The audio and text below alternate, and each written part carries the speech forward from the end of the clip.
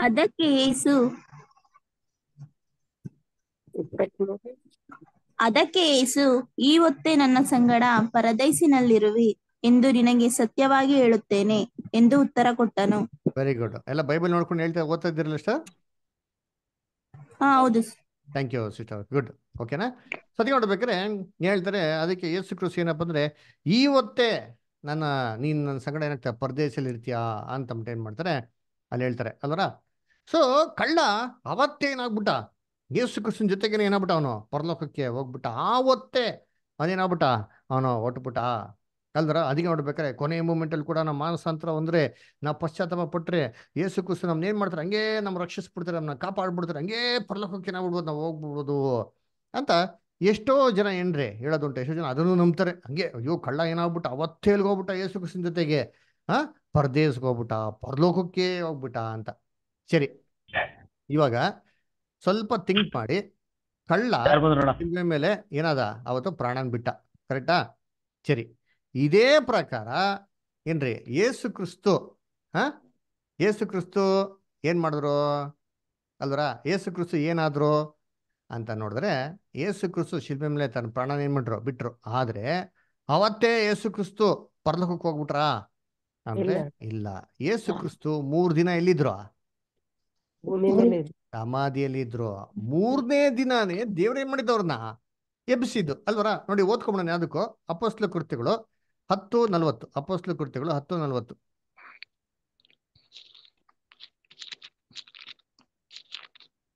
ಮರದ ಕಂಬಕ್ಕೆ. ಅಪಸ್ಲ ಕೃತ್ಯಗಳಲ್ಲಿ ಹತ್ತನೇ ನಲವತ್ತನೇ ವಾಕ್ಯ. ಆತನನ್ನು ಮರದ ಕಂಬಕ್ಕೆ ತೂಗು ಹಾಕಿ ಕೊಂದರು. ಅಪೋಸ್ಲ ಕೃತ್ಯಗಳು ಹತ್ತು ನಲ್ವತ್ತರ ಸರ್. ಆತನನ್ನು ಮರದ ಕಂಬಕ್ಕೆ ತೂಗಾಕಿ ಕೊಂದರು ಅಂತ ಅಷ್ಟೇ ಇದೆಯಾ ನಲವತ್ತೊಂದು ನಾಲ್ಕು ಸರ್. ದೇವರು ಆತನನ್ನು ಮೂರನೇ ದಿನದಲ್ಲಿ ಎಬ್ಬಿಸಿ. ಪ್ರತ್ಯಕ್ಷನಾಗುವುದಂತೆ ಮಾಡಿದನು. ಆ ಗುಡ್. ಕನ್ನಡದಲ್ಲಿ ಸ್ವಲ್ಪ ಮೇಲೆ ಕೆಡೆ ಬರ್ತದೆ ಇಂಗ್ಲಿಷ್ ನೋಡಿ ಫಾರ್ಟಿ ಐದು ವರ್ಷದಲ್ಲಿ Jesus you see was raised on the third day and should openly ಅಂತ ಏನಾಗ್ತದೆ ಬರ್ತಾರೆ. ಅದರ ಸರಿ ಏನೇ ನೋಡ್ಬೇಕಾದ್ರೆ ಇಲ್ಲಿ ನಮ್ಗೆ ಏನಪ್ಪ ಗೊತ್ತಂದ್ರೆ ಯೇಸು ಕ್ರಿಸ್ತ ಮೂರ್ ದಿನ ಎಂದ್ರೆ ಸಮಾಧಿಯಲ್ಲಿ ಇದ್ರು ಮೂರನೇ ದಿನಾನೇ ಏನ್ ಮಾಡಿ ದೇವ್ರವ್ರನ್ನ ಎಬ್ಸಲ್ಪಟ್ಟಿದ್ದು ಅಂತ ನೋಡ್ತೀರಿ. ಹಂಗಿರ್ಬೇಕ್ರೆ ಏನ್ ದೇವ್ರು ಯೇಸು ಕ್ರಿಸ್ತನ ಮೂರನೇ ದಿನಾನೇ ಎಬ್ಸಿರೋದು ಅಂತಂದ್ರೆ ಇದಕ್ಕಿಂತ ಮುಂಚೆ ಯೇಸು ಕ್ರಿಸ್ತ ಕಳ್ಳಿಂಗ್ ಹೆಂಗೆ ವಾಗ್ದಾನ ಮಾಡಕ್ ಸಾಧ್ಯ? ನೀ ನನ್ನ ಸಂಗಡ ಇವತ್ತೇ ಪರದೇಶಲ್ಲಿ ಇರ್ತೀಯಾ ಅಂತ. ಸರಿ, ಅವತ್ತೇ ಯೇಸು ಕ್ರಿಸ್ತ ಹೋಗಿಲ್ಲ. ಮತ್ತೆ ಕಳ್ಳ ಹೆಂಗ್ ಹೋಗ್ಬಿಟ್ಟ ಅವತ್ತೇ? ಯೋಚನೆ ಮಾಡ್ರಿ ಅಂತೀನಿ. ಅಲ್ವರ ಮೊದಲನೇ ಪಾಯಿಂಟ್ ಎರಡನೇದು ಯೋಚನೆ ಮಾಡಿ. ಶಿಲ್ಬೆ ಮೇಲಿರೋಂಥ ಕಳ್ಳ ಜೀಸಸ್ ಕ್ರೈಸ್ಟಿಗೆ ಏನು ಕೇಳ್ಕೊಂಡ? ಸ್ವಾಮಿ, ನನ್ನ ಪಾಪಗಳನ್ನೆಲ್ಲ ಕ್ಷಮಿಸು ಅಂತ ಕೇಳ್ಕೊಂಡ ಕೇಳ್ಕೊಂಡ? ನೋಡಿ, ಓದೋಣ ವಾಕ್ಯ. ಶಿಲ್ಬೆ ಬಾದ ಕಳ್ಳ ಏನು ಕೇಳ್ಕೊಂಡ ಅಂತ ಯೇಸು ಕ್ರಿಸ್ತನ್ಗೆ? ಓದ ನೋಡಿದ್ದೀನಿ. ಲೂಕ ಇಪ್ಪತ್ತು ಮೂರನೇ ಅಧ್ಯಾಯ. ಲೂಕ ಇಪ್ಪತ್ತು ಮೂರನೇ ಅಧ್ಯಾಯ. ನಲವತ್ತು ಎರಡನೇ ವಾಕ್ಯ. ಹಾ. ಯೇಸುವೆ ನೀನು ನನ್ನ ರಾಜ್ಯವನ್ನು ನಿನ್ನ ರಾಜ್ಯವನ್ನು ಪಡೆದವನಾಗಿ ಬರುವಾಗ ನನ್ನನ್ನು ನೆನೆಸಿಕೋ ಅಂದನು. ನೋಡ್ರ, ನನ್ನನ್ನು ನೆನೆಸಿಕೋ ಅಂತಂದನು. ಅಂದ್ರ ಎಲ್ಲರೂ ಅವರು ಪಶ್ಚಾತ್ತಾಪ ಪಟ್ಟಿರೋದು, ನಾನ್ ಮಾಡಿರೋದೆಲ್ಲ ತಪ್ಪು ಅಂತ ಹೇಳಿರೋದಿದ್ಯಾ? ಸರಿ ನಮ್ಮ ಪಾಪಗಳನ್ನ ಕ್ಷಮಿಸುತ್ತ ಪಾಪ ನರಿಕೆ ಮಾಡಿ, ಏಸು ಕ್ರಿಸ್ತನೇ ರಕ್ಷಕ ಅಂತ ಅಂಗೀಕಾರ ಮಾಡೋದು ಎಲ್ಲರ ಇದೆಯಾ? ಎಲ್ಲೂ ಕೊಟ್ಟಿಲ್ಲ ರೀ. ಅಲ್ವರ, ಏನಪ್ಪ ಸಿಂಪಲ್ ಆಗಿ ಹೇಳಿದಾರೆ ಅಂತಂದ್ರೆ ನಿನ್ನ ರಾಜ್ಯದಲ್ಲಿ ನೀನು ಬರ್ಬೇಕಾರೆ ಏನ್ ಮಾಡೋ ದಯವಿಟ್ಟು ನನ್ನನ್ನ ನೆನೆಸಿಕೋ ಅಂತ ಏನ್ ಮಾಡಿದಾರೆ ಹೇಳಿದಾರೆ. ಅದರ ಇವಾಗ ಯೋಚನೆ ಮಾಡ್ರಿ. ಹಾ ಇದನ್ನ ನಾವು ಹಿಂಗೆ ತಗೊಂಡ್ಬಿಟ್ಟ ಅಂತಂದ್ರೆ ಏನ್ರಿ ಅರ್ಥ? ಹಂಗಾರೆ ನಾವು ಕೂಡ ಲಾಸ್ಟ್ ಮೂಮೆಂಟಲ್ಲಿ ಸಾಯ ಮೂಮೆಂಟಲ್ಲಿ ಏನ್ರಿ ಸ್ವಾಮಿಯೇ ಕರ್ತನೇ ಅಂತ ಅಂದ್ಬಿಟ್ರೆ ಏನ್ರಿ ಮುಗಿದೋಯ್ತು. ಯೇಸು ಕೃಷ್ಣನ್ ಬಗ್ಗೆ ಸ್ವಲ್ಪ ಒಳ್ಳೆ ಮಾತಾಡ್ಬಿಟ್ರೆ ನಮ್ಮನ್ನು ಕೂಡ ದೇವರಲ್ಲಿ ಕರ್ಕೊಂಡ್ಬಿಡ್ತಾರೆ. ಪರಲೋಕಕ್ಕೆ ಕರ್ಕೊಂಡ್ಬಿಡ್ತಾರೆ ಪರದೇಶಕ್ಕೆ ಕರ್ಕೊಂಡ್ಬಿಡ್ತಾರೆ ಅಂತ ಅರ್ಥ. ಅದರ ಹಾಗಿರ್ಬೇಕಾರೆ ನಾವ್ಯಾಕೆ ಸತ್ಯವೇದ ಓದ್ಬೇಕು? ಯೋಚನೆ ಮಾಡ್ರಿ. ಹೆಂಗ್ರು ಸಾಯ ಅಂತ ಮೂಮೆಂಟು ಎಲ್ಲರಿಗೂ ಗೊತ್ತಾಗ್ತದಪ್ಪ ನೀವು ಸಾಯ್ಬೇಕಾದ್ರೆ ಜಸ್ಟ್ ಒಂದು ಫ್ಯೂ ಮಿನಿಟ್ಸ್ ಮುಂಚೆ ನಿಮ್ಗೆ ಗೊತ್ತಾಗೋದಿಲ್ಲ ಸಾಯ್ತೀರಿ ಅಂತ? ಉಸು ಹೋಗ್ತಾರೆ ಅಂತ? ಗೊತ್ತೇ ಆಗ್ತದೆ. ಆ ಮೂಮೆಂಟಲ್ಲಿ ಅಟ್ಲೀಸ್ಟ್ ಅಯ್ಯೋ ಸ್ವಾಮಿ ನನ್ನ ಪಾಪಗಳನ್ನ ಕ್ಷಮಿಸು ಅಂತ ಅವನಂತ ಕೇಳಿಲ್ಲ. ನಾವಂತ ಕೇಳ್ಕೊಂಬಿಟ್ಟು ಹೋಗ್ಬಿಟ್ರೆ ಒಳ್ಳೇದಲ್ವಾ? ಮತ್ತೆ ನಾವೇ ಕಷ್ಟಪಡ್ಬೇಕು. ಕರ್ತನಲ್ಲಿ ಪ್ರೀತಿ ಅಂತ ಸೋರಸಗಳೇ ಆಗಿರ್ಬೇಕಾದ್ರೆ ಅಪೋಸ್ಟ್ಲು ಪೋಲ್ ಯಾಕೆ ಕಷ್ಟಪಡ್ಬೇಕಾಗಿತ್ತು? ಅಪೋಸ್ಟ್ಲು ಪೋಲ್ ಏನು ಹೇಳ್ತಾನೆ? ನಾನು ಒಳ್ಳೆ ಹೋರಾಟ ನೇಮ್ ಮಾಡಿದ್ದೀನಿ. ಹೋರಾಡಿದ್ದೀನಿ ಅಂತ ಹೇಳ್ತಾರೆ. ಯಾಕೆ ಹೋರಾಟ ಓಡಾಡ್ಬೇಕಂಗಾರೆ? ಹೇಗಿದ್ರು ನಮ್ಗೇನಂತ ರಕ್ಷಣೆ ಖಚಿತವಲ್ಲ? ನಾವ್ ಹೆಂಗಿದ್ರು ನಾವು ಒಳ್ಳೆಯವರಾಗಿರ್ಲಿ ಕೆಟ್ಟವರಾಗಿರ್ಲಿ ನಮ್ಗೆ ಹೆಂಗಿದ್ರು ದೇವ್ರು ಆಯ್ಕೆ ಮಾಡಿರೋದ್ರಿಂದ ನಾವು ಲಾಸ್ಟ್ ಮೂಮೆಂಟಲ್ಲಿ ಮಾನಸಾಂತರ ಒಂದೇ ದೇವ್ರಂಗೆ ಪಾಪನೆಲ್ಲ ಪರಿಹಾರ ಮಾಡಿದ ನಮ್ಮ ರಕ್ಷಣೆ ಕೊಡೋದ್ರಿಂದ ನಾವ್ಯಾಕೆ ಇಷ್ಟು ಕಷ್ಟಪಡಬೇಕು? ನೋಡಿ ಅಪೋಸ್ಟ್ಲು ಪೋಲ್ ಒಂದು ಮಾತು ಹೇಳ್ತಾರೆ. ಏನ್ ಹೇಳ್ತಾರೆ? ಓದ ನೋಡಿದ್ದೀನಿ ಒಂದನೇ ಕುರಿ ಅಂತ ಒಂಬತ್ತು ಇಪ್ಪತ್ತೇಳು. ಒಂದನೇ ಕುರಿ ಅಂತ ಒಂಬತ್ತು ಇಪ್ಪತ್ತೇಳು. ಹ್ಮ್.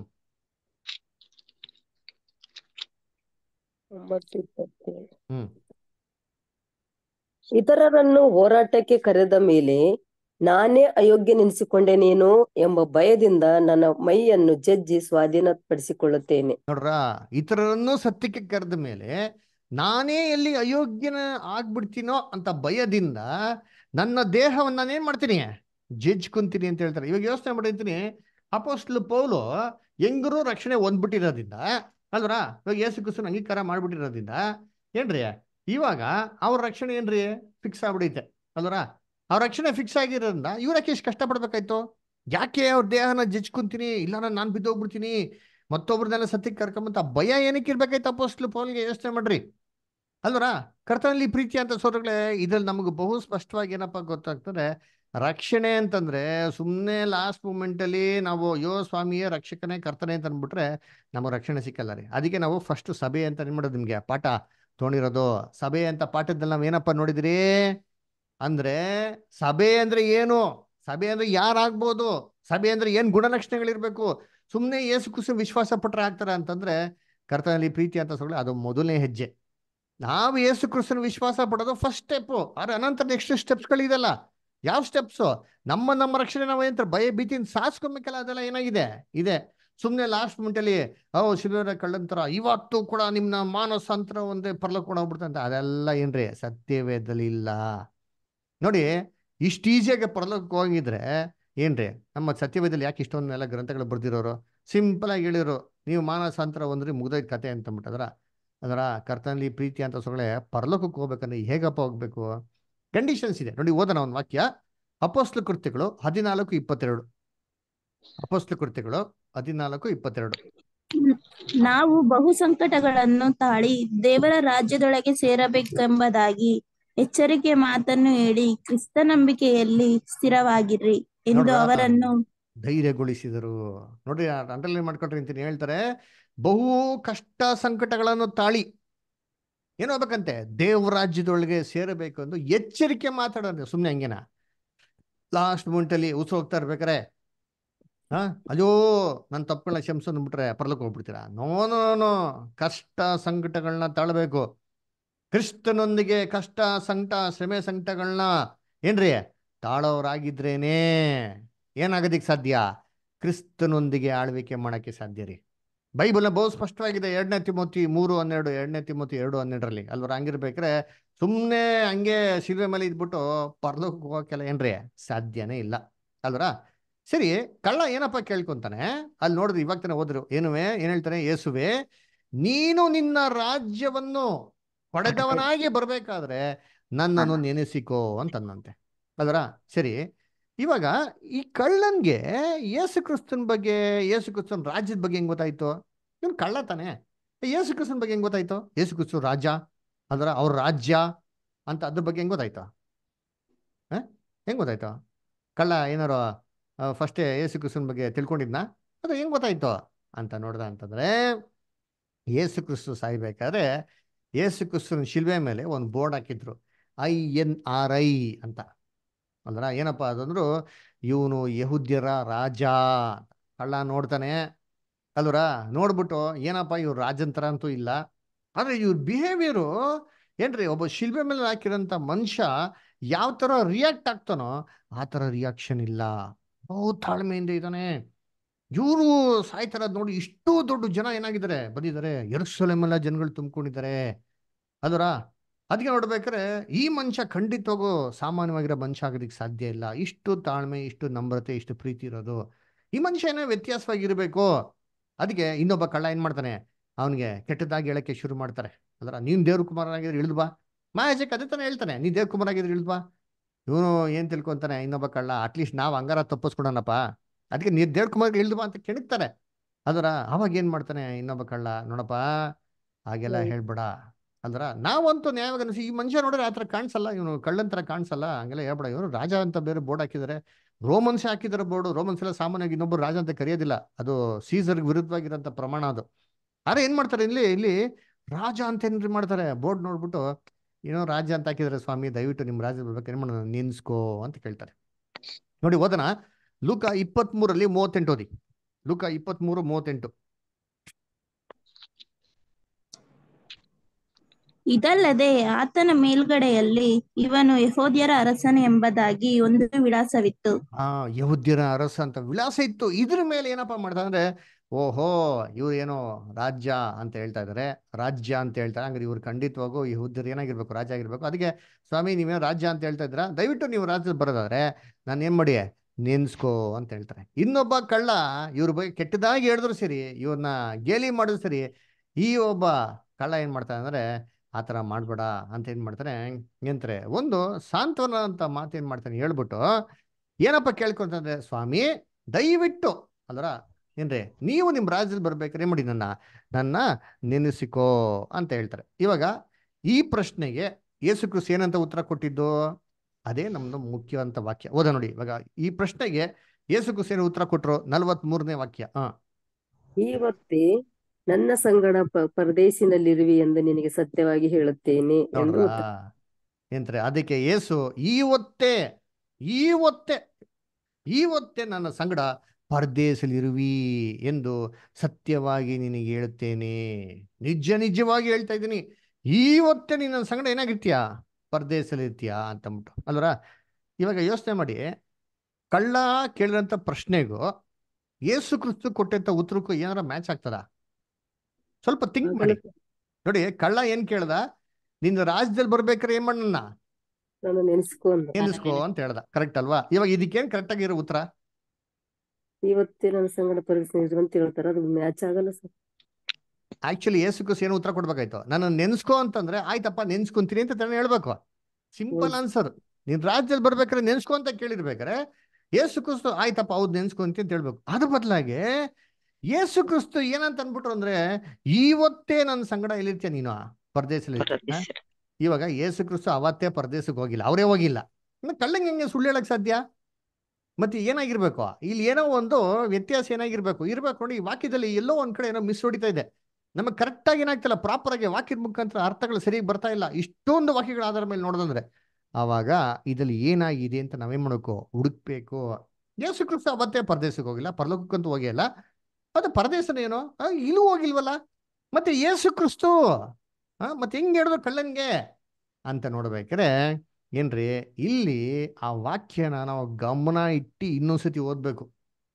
ಇಂಗ್ಲೀಷಲ್ಲಿ ಹೆಂಗ್ ಗೊತ್ತಾ ಬರ್ತಾರೆ ನೋಡಿ ಈ ತರ ಬರ್ತಾರೆ and Jesus said unto him verily I say to thee today shalt thou be with me in paradise ಅಂತ. ಅಲ್ಲರ? ಕನ್ನಡದಲ್ಲಿ ಐ ಮೀನ್ ಇಂಗ್ಲೀಷಲ್ಲಿ ಯಾರು ಇದ್ರೆ ಓದಿ ದಯವಿಟ್ಟು ಬೈಬಲ್ ಇಂಗ್ಲೀಷ್ ಯಾವ ತರ ಇದೆಯಾ ಬೈಬಲ್ ಓದ್ತೀರಾ?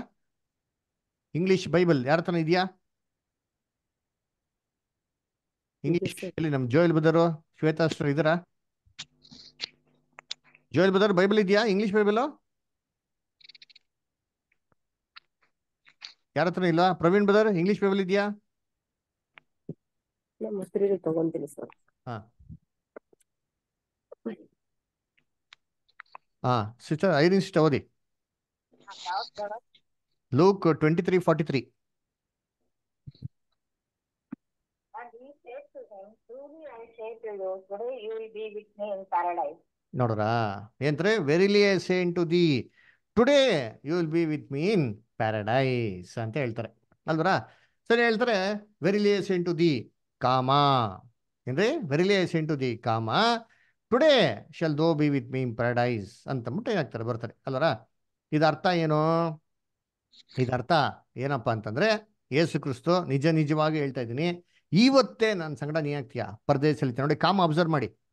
ಆ, ಕಾ- ಕಾಡಲು ಬರ್ತಾರೆ. ಕಾಮ ಎಲ್ಲಿದೆ ಅಂತಂದ್ರೆ ಟುಡೇಕ್ಕಿಂತ ಮುಂಚೆ ಏನಾಗಿದೆ? ಇದೆ. ಅದನ್ನ ಓದ್ಬೇಕಾದ್ರೆ ಹೆಂಗ್ ಅನ್ಸ್ತಾರೆ ಅಂತಂದ್ರೆ ಆ ಇವತ್ತೇ ನೀ ನನ್ನ ಸಂಗಡ ಪರದೇಶಲ್ಲಿ ಇದೆಯಾ ಅಂತ. ಇವಾಗ ಜಸ್ಟ್ ಓದ್ಬೇಕಾರೆ ಆ ಕಾಮನ ಟುಡೇ ನಂತರ ಹಾಕ್ಬಿಟ್ಟು ಓದಿ ಯಾರಾದ್ರೂ ಅಲ್ಲಿ ಇಲ್ಲಿ ಇಂಗ್ಲಿಷ್ ಯಾರು ಓದ್ತೀರಾ ಆನ್ಲೈನ್ನಲ್ಲಿ ಆನ್ಲೈನ್ನಲ್ಲಿ ಯಾರು ಇಂಗ್ಲಿಷ್ ಓದೋರು ಯಾರು ಇದ್ದೀರಾ? ಇದು ಸ್ಕ್ರೀನ್ ಅಲ್ಲಿ ಇರೋದು ಇಂಗ್ಲಿಷ್ ಓದಕ್ ಆಗ್ತದೆ ಯಾರು ಓದ್ತೀನಿ ಸರ್. ಹಾ ಓದಿ ಸಿಸ್ಟರ್. ಅಂಡ್ ಅನ್ನೋದು ಟುಡೇ ಅಂತ ಹಾಕ್ಬೇಕಾ ಸರ್ ಇವಾಗ ಕೆಡೆ ಇದ್ದಿದ್ದಲ್ಲ ಅದು ಓದಿ. ಕಾಮ ಟುಡೇ ನಂತರ ಇದೆಯಲ್ಲ ಅದನ್ನ ಓದಿ. Shalt the shall ದೋ be with me in paradise. ಸರಿ ನಾನು ಕೇಳ್ರಿ.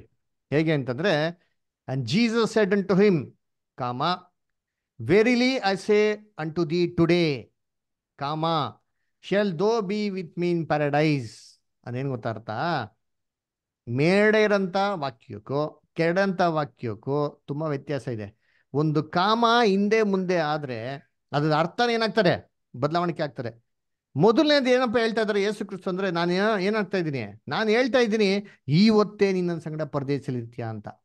ಆದ್ರೆ ಕಾಮ ಅನಂತರ ಹಾಕ್ಬಿಟ್ಟು ಹೋದ್ರೆ ಏನಪ್ಪ ಅರ್ಥ ಅಂತಂದ್ರೆ, ನಾನು ಇವತ್ತು ಹೇಳ್ತಾ ಇದ್ದೀನಿ, ನೀನ್ ನನ್ನ ಸಂಗಡ ಏನಾಗ್ತೀಯ? ಪರದೇಶದಲ್ಲಿ ಇರ್ತೀಯ. ನೋಡಿ ಕನ್ನಡದಲ್ಲಿ ಕೂಡ ನೋಡಿ, ಇಲ್ಲಿ ಓದ್ಬೇಕಾದ್ರೆ ನೋಡಿರ್ತೀನಿ, ಅದಕ್ಕೆ ಯೇಸು ಏನ್ರಿ? ಆ? ಕಾಮ? ಇವತ್ತೇ ನನ್ನ ಸಂಗಡ ಪರದೇಶದಲ್ಲಿರುವಿ. ಅನೇನರ್ಥ ಇವತ್ತು ಇದ್ಬಿಡ್ತೀಯಾ ಅಂತ ಅರ್ಥ. ಇವಾಗ ನೀವು ಜಸ್ಟ್ ಕಾಮನ ಇವತ್ತು ಆಗಿದ್ಮೇಲೆ ಹಾಕ್ಬಿಟ್ಟು ಓದಿ. ಅದ ಅರ್ಥನೇ ಬೇರೆ ರೀ. ಏನು ಬರ್ತಾ ಗೊತ್ತಾ? ಅದಕ್ಕೆ ಏಸು ಇವತ್ತು ನನ್ನ ಸಂಗಡ ನೀನ್ ಪರದೇಶದಲ್ಲಿರುವಿ. ಅದ ಅರ್ಥ ಏನು? ಏಸು ಕ್ರಿಸ್ತು ಇವತ್ತು ಹೇಳ್ತಾ ಇದ್ದಾರೆ ನಾನು ಇವತ್ತು ಹೇಳ್ತಾ ಇದ್ದೀನಿ. ನೀನ್ ನನ್ನ ಸಂಗಡ ಎಲ್ಲಿರ್ತೀಯ? ಪರದೇಶದಲ್ಲಿ ಇರ್ತೀಯ? ಯಾವತ್ತು? ಇವತ್ತು ಇರ್ತೀಯ ಅಂತನ? ಇಲ್ಲ ಇಲ್ಲ, ಇವತ್ತಲ್ಲ. ನೀನ್ ಇರ್ತೀಯ? ನಾನು ಅದನ್ನ ಇವತ್ತೇನ್ ಮಾಡ್ತಾ ಇದ್ದೀನಿ ನಿನಗೆ? ಹೇಳ್ತಾ ಇದ್ದೀನಿ. ಅದರ ಯಾವಾಗಿರ್ತೀಯ ಆತನ ರಾಜ್ಯದಲ್ಲಿ ಇರ್ತೀಯ? ಅದನ್ನು ನೋಡ್ತೀನಿ ನೋಡ್ತೀನಿ ನೋಡ್ತೀನಿ ನೋಡಿ. ಕ್ಲೀನಾಗಿ ಬೈಬಲ್ ಸತ್ಯವಿದ್ದಲ್ಲಿ ಎಲ್ಲಿ ಕೊಟ್ಟಿದ್ದಾರೆ ಅಂತ. ಅಲ್ವರ? ಅದಕ್ಕೆ ನೋಡಿ, ಕರ್ತನಲ್ಲಿ ಪ್ರೀತಿ ಅಂತ ಸೊಳ್ಳೆ ಒಂದು ಕಾಮ ಅಥವಾ ಒಂದು ಪದ ಆ ಕಡೆ ಈ ಕಡೆ ಆದರೆ ಸೆಂಟೆನ್ಸ್ದು ಮೀನಿಂಗ್ ಏನಾಗ್ಬಿಡ್ತಾರೆ ಚೇಂಜ್ ಆಗಿಬಿಡ್ತಾರೆ ನೋಡಿ ಇವಾಗ ಎಕ್ಸಾಂಪಲ್ ಇವಾಗ ನಾವು ಸತ್ಯವೇದದಲ್ಲಿ ಏನಂತ ನೋಡಿದ್ರಿ? ಆದಾಮ್ಗೆ ಏನಂತಂದ್ರು ದೇವರು? ಹಣ್ಣ ಏನ್ ಮಾಡ್ಬೇಡ ನೀನು. ತಿನ್ಬೇಡ. ತಿಂದ್ರೆ ಏನಾಗ್ತೀಯ ನೀನು? ಸತ್ತೇ ಸಾಯಿ ಅಂತಂದ್ರು ಅಂದ್ರು ಇವಾಗ ಸೇತನ ಏನಂತಂದ್ರ ಇದೇ ಮಾತಿಗೆ ದೇವರುಳ್ಳಂತ ಇದೇ ಮಾತಿಗೆ ಒಂದೇ ಒಂದು ಪದ ಸೇರಿಸ್ಬಿಟ್ಟ. ನೀನ್ ಹೇಗೂ ಸಾಯ್ತೀಯ. ಅಲ್ವರ? ದೇವ್ರ ಏನಂತಂದ್ರು ಸಾಯುವಿ ಅಂತಂದ್ರೆ ಇವನು ಸಾಯುವುದಿಲ್ಲ ಅಂತ ಏನ್ ಮಾಡ್ದ? ಅಲ್ರ ಇಲ್ಲ ಇದೆ. ಇಷ್ಟೇ ಪದ. ನೋಡಿ ಒಂದು ಪದದಲ್ಲಿ ಇಡೀ ಜಗತ್ತಲ್ಲೇ ಅರ್ಥಗಳೇನಾಗೋಯ್ತು ಚೇಂಜ್ ಆಗೋಯ್ತು. ಇಂಗ್ಲೀಷಲ್ಲಿ ತುಂಬಾ ಚೆನ್ನಾಗಿ ಬಿಡ್ತಾರೆ ದೋ ಶಲ್ ಶ್ಯೂರ್ಲಿ ಡೈ ಅಂತ ದೇವ್ರ ಏನ್ ಮಾಡಿದ್ರು? ಹೇಳಿದ್ರು. ಆದ್ರೆ ಸೇತನ್ ಏನ್ ಹೇಳ್ತಾರೆ ಒಂದೇ ಒಂದು ಪದ ಸೇರಿಸ್ಬಿಟ್ರೆ ಸೆಂಟೆಲ್ ನಾಟ್ ಅಂತ. You shall surely not die ಅಂತ ನೋಡಿ, ಇವಾಗ ಒಂದು ಕೋರ್ಟಲ್ಲಿ ಒಂದು ಜಡ್ಜು ಡಿಸಿಷನ್ ಕೊಡ್ತಾ ಇದ್ದಂತೆ ಏನಂತ ಡಿಸಿಷನ್ ಕೊಟ್ಟ ಅಂತಂದ್ರೆ, ಕಿಲಿಮ್. ಏನ್ರಿ? ಅವನ್ನ ಸಾಯ್ಸಾಕಿ ಅವನ ಬಿಡ್ಬೇಡಿ ಅಂತ ಜಜ್ಮೆಂಟ್ ಕೊಟ್ಟಂತೆ. ಇಂಗ್ಲೀಷಲ್ಲಿ ಟೈಪ್ ಮಾಡ್ಬೇಕು, ಹೆಂಗ್ ಟೈಪ್ ಮಾಡ್ಬೇಕಂದ್ರೆ, ಕಿಲಿಮ್. ಕಾಮ ನಾಟ್ ಸ್ಪೇರ್ ಸ್ಪೇರಿಮ್ ಅಂತ ಟೈಪ್ ಮಾಡಬೇಕು. ಆದರೆ ಇಲ್ಲಿ ಕೆಲ ಟೈಪಿಸ್ಟ್ ಟೈಪ್ ಮಾಡ್ಬೇಕಾರೆ ಏನಪ್ಪ ಮಾಡ್ದ ಅಂದರೆ ಈ ಕಾಮನ ಹಿಮ್ ಆಗಿದ್ಮೇಲೆ ಹಾಕೋ ಬದಲಾಗೆ ನಾಟ್ ಆಗಿದ್ಮೇಲೆ ಹಾಕ್ಬಿಟ್ಟ. ಇದು ಅರ್ಥನೇ ಚೇಂಜ್ ಆಗೋಯ್ತು. ನೋಡ್ರಿತೀನಿ ಕಿಲಿಮ್ ನಾಟ್ ಕಾಮ ಸ್ಪೇರಿಮ್ ಕಿಲಿಮ್ ನಾಟ್ ಸಾಯಿಸ್ಬೇಡಿ. ಬಿಟ್ಬಿಡಿ ಅಂತ ಅರ್ಥ. ಜಡ್ಜ್ ಏನು ಹೇಳಿದ ಆಕ್ಚುಲಿ ಸಾಯಿಸಿ ಬಿಡಬೇಡಿ. ಅಲ್ವರ? ಇವ್ರೇನ್ ಮಾಡೋದು ಕಾಮ ತೆಗ್ದು ಈ ಕಡೆ ಹಾಕಿದ ತಕ್ಷಣ ಅರ್ಥನೇ ಚೆನ್ನಾಗಿತ್ತು. ಕರ್ತನಲ್ಲಿ ಪ್ರೀತಿ ಅಂತ ಸುಳ್ಳ ಈ ಲೂಕನ ಬರ್ತದ ಸುವಾರ್ತೆಯಲ್ಲಿ ಹೀಗೆ ಆಗಿರೋದು. ಬ್ರದರ್ ಹಿಂಗೆ ಹೆಂಗ್ ಬದ ಹೇಳ್ತೀರಾ? ಅಂತಂದ್ರೆ ಒರಿಜಿನಲ್ ಬೈಬಲಲ್ಲಿ ಈ ಚಾಪ್ಟರ್ ಡಿವಿಷನು, ಈ ವರ್ಸ್ ಡಿವಿಷನು, ಈ ಕಾಮ ಫುಲ್ ಸ್ಟಾಪ್ ಯಾವುದು ಇಲ್ಲ.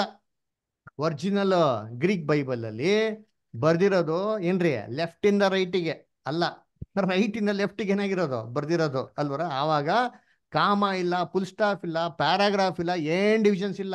ಇದೆಲ್ಲ ಅನಂತರ ಆಗಿರೋದು. ಈ ಚಾಪ್ಟರ್ ಡಿವಿಷನ್ ವರ್ಷ ಡಿವಿಷನ್ ಯಾವಾಗ ಆಗಿರೋದು ಗೊತ್ತಾ? ಫಿಫ್ಟೀನ್ ಫಿಫ್ಟಿ ಒನ್ ಎಡಿಯಲ್ಲಿ ಕಾರ್ಡಿನಲ್ ಕ್ಯಾರೋ ಅಂತ ಅಂದ್ಬಿಟ್ಟು ಏನ್ರಿ ಚಾಪ್ಟರ್ ಡಿವಿಷನ್ ಮಾಡಿದ್ರು. ಅದಾಗಿದ ನಂತರ ರಾಬರ್ಟ್ ಸ್ಟೀಫನ್ಸನ್ ಅಂತ ಬಂದ್ಬಿಟ್ಟು ವರ್ಷ ಡಿವಿಷನ್ ಏನ್ ಮಾಡಿದ್ರು? ಮಾಡಿದ್ರು ಇದಾಗಿದ್ಮೇಲೆ ಪಂಕ್ಚುಯೇಷನ್ ಮಾರ್ಕ್ಸ್ಗಳೆಲ್ಲ ಬೈಬಲ್ ಏನಾಗಿರೋದು? ಬರ್ದಿರೋದು. ಅಲ್ಲಿವರೆಗೂ ಇಂಗ್ಲಿಷ್ ಬೈಬಲೇ ಇಲ್ಲ. ಬಟ್ ಟ್ರಾನ್ಸ್ಲೇಷನ್ ಹೆಂಗ್ ಮಾಡಕ್ ಸಾಧ್ಯ? ಮೂಲ ಪತ್ರಿಕೆಯಲ್ಲಿ ಈ ತರ ಇಲ್ವೇ ಇಲ್ಲ. ಕರ್ತನಲ್ಲಿ ಪ್ರೀತಿ ಅಂತ ಸೊರಳೆ ಅದಕ್ಕೆ ಕ್ರಿಸ್ತನು ಏನಪ್ಪ ಹೇಳಿರೋದು ಅಂತಂದ್ರೆ, ನಾನು ಇವತ್ತು ಹೇಳ್ತಾ ಇದ್ದೀನಿ. ನೀನು ನನ್ನ ಸಂಗಡ ಏನಾಗ್ತೀಯ? ಪರದೇಶಲ್ಲಿ ಯಾಕೆ ಹೇಳಿದ್ರು ಯೇಸು ಕ್ರಿಸ್ತು ಹಿಂಗೆ ಅಂತ ನೋಡಿದ್ರೆ ಶಿಲ್ಬೆ ಮೇಲೆ ಯೋಚನೆ ಮಾಡಿದ್ದೀನಿ ಆ ಸಾಯಂತ ಮೂಮೆಂಟಲ್ಲಿ ಯೇಸು ಕ್ರಿಸ್ತನ ಜೊತೆಗೆ ಒಬ್ರು ಇಲ್ಲ ರೀ. ಅವ್ರ ಶಿಷ್ಯನಗಳು ಒಬ್ರು ಜೊತೆಗಿಲ್ಲ. ಅವ್ರಿಗೆ ಸಾಂತ್ವನ ಹೇಳೋಂಥವ್ರು ಒಬ್ರು ಇಲ್ಲ. ಒಬ್ಬರು ಅವ್ರಿಗೆ ಸಂತೈಸಂತ ಮಾತು ಕೂಡ ಏನಾಗಿಲ್ಲ ಹೇಳೋದಕ್ಕೆ ಒಬ್ಬರು ಇಲ್ಲ ಯೋಚನೆ ಮಾಡಿರ್ತೀನಿ ಆ ಸ್ತ್ರೀಗಳು ಮಾತ್ರ ಶಿಲ್ಬೆ ಎತ್ಕೊಂಡು ಏನ್ ಮಾಡ್ತಾರೆ? ಕಣ್ಣೀರು ಇಡ್ತಾ ಇರ್ತಾರೆ. ಯೇಸು ಕ್ರಿಸ್ತ ನೋಬಿಟ್ಟು ಏನು ಹೇಳ್ತಾರೆ? ನನಗಾಗಿ ಯಾಕೆ ಕಣ್ಣೀರು ಇಡ್ತೀರಾ ನೀವು? ನನಗೆ ಕಣ್ಣೀರು ಇಡಕ್ಕೆ ಹೋಗ್ಬಿಡಿ. ನಿಮಗೆ ನಿಮ್ಮ ಮಕ್ಳಿಗೆ ಏನು ಮಾಡಿ ಕಣ್ಣೀರು ಇಡಿ ಅಂತ ಹೇಳ್ತಾರೆ ಅದರ ಅದೇ ಅಷ್ಟೇ. ಅರೆ ಯೇಸು ಕ್ರಿಸ್ತನ್ ಯಾರೋ ಒಂದು ಸಮಾಧಾನ ಹೇಳತ್ರ ಮಾತು ಮಾತಾಡಿದ್ರೆ ಅಂದ್ರೆ ಯಾರೂ ಇಲ್ಲ ರೀ. ಈ ಶಿಲ್ಬೆ ಬರುತ್ತೆ ಕಳ್ಳಾನೇನ್ರಿ ಮಾತಾಡಿದ್ರಿ ಅದರ ನಾವಂತೂ ಏನ್ ಮಾಡಿದ್ವಿ? ಏನೋ, ನಾವು ಅನ್ಭವಿಸ್ಬೇಕಾದ್ರೆ ಅನ್ಭವಿಸ್ತಾ ಇದ್ರಿ ಈ ಮನುಷ್ಯ ಹತ್ರ ಇಲ್ಲ. ದಯವಿಟ್ಟು ಅವ್ರ ಬಗ್ಗೆ ಏನ್ ಮಾಡೋ ನೀನು? ಏನು ಕೆಟ್ಟದ್ದು ಹೇಳ್ಬೇಕಾದ್ರೆ ಕ್ರೈಸ್ಟ್ ಹೆಂಗಿತ್ತು ಅಂದ್ರೆ ಏನೋ ಒಂಥರ ಸಾಫ್ಟ್ ವರ್ಡ್ಸ್ ಅಂದ್ರ ಶಿಬೆ ಮೇಲೆ ಯೇಸು ಕ್ರಿಸ್ತನ ಮನೋಭಾವ ಹೆಂಗಿತ್ತು ಗೊತ್ತರ? ನೋಡಿ ಕೀರ್ತನೆ ಕೊಡಿದ್ರೆ ಓದನ ಕೀರ್ತನೆ ಅರವತ್ತೊಂಬತ್ತು ಇಪ್ಪತ್ತು ಓದಿ. ಕೀರ್ತನೆ ಅರವತ್ತೊಂಬತ್ತು ಇಪ್ಪತ್ತು. ನಿದ್ದೆಯಿಂದ ಖಿನ್ನನಾಗಿ ಕುಂದಿ ಹೋಗಿದ್ದೇನೆ. ಕರುಣಾಳುಗಳನ್ನು ನಿರೀಕ್ಷಿಸಿದೆ ದೊರೆಯ ದೊರೆಯಲಿಲ್ಲ. ಸಂತೈಸುವವರನ್ನು ಆರೈಸಿದೆ ಸಿಕ್ಕಲಿಲ್ಲ. ಶಿಲ್ಬೆ ಮೇಲೆ ಅಂತ ಮಾಡ್ತಾರೆ. ಕೀರ್ತನೆ ಇಪ್ಪತ್ತೆರಡು ಕೀರ್ತನೆ ಅರವತ್ತೊಂಬತ್ತು ಏಸು ಕೃಷಿ ಶಿಲ್ಮೆ ಇರ್ಬೇಕಾದ್ರೆ ಧ್ಯಾನಗಳದು. ಹೇಳ್ತಾರೆ ನಿಂದೆಯಿಂದ ಖಿನ್ನನಾಗಿದ್ದೇನೆ ಕುಂದು ಹೋಗಿದ್ದೇನೆ. ಕರುಣಾಳುಗಳನ್ನು ನಿರೀಕ್ಷಿಸಿದೇನೋ ದೊರೆಯಲಿಲ್ಲ. ಯೋಚನೆ ಮಾಡ್ರಿ. ಯೇಸು ಕ್ರಿಸ್ತನ ಎದುರು ನೋಡ್ರಿ. ನನ್ಗೊಬ್ರು ಕರುಣೆ ನೋಡ್ಸಬೇಕು ನನ್ಗೊಬ್ರು ಕೃಪೆ ನೋಡ್ಸರ್ಬೇಕು ಅಲ್ವರಾ? ಒಬ್ಬ ಸಾಂತ್ವನ ಹೇಳೋರು ಬೇಕು ಅಂತ ಎದುರು ನೋಡಿದ್ರು, ಒಬ್ರು ಸಿಕ್ಲಿಲ್ವಂತೆ. ಸಂತೈಸೋರನ್ನು ಆರೈಸಿದೇನೋ ಸಿಕ್ಕಲಿಲ್ಲ. ಅಂಥ ಟೈಮಲ್ಲಿ ಅಟ್ಲೀಸ್ಟ್ ಕಳ್ಳ. ಅಲ್ವರ? ಹಿಂಗೆ ಹೇಳಿದ್ಕೆ, ಯೇಸು ಕುಸಂಗೆ ಮನ್ಸಿಗೆ ಒಂಥರ ಕಂಫರ್ಟ್ ಹಂಗಂತ ಪರ್ದ ಹೊಡೋಯ್ತೀನಿ ಅಂತಂದ್ರ. ಅಯ್ಯೋ, ಪರಲೋಕ ಅಲ್ಲ ಪರದೇಶ ಅಂತ ಏನ್ ಮಾಡಿದಲ್ಲಿ ಅಲ್ಲಿ ಹೇಳಿದ್ದು, ನಮ್ಮವ್ರು ಏನ್ ಮಾಡ್ಬಿಡ್ತಾರೆ? ಏನ್ರಿ, ಸೌಲ್ ರಾಜ್ ಅಂತ ದುಡುಕ್ಬಿಡ್ತಾರೆ. ಹಾ ಸ್ಯಾಮಿಯಲ್ಲೇ ಬಂದಿರಲ್ಲ, ಬಿಳಿ ಬಟ್ಟೆ ಕಿತ್ತ ಹೌದು ಕರೆಕ್ಟ್ ಯಾರು ಸ್ಯಾಮಿಯಲ್. ಸ್ವಲ್ಪ ಸಮಾಧಾನ ಥಿಂಕ್ ಮಾಡ್ಬೇಕಲ್ಲಿ. ಅಲ್ಲಿ ಏಸು ಕುಸು ಪರಲೋಕ ಅಂತಂದ್ರ. ನಮ್ಮವ್ರು ಏನ್ ಮಾಡ್ತಾರೆ? ಪರದೇಶನ ಪರಲೋಕ ಮಾಡ್ಬಿಟ್ರು. ಅದ್ರ ಇವಾಗ ನಾವೇನ್ ಮಾಡ್ಬೇಕು? ಬೈಬಲ್ ಏನೋ ಪ್ರಶ್ನೆ ಬಂದ್ರೆ ಬೈಬಲ್ ಪ್ರಶ್ನೆಗೆ ಉತ್ತರ ಹುಡುಕ್ಬೇಕು ಸತ್ಯವೇದಲ್ಲಿ ಹುಡುಕ್ಬೇಕು. ಈಗ ಪರದೇಶನ ಏನು? ಪರಲೋಕನ. ಅಂತ ಬೈಬಲ್ ಎಲ್ಲಿ ಕೊಟ್ಟವ್ರೆ? ಇರ್ಬೇಕಾರೆ ಬೈಬಲಲ್ಲಿ ಈ ಬೈಬಲ್ ಇದ್ರೆ ನಮ್ದು ಇನ್ನೇನರ್ಥ ಅಲ್ಲ, ಈ ಪರದೇಶನ ಏನು ಅಂತ ಅಂದ್ಬಿಟ್ಟು ನಾವೆಲ್ಲಪ್ಪ ಹುಡುಕ್ಬೇಕು ಅಂದ್ರೆ ಸತ್ಯವೇದಲ್ಲಿ ಹುಡುಕ್ಬೇಕು. ಎಲ್ಲಪ್ಪ ಕೊಟ್ಟೈತೆ? ಕೊಟ್ಟಿದೆ.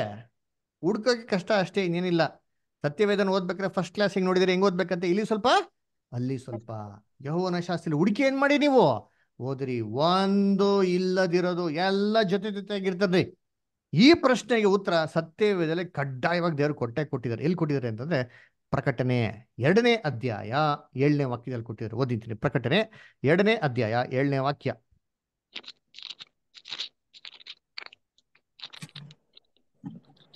ದೇವರಾತ್ಮನು ದೇವರಾತ್ಮನು ಕಥೆಗಳಿಗೆ ಹೇಳುವುದನ್ನು ಕಿವಿಯುಳ್ಳವನು ಕೇಳಲಿ. ಯಾವನು ಜಯ ಹೊಂದುತ್ತಾನೋ ಅವನಿಗೆ ದೇವರು ದೇವರ ಪರದೇಶಿನಲ್ಲಿರುವ ಜೀವದಾಯಕ ವೃಕ್ಷದ ಹಣ್ಣನ್ನು ತಿನ್ನುವುದಕ್ಕೆ ಕೊಡುವನು. ಹಾ ಎಲ್ಲಂತೆ? ದೇವರ ಪರ್ದೈಸಿನಲ್ಲಿರುವಂತ ಜೀವದಾಯಕ ವೃಕ್ಷದ ಹಣ್ಣನ್ನು ತಿನ್ನೋದಕ್ಕೆ ಏನ್ ಮಾಡ್ತೀನಿ? ಕೊಡ್ತೀನಿ ಅಂತ ಅನ್ಬಿಟ್ರು ಹಂಗಾರೆ ಜೀವದಾಯಕ ವೃಕ್ಷ ಎಲ್ಲಿದೆ? ಪರದೇಶಿನಲ್ಲಿ. ಪರದೇಶಲ್ಲಿದೆ ವೆರಿ ಗುಡ್ ಅಂದ್ರೆ ಪರದೇಶದಲ್ಲಿ ಏನಪ್ಪಾ ಇದೆ ಅಂದ್ರೆ ಜೀವದಾಯಕ ವೃಕ್ಷ ಏನಾಗಿದೆ? ಇದೆ. ಇವಾಗ ನೀವೇ ಸ್ವಲ್ಪ ಥಿಂಕ್ ಮಾಡಿ ನೋಡಿ. ಇದೇ ತರ ಜೀವದಾಯಕ ವೃಕ್ಷ ಎಲ್ಲರ ಇತ್ತ? ಸತ್ಯವಿದೆಲ್ಲ ಕೊಟ್ಟಿದ್ರ? ಜೀವದಾಯಕ ವೃಕ್ಷ ಇತ್ತು ಅಂತ ಎಲ್ಲರ? ತೋಟ ಹ? ಎಲ್ಲರ ಕೊಟ್ಟಿದ್ರ? ಜೀವದಾಯಕ ವೃಕ್ಷ ಇತ್ತು ಅಂತ ಎಲ್ಲರೂ ಸತ್ಯವೇದಲ್ಲಿ ಕೊಟ್ಟಿದ್ದೀರಾ ಏದೇ ಎ ಆ ಎನ್ ತೋಟದಲ್ಲಿ ಇತ್ತು ನೋಡ್ರಿ ಅಂತೀನಿ. ಅದಕ್ಕೆ ಬೈಬಲ್ ಓದ್ಬೇಕು ಅಂತ ಹೇಳೋ ದೇವ್ರ ಮಕ್ಳಿಗೆ ಬೈಬಲ್ನ ದಯವಿಟ್ಟು ಓದಿ. ನೋಡಿ ಕೊಟ್ಟಾರೆ ಓದನ. ಆದಿಕಾಂಡ ಎರಡನೇ ಅಧ್ಯಾಯ ಒಂಬತ್ತನೇ ವಾಕ್ಯ ಆದಿಕಾಂಡ ಎರಡು ಒಂಬತ್ತು.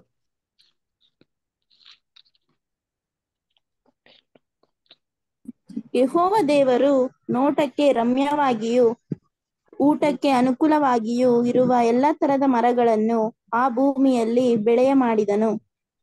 ಅದಲ್ಲದೆ ಆ ವನ್ ವನ ಮಧ್ಯದಲ್ಲಿ ಜೀವದಾಯಕ ವೃಕ್ಷವನ್ನು, ಒಳ್ಳೆದರ ಕೆಟ್ಟದರ ಹರುಹನ್ನು ಹುಟ್ಟಿಸುವ ವೃಕ್ಷವನ್ನು ಬೆಳೆಯಿಸಿದನು. ಆ ಅದಲ್ಲದೆ ವನದ ಮಧ್ಯದಲ್ಲಿ ಅಂಡರ್ಲೈನ್ ಮಾಡ್ಕೊಳ್ಳಿ.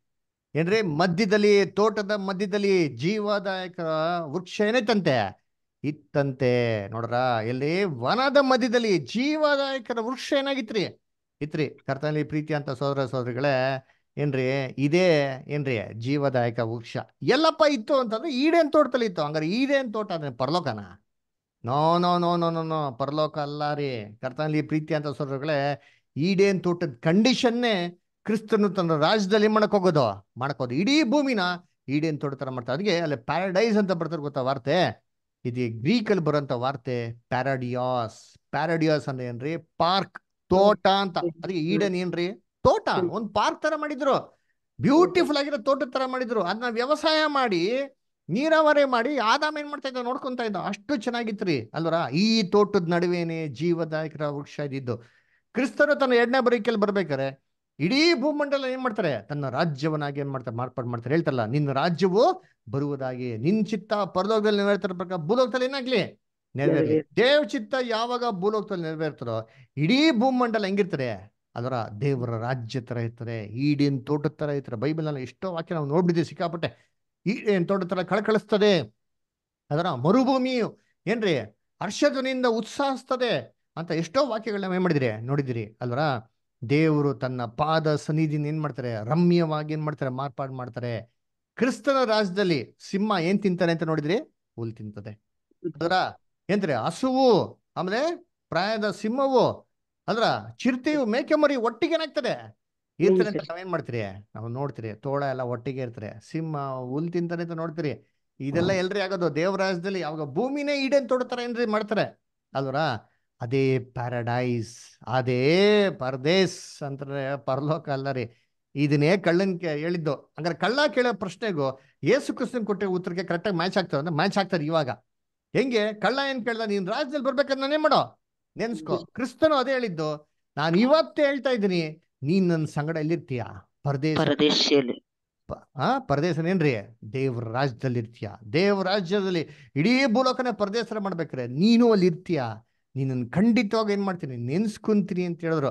ಹಂಗಂತ ಪರಲೋಕಕ್ಕೆ ಹೋಗ್ಬಿಡ್ತಾರ? ಯೋಚನೆ ಮಾಡಿರ್ತೀನಿ. ಪರಲೋಕಕ್ಕೆ ಹೋಗ್ಬೇಕ್ರೆ ಪರಿಶುದ್ಧವಾಗಿರ್ಬೇಕ್ರಿ ಬೈಬಲ್ ಹೇಳ್ತಾರೆ? ಪರಿಶುದ್ಧತೆ ಇಲ್ದ್ರ ಯಾರು ದೇವ್ರನ್ನ ಕಾಣೋದಕ್ಕೇನಿಲ್ಲ. ಸಾಧ್ಯ ಇಲ್ಲ ಅಂತ. ಹಂಗಾರೆ ಅಪರಿಶುದ್ಧವಾಗಿದ್ದಿ ಇಂಥ ಎಲ್ಲ ಕೆಲಸಗಳು ಮಾಡ್ಬಿಟ್ಟು ಏನಂದ್ರೆ ಪರಲೋಕ ಹೋಗಕ್ ಸಾಧ್ಯನಾ? ಬೈಬಲ್ ಹೇಳ್ತಾರೆ, ಕಳ್ಳರು, ಮೋಸ್ಗಾರರು, ವಂಚಕರು, ಕುಡುಕರು ವ್ಯವಿಚಾರಿಗಳು ದೇವರಾಜ್ಯದ ಏನಾಗಲ್ಲ. ಸೇರ್ಲ ಅಂತ ಇರ್ಬೇಕಾದ್ರೆ ಕಳ್ಳ ಹೋಗ್ಬಿಟ್ಟಂತೆ. ಯೋಚನೆ ಮಾಡಿರ್ತೀನಿ ಎಂತೆಂತ ಒಂದು ಇದು ಮಾತುಗಳಲ್ವರ. ಸತ್ಯವೇದನ ಅದಕ್ಕೆ ತಾಳ್ಮೆಯಿಂದ ಇದು ಓದ್ಬೇಕು. ಯೇಸು ಕ್ರಿಸ್ತು ಏನಕ್ಕೆ ಹಿಂಗೆ ಹೇಳಿದ್ರು ಅಂತಂದ್ರೆ, ಯೇಸು ಕ್ರಿಸ್ತು ಒಂದ್ ಮಾತು ಹೇಳ್ತಾರೆ. ಏನ್ ಗೊತ್ತಾ ಹೇಳ್ತಾರೆ? ನನ್ನ ಹೆಸರಲ್ಲಿ ಯಾರೋ ಒಬ್ರು ಒಳ್ಳೆ ಕೆಲಸ ಮಾಡಿದ್ರೆ ಅವ್ರಿಗೆ ರಿವಾರ್ಡ್ ಮಿಸ್ಸೇ ಇಲ್ಲ ಅಂತಾರ್ರಿ. ನೋಡಿ ಅಂತೀನಿ ಓದೋಣ. Matthew ten forty two Matthew ten forty two ಓದಿ.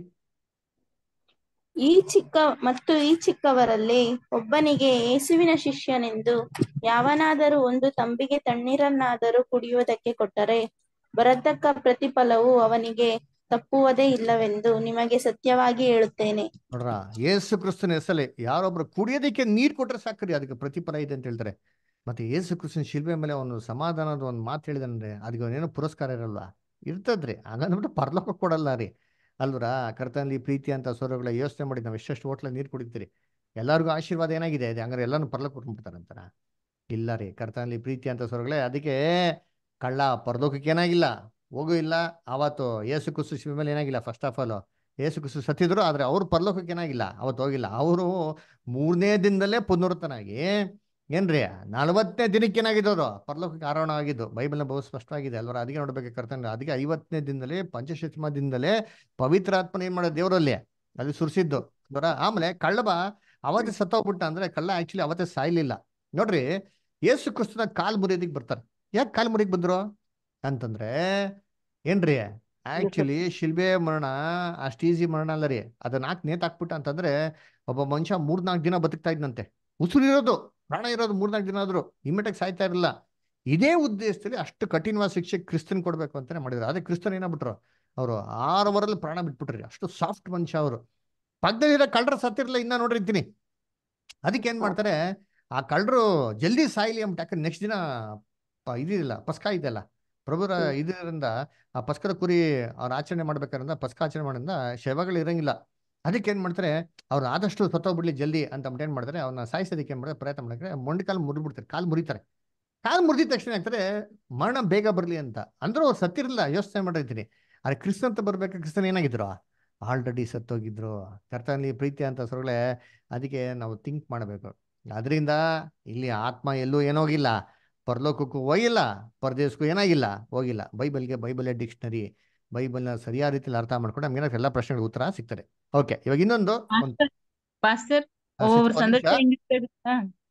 ಸಿಸ್ಟರ್ ಎಲ್ಲಾ ಪ್ರಶ್ನೆಗಳ ಲಾಸ್ಟ್ ಅಲ್ಲಿ ನೋಡೋಣ ಓಕೆನಾ? ನಿಮ್ ಎಲ್ಲಾ ಪ್ರಶ್ನೆಗಳು ಬರ್ಕೊಳ್ಳಿ ಕೊನೆಯಲ್ಲಿ ನೋಡೋಣ. ಯಾಕೆ ಇನ್ನೊಂದು ಎರಡ್ ಮೂರು ಪಾಯಿಂಟ್ ಇದೆ ಮುಗಿಸ್ಬಿಡೋಣ ಮೊದಲು ಓಕೆನಾ? ಓಕೆನಾ ಪುಟ್ಟ mister okay thank you good okay wait ಮಾಡಿ ಎಲ್ಲಾ ಪ್ರಶ್ನೆಗಳು ಲಾಸ್ಟ್ ನೋಡೋಣ ಓಕೆ ಸರಿ ಇನ್ನೊಂದು ಒಂದು ಪಾಯಿಂಟ್ ಯಾವ್ದಪ್ಪ ಅಂತಂದ್ರೆ ಯೇಸು ಕ್ರಿಸ್ತು ಸೆರೆಯಲ್ಲಿರೋಂಥ ಆತ್ಮಗಳಿಗೆ ಏನ್ ಮಾಡೋದು ಹೋಗ್ಬಿಟ್ಟು? ಬೋಧನೆ ಮಾಡೋದು. ಅದನ್ನು ಓದ ನೋಡಿದ್ರೆ ಒಂದನೇ ಪೇತ್ರ, ಮೂರನೇ ಅಧ್ಯಾಯ, ಹತ್ತೊಂಬತ್ತರಿಂದ ಇಪ್ಪತ್ತು ಓದಿ. ಒಂದನೇ ಪೇತ್ರ, ಮೂರನೇ ಅಧ್ಯಾಯ, ಹತ್ತೊಂಬತ್ತರಿಂದ ಇಪ್ಪತ್ತು. ಇದಲ್ಲದೆ ಆತನು ಆತ್ಮರೂಪನಾಗಿ ಸರಿಯಲ್ಲಿದ್ದ ಆತ್ಮಗಳ ಬಳಿಗೆ ಅಂದರೆ ಪೂರ್ವಕಾಲದಲ್ಲಿ ನೋಹಾನನ ನಾವೆಯನ್ನು ಕಟ್ಟುತ್ತಿರಲು, ಕಟ್ಟಿಸುತ್ತಿರಲು ದೇವರು ದೀರ್ಘ ಶಾಂತಿಯಿಂದ ಕಾದಿದ್ದಾಗ ಆತನಿಗೆ ಅವಿಧೇಯರಾಗಿದ್ದವರ ಬಳಿಗೆ ಹೋಗಿ ಸುವಾರ್ತೆಯನ್ನು ಸಾರಿದನು. ಆ ನಾವೆಯೊಳಗೆ ಕೆಲವರು ಅಂದರೆ ಎಂಟೇ ಜನರು ಸೇರಿ ನೀರಿನ ಮೂಲಕ ರಕ್ಷಣೆ ಹೊಂದಿದರು.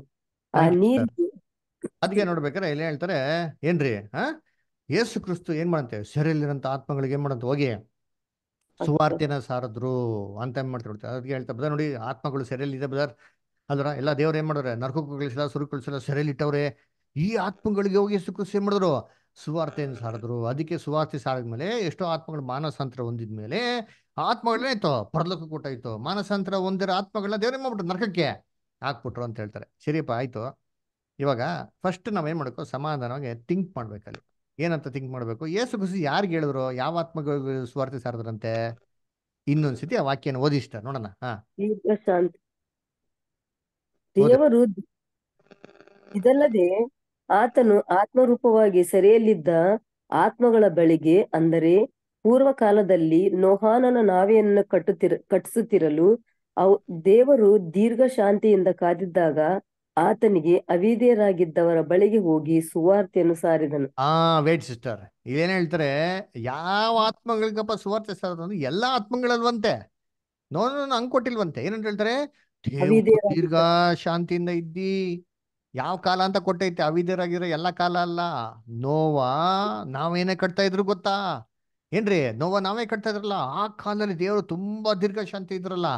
ಆ ಕಾಲದಲ್ಲಿರಂತ ಆತ್ಮಗಳು ಮಾತ್ರ ಏನಪ್ಪ ಯೇಸು ಕ್ರಿಸ್ತು ಹೋಗ್ಬಿಟ್ಟು? ಹ ಸರ್ ಅಂತ. ಯಾಕಪ್ಪ? ಹ ಯಾಕೆ ಯೇಸು ಕ್ರಿಸ್ತು ಕರೆಕ್ಟಾಗಿ ಆ ಆತ್ಮಕ್ಕೆ ಮಾತ್ರ ಹೋಗಿ ಸುವಾರ್ತೆ ಸರ್ಬೇಕು. ಯೋಚನೆ ಮಾಡಿರ್ತೀನಿ ನೋವನ್ ಕಾಲ ಇರೋಂಥ ಆತ್ಮಗಳಿಗೆ ಮಾತ್ರ ಯಾಕೆ ಸುವಾರ್ತೆ ಸರ್ಬೇಕು?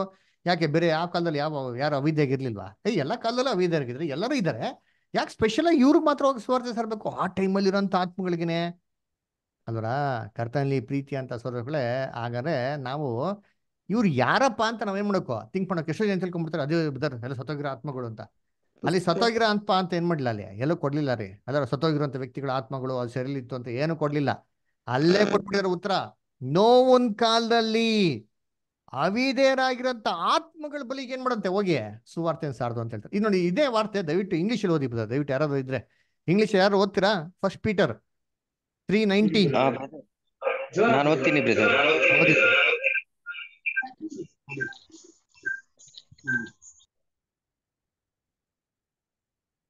first Peter hmm. By which also he went he preached into the ನೀವು ಸ್ಪೀಕರ್ ಆಫ್ ಮಾಡ್ಬಿಡಿ. ಅಲ್ಲಿ ಸಿಸ್ಟಮ್ ಸ್ಪೀಕರ್ ಆಫ್ ಮಾಡ್ಬಿಟ್ಟು ಇದ್ರಲ್ಲಿ ಓದಿ.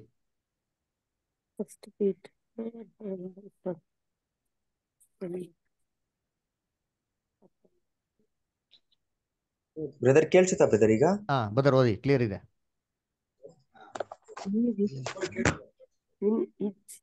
ಅಂಡ್ ಅಂಟು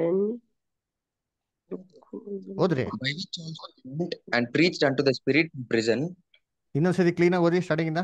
Nineteen verse in which by which also he went preached into the spirits in prison. ಹಾ by which also he went and preached unto spirits in prison ಏನಂದ್ರೆ spirits in prison ಅಂತ ಕೊಟ್ಟಿದ್ದೆ ಹೊರತು ಸೋಲ್ ಇನ್ prison ಅಂತ ಕೊಟ್ಟವರ? ಸೋಲ್ ಅಂತ ಕೊಡ್ಲಾರೆ ರೀ. Spirit ಅಂತ ಕೊಟ್ಟವ್ರೆ. ಇದೇ ತಮಿಳಲ್ಲಿ ಓದೋ ನೋಡಿರ್ತೀನಿ ತಮಿಳಲ್ಲಿ ಯಾರು ಇದೆಯಾ? ತಮಿಳ್ ಯಾರು ಇದಾರ ತಮಿಳ್ ಓದೋರು ಇಲ್ಲಿ? ತಮಿಳ್ ಓದೋರು. ಯಾರು ಇದಾರ ಸೋದರ ಸೋದರಿಗಳು? ತಮಿಳು ಓದೋರು ಯಾರಿಗಾರು ಇದೆಯಾ, ಯಾರು ಗೊತ್ತಿಲ್ವಾ? ಸರಿ. ನೋಡ್ರಿ, ತಮಿಳಲ್ಲಿ ಹೇಗೆ ಬರ್ತಾರೆ ಗೊತ್ತಾ? ಏನ್ರಿ, ನಾನು ಹೇಳ್ಬಿಡ್ತೀನಿ ಕೇಳಿರ್ತೀನಿ ಸೆರೆಯಲ್ಲಿರ್ಕ್ರಾವಿಗಳಿಗೆ ಇರ್ಕ್ರಾವಿಗಳಿಗೆ ಪ್ರಸಂಗ பிரசங்க பண்ணாரான்னு கொடுத்திருக்காரு ತಮಿಳು ಏನ್ ಬಿಡ್ತಾರೆ ಸೆರೆಯಲ್ಲಿ ಇರ್ಕೋ ಆವಿಗಳು ಅಂತ ಬರ್ತಾರೆ ಹೊರತು. ಸೆರೆಯಲ್ಲಿರೋ ಅಂಥ ಆತ್ಮಗಳು ಅಂತ ಬರಲಾರೆ ನೀವು ಯಾವುದೇ ಟ್ರಾನ್ಸ್ಲೇಷನ್ ತೆಗೆದು ನೋಡ್ಬಿಟ್ರಿ ಅಂತೀನಿ. ಅಲ್ಲಿ ಆತ್ಮ ಅಂತಾನೆ ಬರಲ್ಲ, ಬರೋದು ಸ್ಪಿರಿಟ್ ಹಂಗಂದ್ರೆ ನೀವ್ ಹೇಳ್ರಿ ಅಂತೀನಿ ಆ ನೋವೊಂದ್ ಕಾಲದಲ್ಲಿ ದೇವರಿಗೆ ಅವಿದ್ಯರಾಗಿರೋಂಥ ಆವಿಗಳು ಯಾವುದು? ಅಶುದ್ಧ ಆವಿಗಳು ಯಾವುದು? ಅಂದ್ರೆ ನಮಗೆ ಚೆನ್ನಾಗಿ ಗೊತ್ತು ರೀ ನೋವನ್ ಕಾಲದ ಪಟನೇ ಕೇಳ್ಬಿಡ್ತೀವಿ ಮೂರು ಲೋಕ ಪಟ ಕೇಳಿದಿರಲ್ವಾ? ನೋವನ್ ಕಾಲದಲ್ಲಿ ದೇವ್ರಿಗೆ ಅವಿದ್ಯಾಗಿ ನಡೆದಿರೋಂಥ ಆವಿಗಳು ಯಾವುದಪ್ಪ ಅಂದ್ರೆ, ಅಶುದ್ಧ ಆವಿಗಳು ಯಾವುದು ಅಂತಂದ್ರೆ, ಈ ಬಿದ್ದೋಗಿರೋ ದೂತರುಗಳು ಮೊದಲನೇ ಹೋಗ್ತಲ್ಲಿ ದೇವರು ಏನೋ ಅವಕಾಶ ಕೊಟ್ಟಿದ್ರು. ಆತ್ಮಿಕ ಶರೀರದಿಂದ ಮಾಂಸಿಕ ಶರೀರಕ್ಕೆ ಹೋಗ್ಬೋದು ಮಾಂಸಿಕ ಶರೀರದಿಂದ ಆತ್ಮಿಕ ಶರೀರಕ್ಕೆ ಹೋಗ್ಬೋದಾಗಿತ್ತು. ಆದ್ರೆ ಯಾವಾಗ ಮಾಂಸಿಕ ಶರೀರದಲ್ಲಿ ಬಂದ್ರು ಭೂಲೋಕದಲ್ಲಿ ಇಂಥ ಸುಂದರವಾದ ಸ್ತ್ರೀಗಳ ಜೊತೆಗೆ ಸಂಬಂಧ ಇಟ್ಕೊಳಕ್ಕೆ ಏನ್ ಮಾಡಿದ್ರು? ಶುರು ಮಾಡಿದ್ರು. ಇದು ದೇವ್ರಿಗೆ ಇಷ್ಟ ಆಯ್ತಾ? ಇದು ದೇವ್ರ ಚಿತ್ತನ? ಇದು ದೇವ್ರ ಚಿತ್ತ ಇದು ವ್ಯವಿಚಾರ ದೇವದೂತ್ರ ಮದುವೆ ಮಾಡ್ಕೊಂಡು ದೇವ್ರ ಪರ್ಮಿಷನೇ ಕೊಡ್ಲ ಅಂತೀನಿ. ಇದು ದೇವರಿಗೆ ವಿರುದ್ಧವಾಗಿರೋ ವ್ಯವಿಚಾರ ಆಗಿರೋದ್ರಿಂದ ದೇವ್ರು ಏನಪ್ಪ ಮಾಡಿದ್ರೆ, ಈ ಒಂದು ಜಲಪಳಯದಲ್ಲಿ ಏನ್ ಮಾಡಿದ್ರು? ಇವ್ರಿಗೆ ಹುಟ್ಟಿದಂತ ಮಕ್ಳುಗಳನ್ನ ರಾಕ್ಷಸಗಳನ್ನೆಲ್ಲ ಮಾಡಕ್ರು ಆ ಜಲಪಳದ ಎಲ್ಲಾ ಮನುಷ್ಯರನ್ನ ಯಾರೆಲ್ಲ ದೇವತ್ತು ರಕ್ತ ಇತ್ತು ಅವನ್ನೆಲ್ಲ ಏನ್ ಮಾಡಕ್ರು? ಅವ್ರನ್ನ ಸಾಯಿಸಾಕ್ಬಿಟ್ರು. ಆದ್ರೆ ಈ ದೇವದೂತರು ಏನಾದ್ರು? ಜಲಪ್ರಳಯ ಬರ್ಬೇಕಾರೆ ಆತ್ಮಿಕ ಶರೀರಕ್ಕೆ ಹೋಗೋದಿಕ್ಕೆ ಮತ್ತೆ ಬರೋದಿಕ್ಕೆ ವರ ಇತ್ತು ಗೊತ್ತಾ? ಮಾಂಸಿಕ ಶರೀರದಂತೆ ಎಲ್ಲಾ ದೇವದೂತರುಗಳು ಮಾರ್ಪಾಡಾಗಿ ಏನಂದ್ರೆ ಆತ್ಮಿಕ ಶರೀರದಲ್ಲಿ ಹೋಗ್ಬಿಟ್ರು. ಎಲ್ಗ್ ಹೋಗ್ಬಿಟ್ರು? ಪರ್ಲಕ್ಕೆ ಹೋಗ್ಬಿಟ್ರ? ದೇವರವ್ರ ಪರ್ಲಕ್ಕೆ ರೀ ಈ ಒಂದು ಭೂಮಿಯ ವಾಯುಮಂಡಲದಲ್ಲಿ ಏನ್ ಮಾಡಿದ್ರು ಅದನ್ನ ಕಟ್ಟಾಕಿದ್ರೆ ಕತ್ಲೆ ಗುಂಡಿಯಲ್ಲಿ ಕಟ್ಟಾಕಿದ್ದಾರೆ. ಓದಿದ್ರಿ ಎರಡನೇ ಪೇತ್ರ ಎರಡು ನಾಲ್ಕು. ಎರಡನೇ ಪೇತ್ರ ಎರಡು ನಾಲ್ಕು. ಎರಡು ಹ್ಮ್. ಕಲ್ಲಾಗಿರುವ ಆತನನ್ನು ಎರಡನೇ ಪೇತ್ರ ಎರಡು ನಾಲ್ಕು. ದೇವದೂತರು ಪಾಪ ಮಾಡಿದಾಗ ದೇವರು ಅವರನ್ನು ಸುಮ್ಮನೆ ಬಿಡದೆ ನರಕಕ್ಕೆ ದುಬ್ಬಿ ನ್ಯಾಯ ತೀರ್ಪನ್ನು ಹೊಂದುವುದಕ್ಕೆ ಇಡಲ್ಪಟ್ಟಿರೋರಾಗಿರಬೇಕೆಂದು ಕತ್ತಲೆಯ ಗುಂಡಿನ ಗುಂಡಿಗಳ ಗುಂಡಿಗಳಿಗೆ ಒಪ್ಪಿಸಿದನು? ಏನ್ ಮಾಡಿದ್ರೆ ಕತ್ತಲೆ ಗುಂಡಿಗಳಿಗೆ ಒಪ್ಪಿಸಿದರೆ ಅವ್ರನ್ನ ಏನ್ ಮಾಡಿದಂತೆ ಕಟ್ಟಾಕಿದರೆ. ಅಲ್ವರಾ? ಎಲ್ಲಪ್ಪ ಕಟ್ಟಾಕಿದರೆ? ಅಂತಂದ್ರೆ ಎಪ್ಪೆಸರ್ ಬಂತ ಪತ್ರಿಕೆಯಲ್ಲಿ ಸೂಪರ್ ಆಗಿ ಹೇಳ್ತಾರೆ ವಾಯುಮಂಡಲದ ಅಧಿಕಾರಣಿಸಿದ ಅಧಿಪತಿ. ಈ ವಾಯುಮಂಡಲಿ, ಅಂತರಿಕ್ಷದಲ್ಲಿ, ಅದರ ಈ ಬ್ರಹ್ಮಾಂಡದಲ್ಲಿ ಇರುವಂತ ಕತ್ತಲೆ ಗುಂಡಿಲಿ ಏನ್ ಮಾಡಿದ್ರೆ? ಅವ್ರು ಕಟ್ಟಾಕಿದ್ದಾರೆ. ಅವ್ರ ಭೂಮಿಗೂ ಬರಂಗಿಲ್ಲ ತಿರ್ಗಾ ಪರ್ಲಕ್ಕೇನ್ರಿ ಹೋಗಂಗಿಲ್ಲ. ಈ ಅಶುದ್ಧ ಆವಿಗಳು ಈ ಸೆರೆಯಲ್ಲಿರುವಂತ ಆತ್ಮಗಳೇನ್ರಿ ಇವರೇ. ಸೆರೆ ಅದು ಸೆರೆ ಮನೆ ಇದ್ದಂಗೆ. ಬರಂಗೂ ಇಲ್ಲ ಭೂಮಿಗೆ. ತಿರ್ಗಾ ಪರಲೋಕಕ್ಕೇನ್ರಿ ಹೋಗಂಗಿಲ್ಲ. ನೋಡಿ ಹೇಳ್ತಾರೆ ಎಪಿಷಿಯನ್ಸ್ ಎರಡು ಎರಡು. ಎಪಿಸರ್ಗೆ ಬದ ಪತ್ರಿಕೆ ಎರಡನೇ ಅಧ್ಯಾಯ ಎರಡನೇ ವಾಕ್ಯ. ನೀವು ಪೂರ್ವದಲ್ಲಿ ಅಪರಾಧಗಳನ್ನು, ಪಾಪಗಳನ್ನು ಮಾಡುವವರಾಗಿದ್ದು, ಇಹಲೋಕಚಾರಕ್ಕೆ ಅನುಸಾರವಾಗಿ ನಡೆದುಕೊಂಡಿರಿ. ವಾಯುಮಂಡಲದಲ್ಲಿ ಅಧಿಕಾರ ನಡೆಸುವ ಅಧಿಪತಿಗೆ ಅಂದರೆ ನಂಬಲೊಲ್ಲದವರನ್ನು ಅವಿದ್ಯತೆಗೆ ಈಗ ಪ್ರೇರೇಪಿಸುವ ಆತ್ಮನಿಗೆ ಅನುಸಾರವಾಗಿ ನಡೆದುಕೊಂಡಿರಿ. ಹಾ ಎಂದ್ರೆ ವಾಯುಮಂಡಲದ ಅಧಿಕಾರ ಅಧಿಪತಿಗೆ, ಅಂದ್ರೆ ನಂಬಲಲ್ಲದವರನ್ನು ಅವಿದ್ಯತೆಗೆ ಪ್ರೇರಣೆ ಮಾಡ್ತಾನೆ.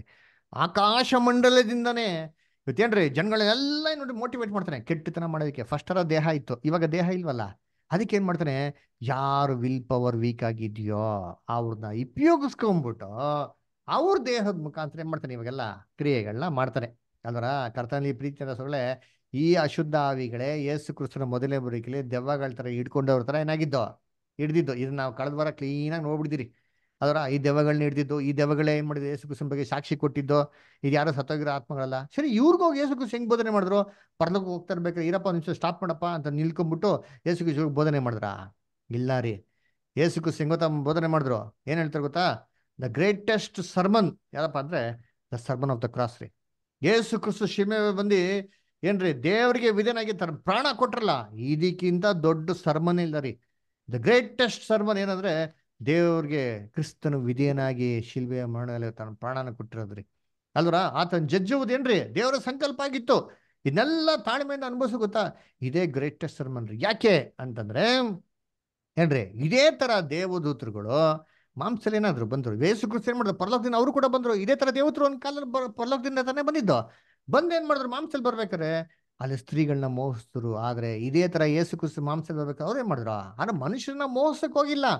ಮನುಷ್ಯನ ಎಷ್ಟು ಪ್ರೀತಿ ಮಾಡಿದ್ರು ಅಂತಂದ್ರೆ, ತನ್ನ ತಂದೆ ತನ್ನ ಮಕ್ಳುಗಳನ್ನ ಪ್ರೀತಿ ಮಾಡ್ತಾರೆ ಪ್ರಾಣನೇ ಕೊಟ್ಬಿಟ್ರಿ ಇದು ನೋಡ್ಬಿಟ್ಟು ಏನ್ರಿ, ಅವ್ರಿಗೆ ತಲೆ ಒಂಥರ ಏನ್ರಿ ಮಾನಸಾಂತರ.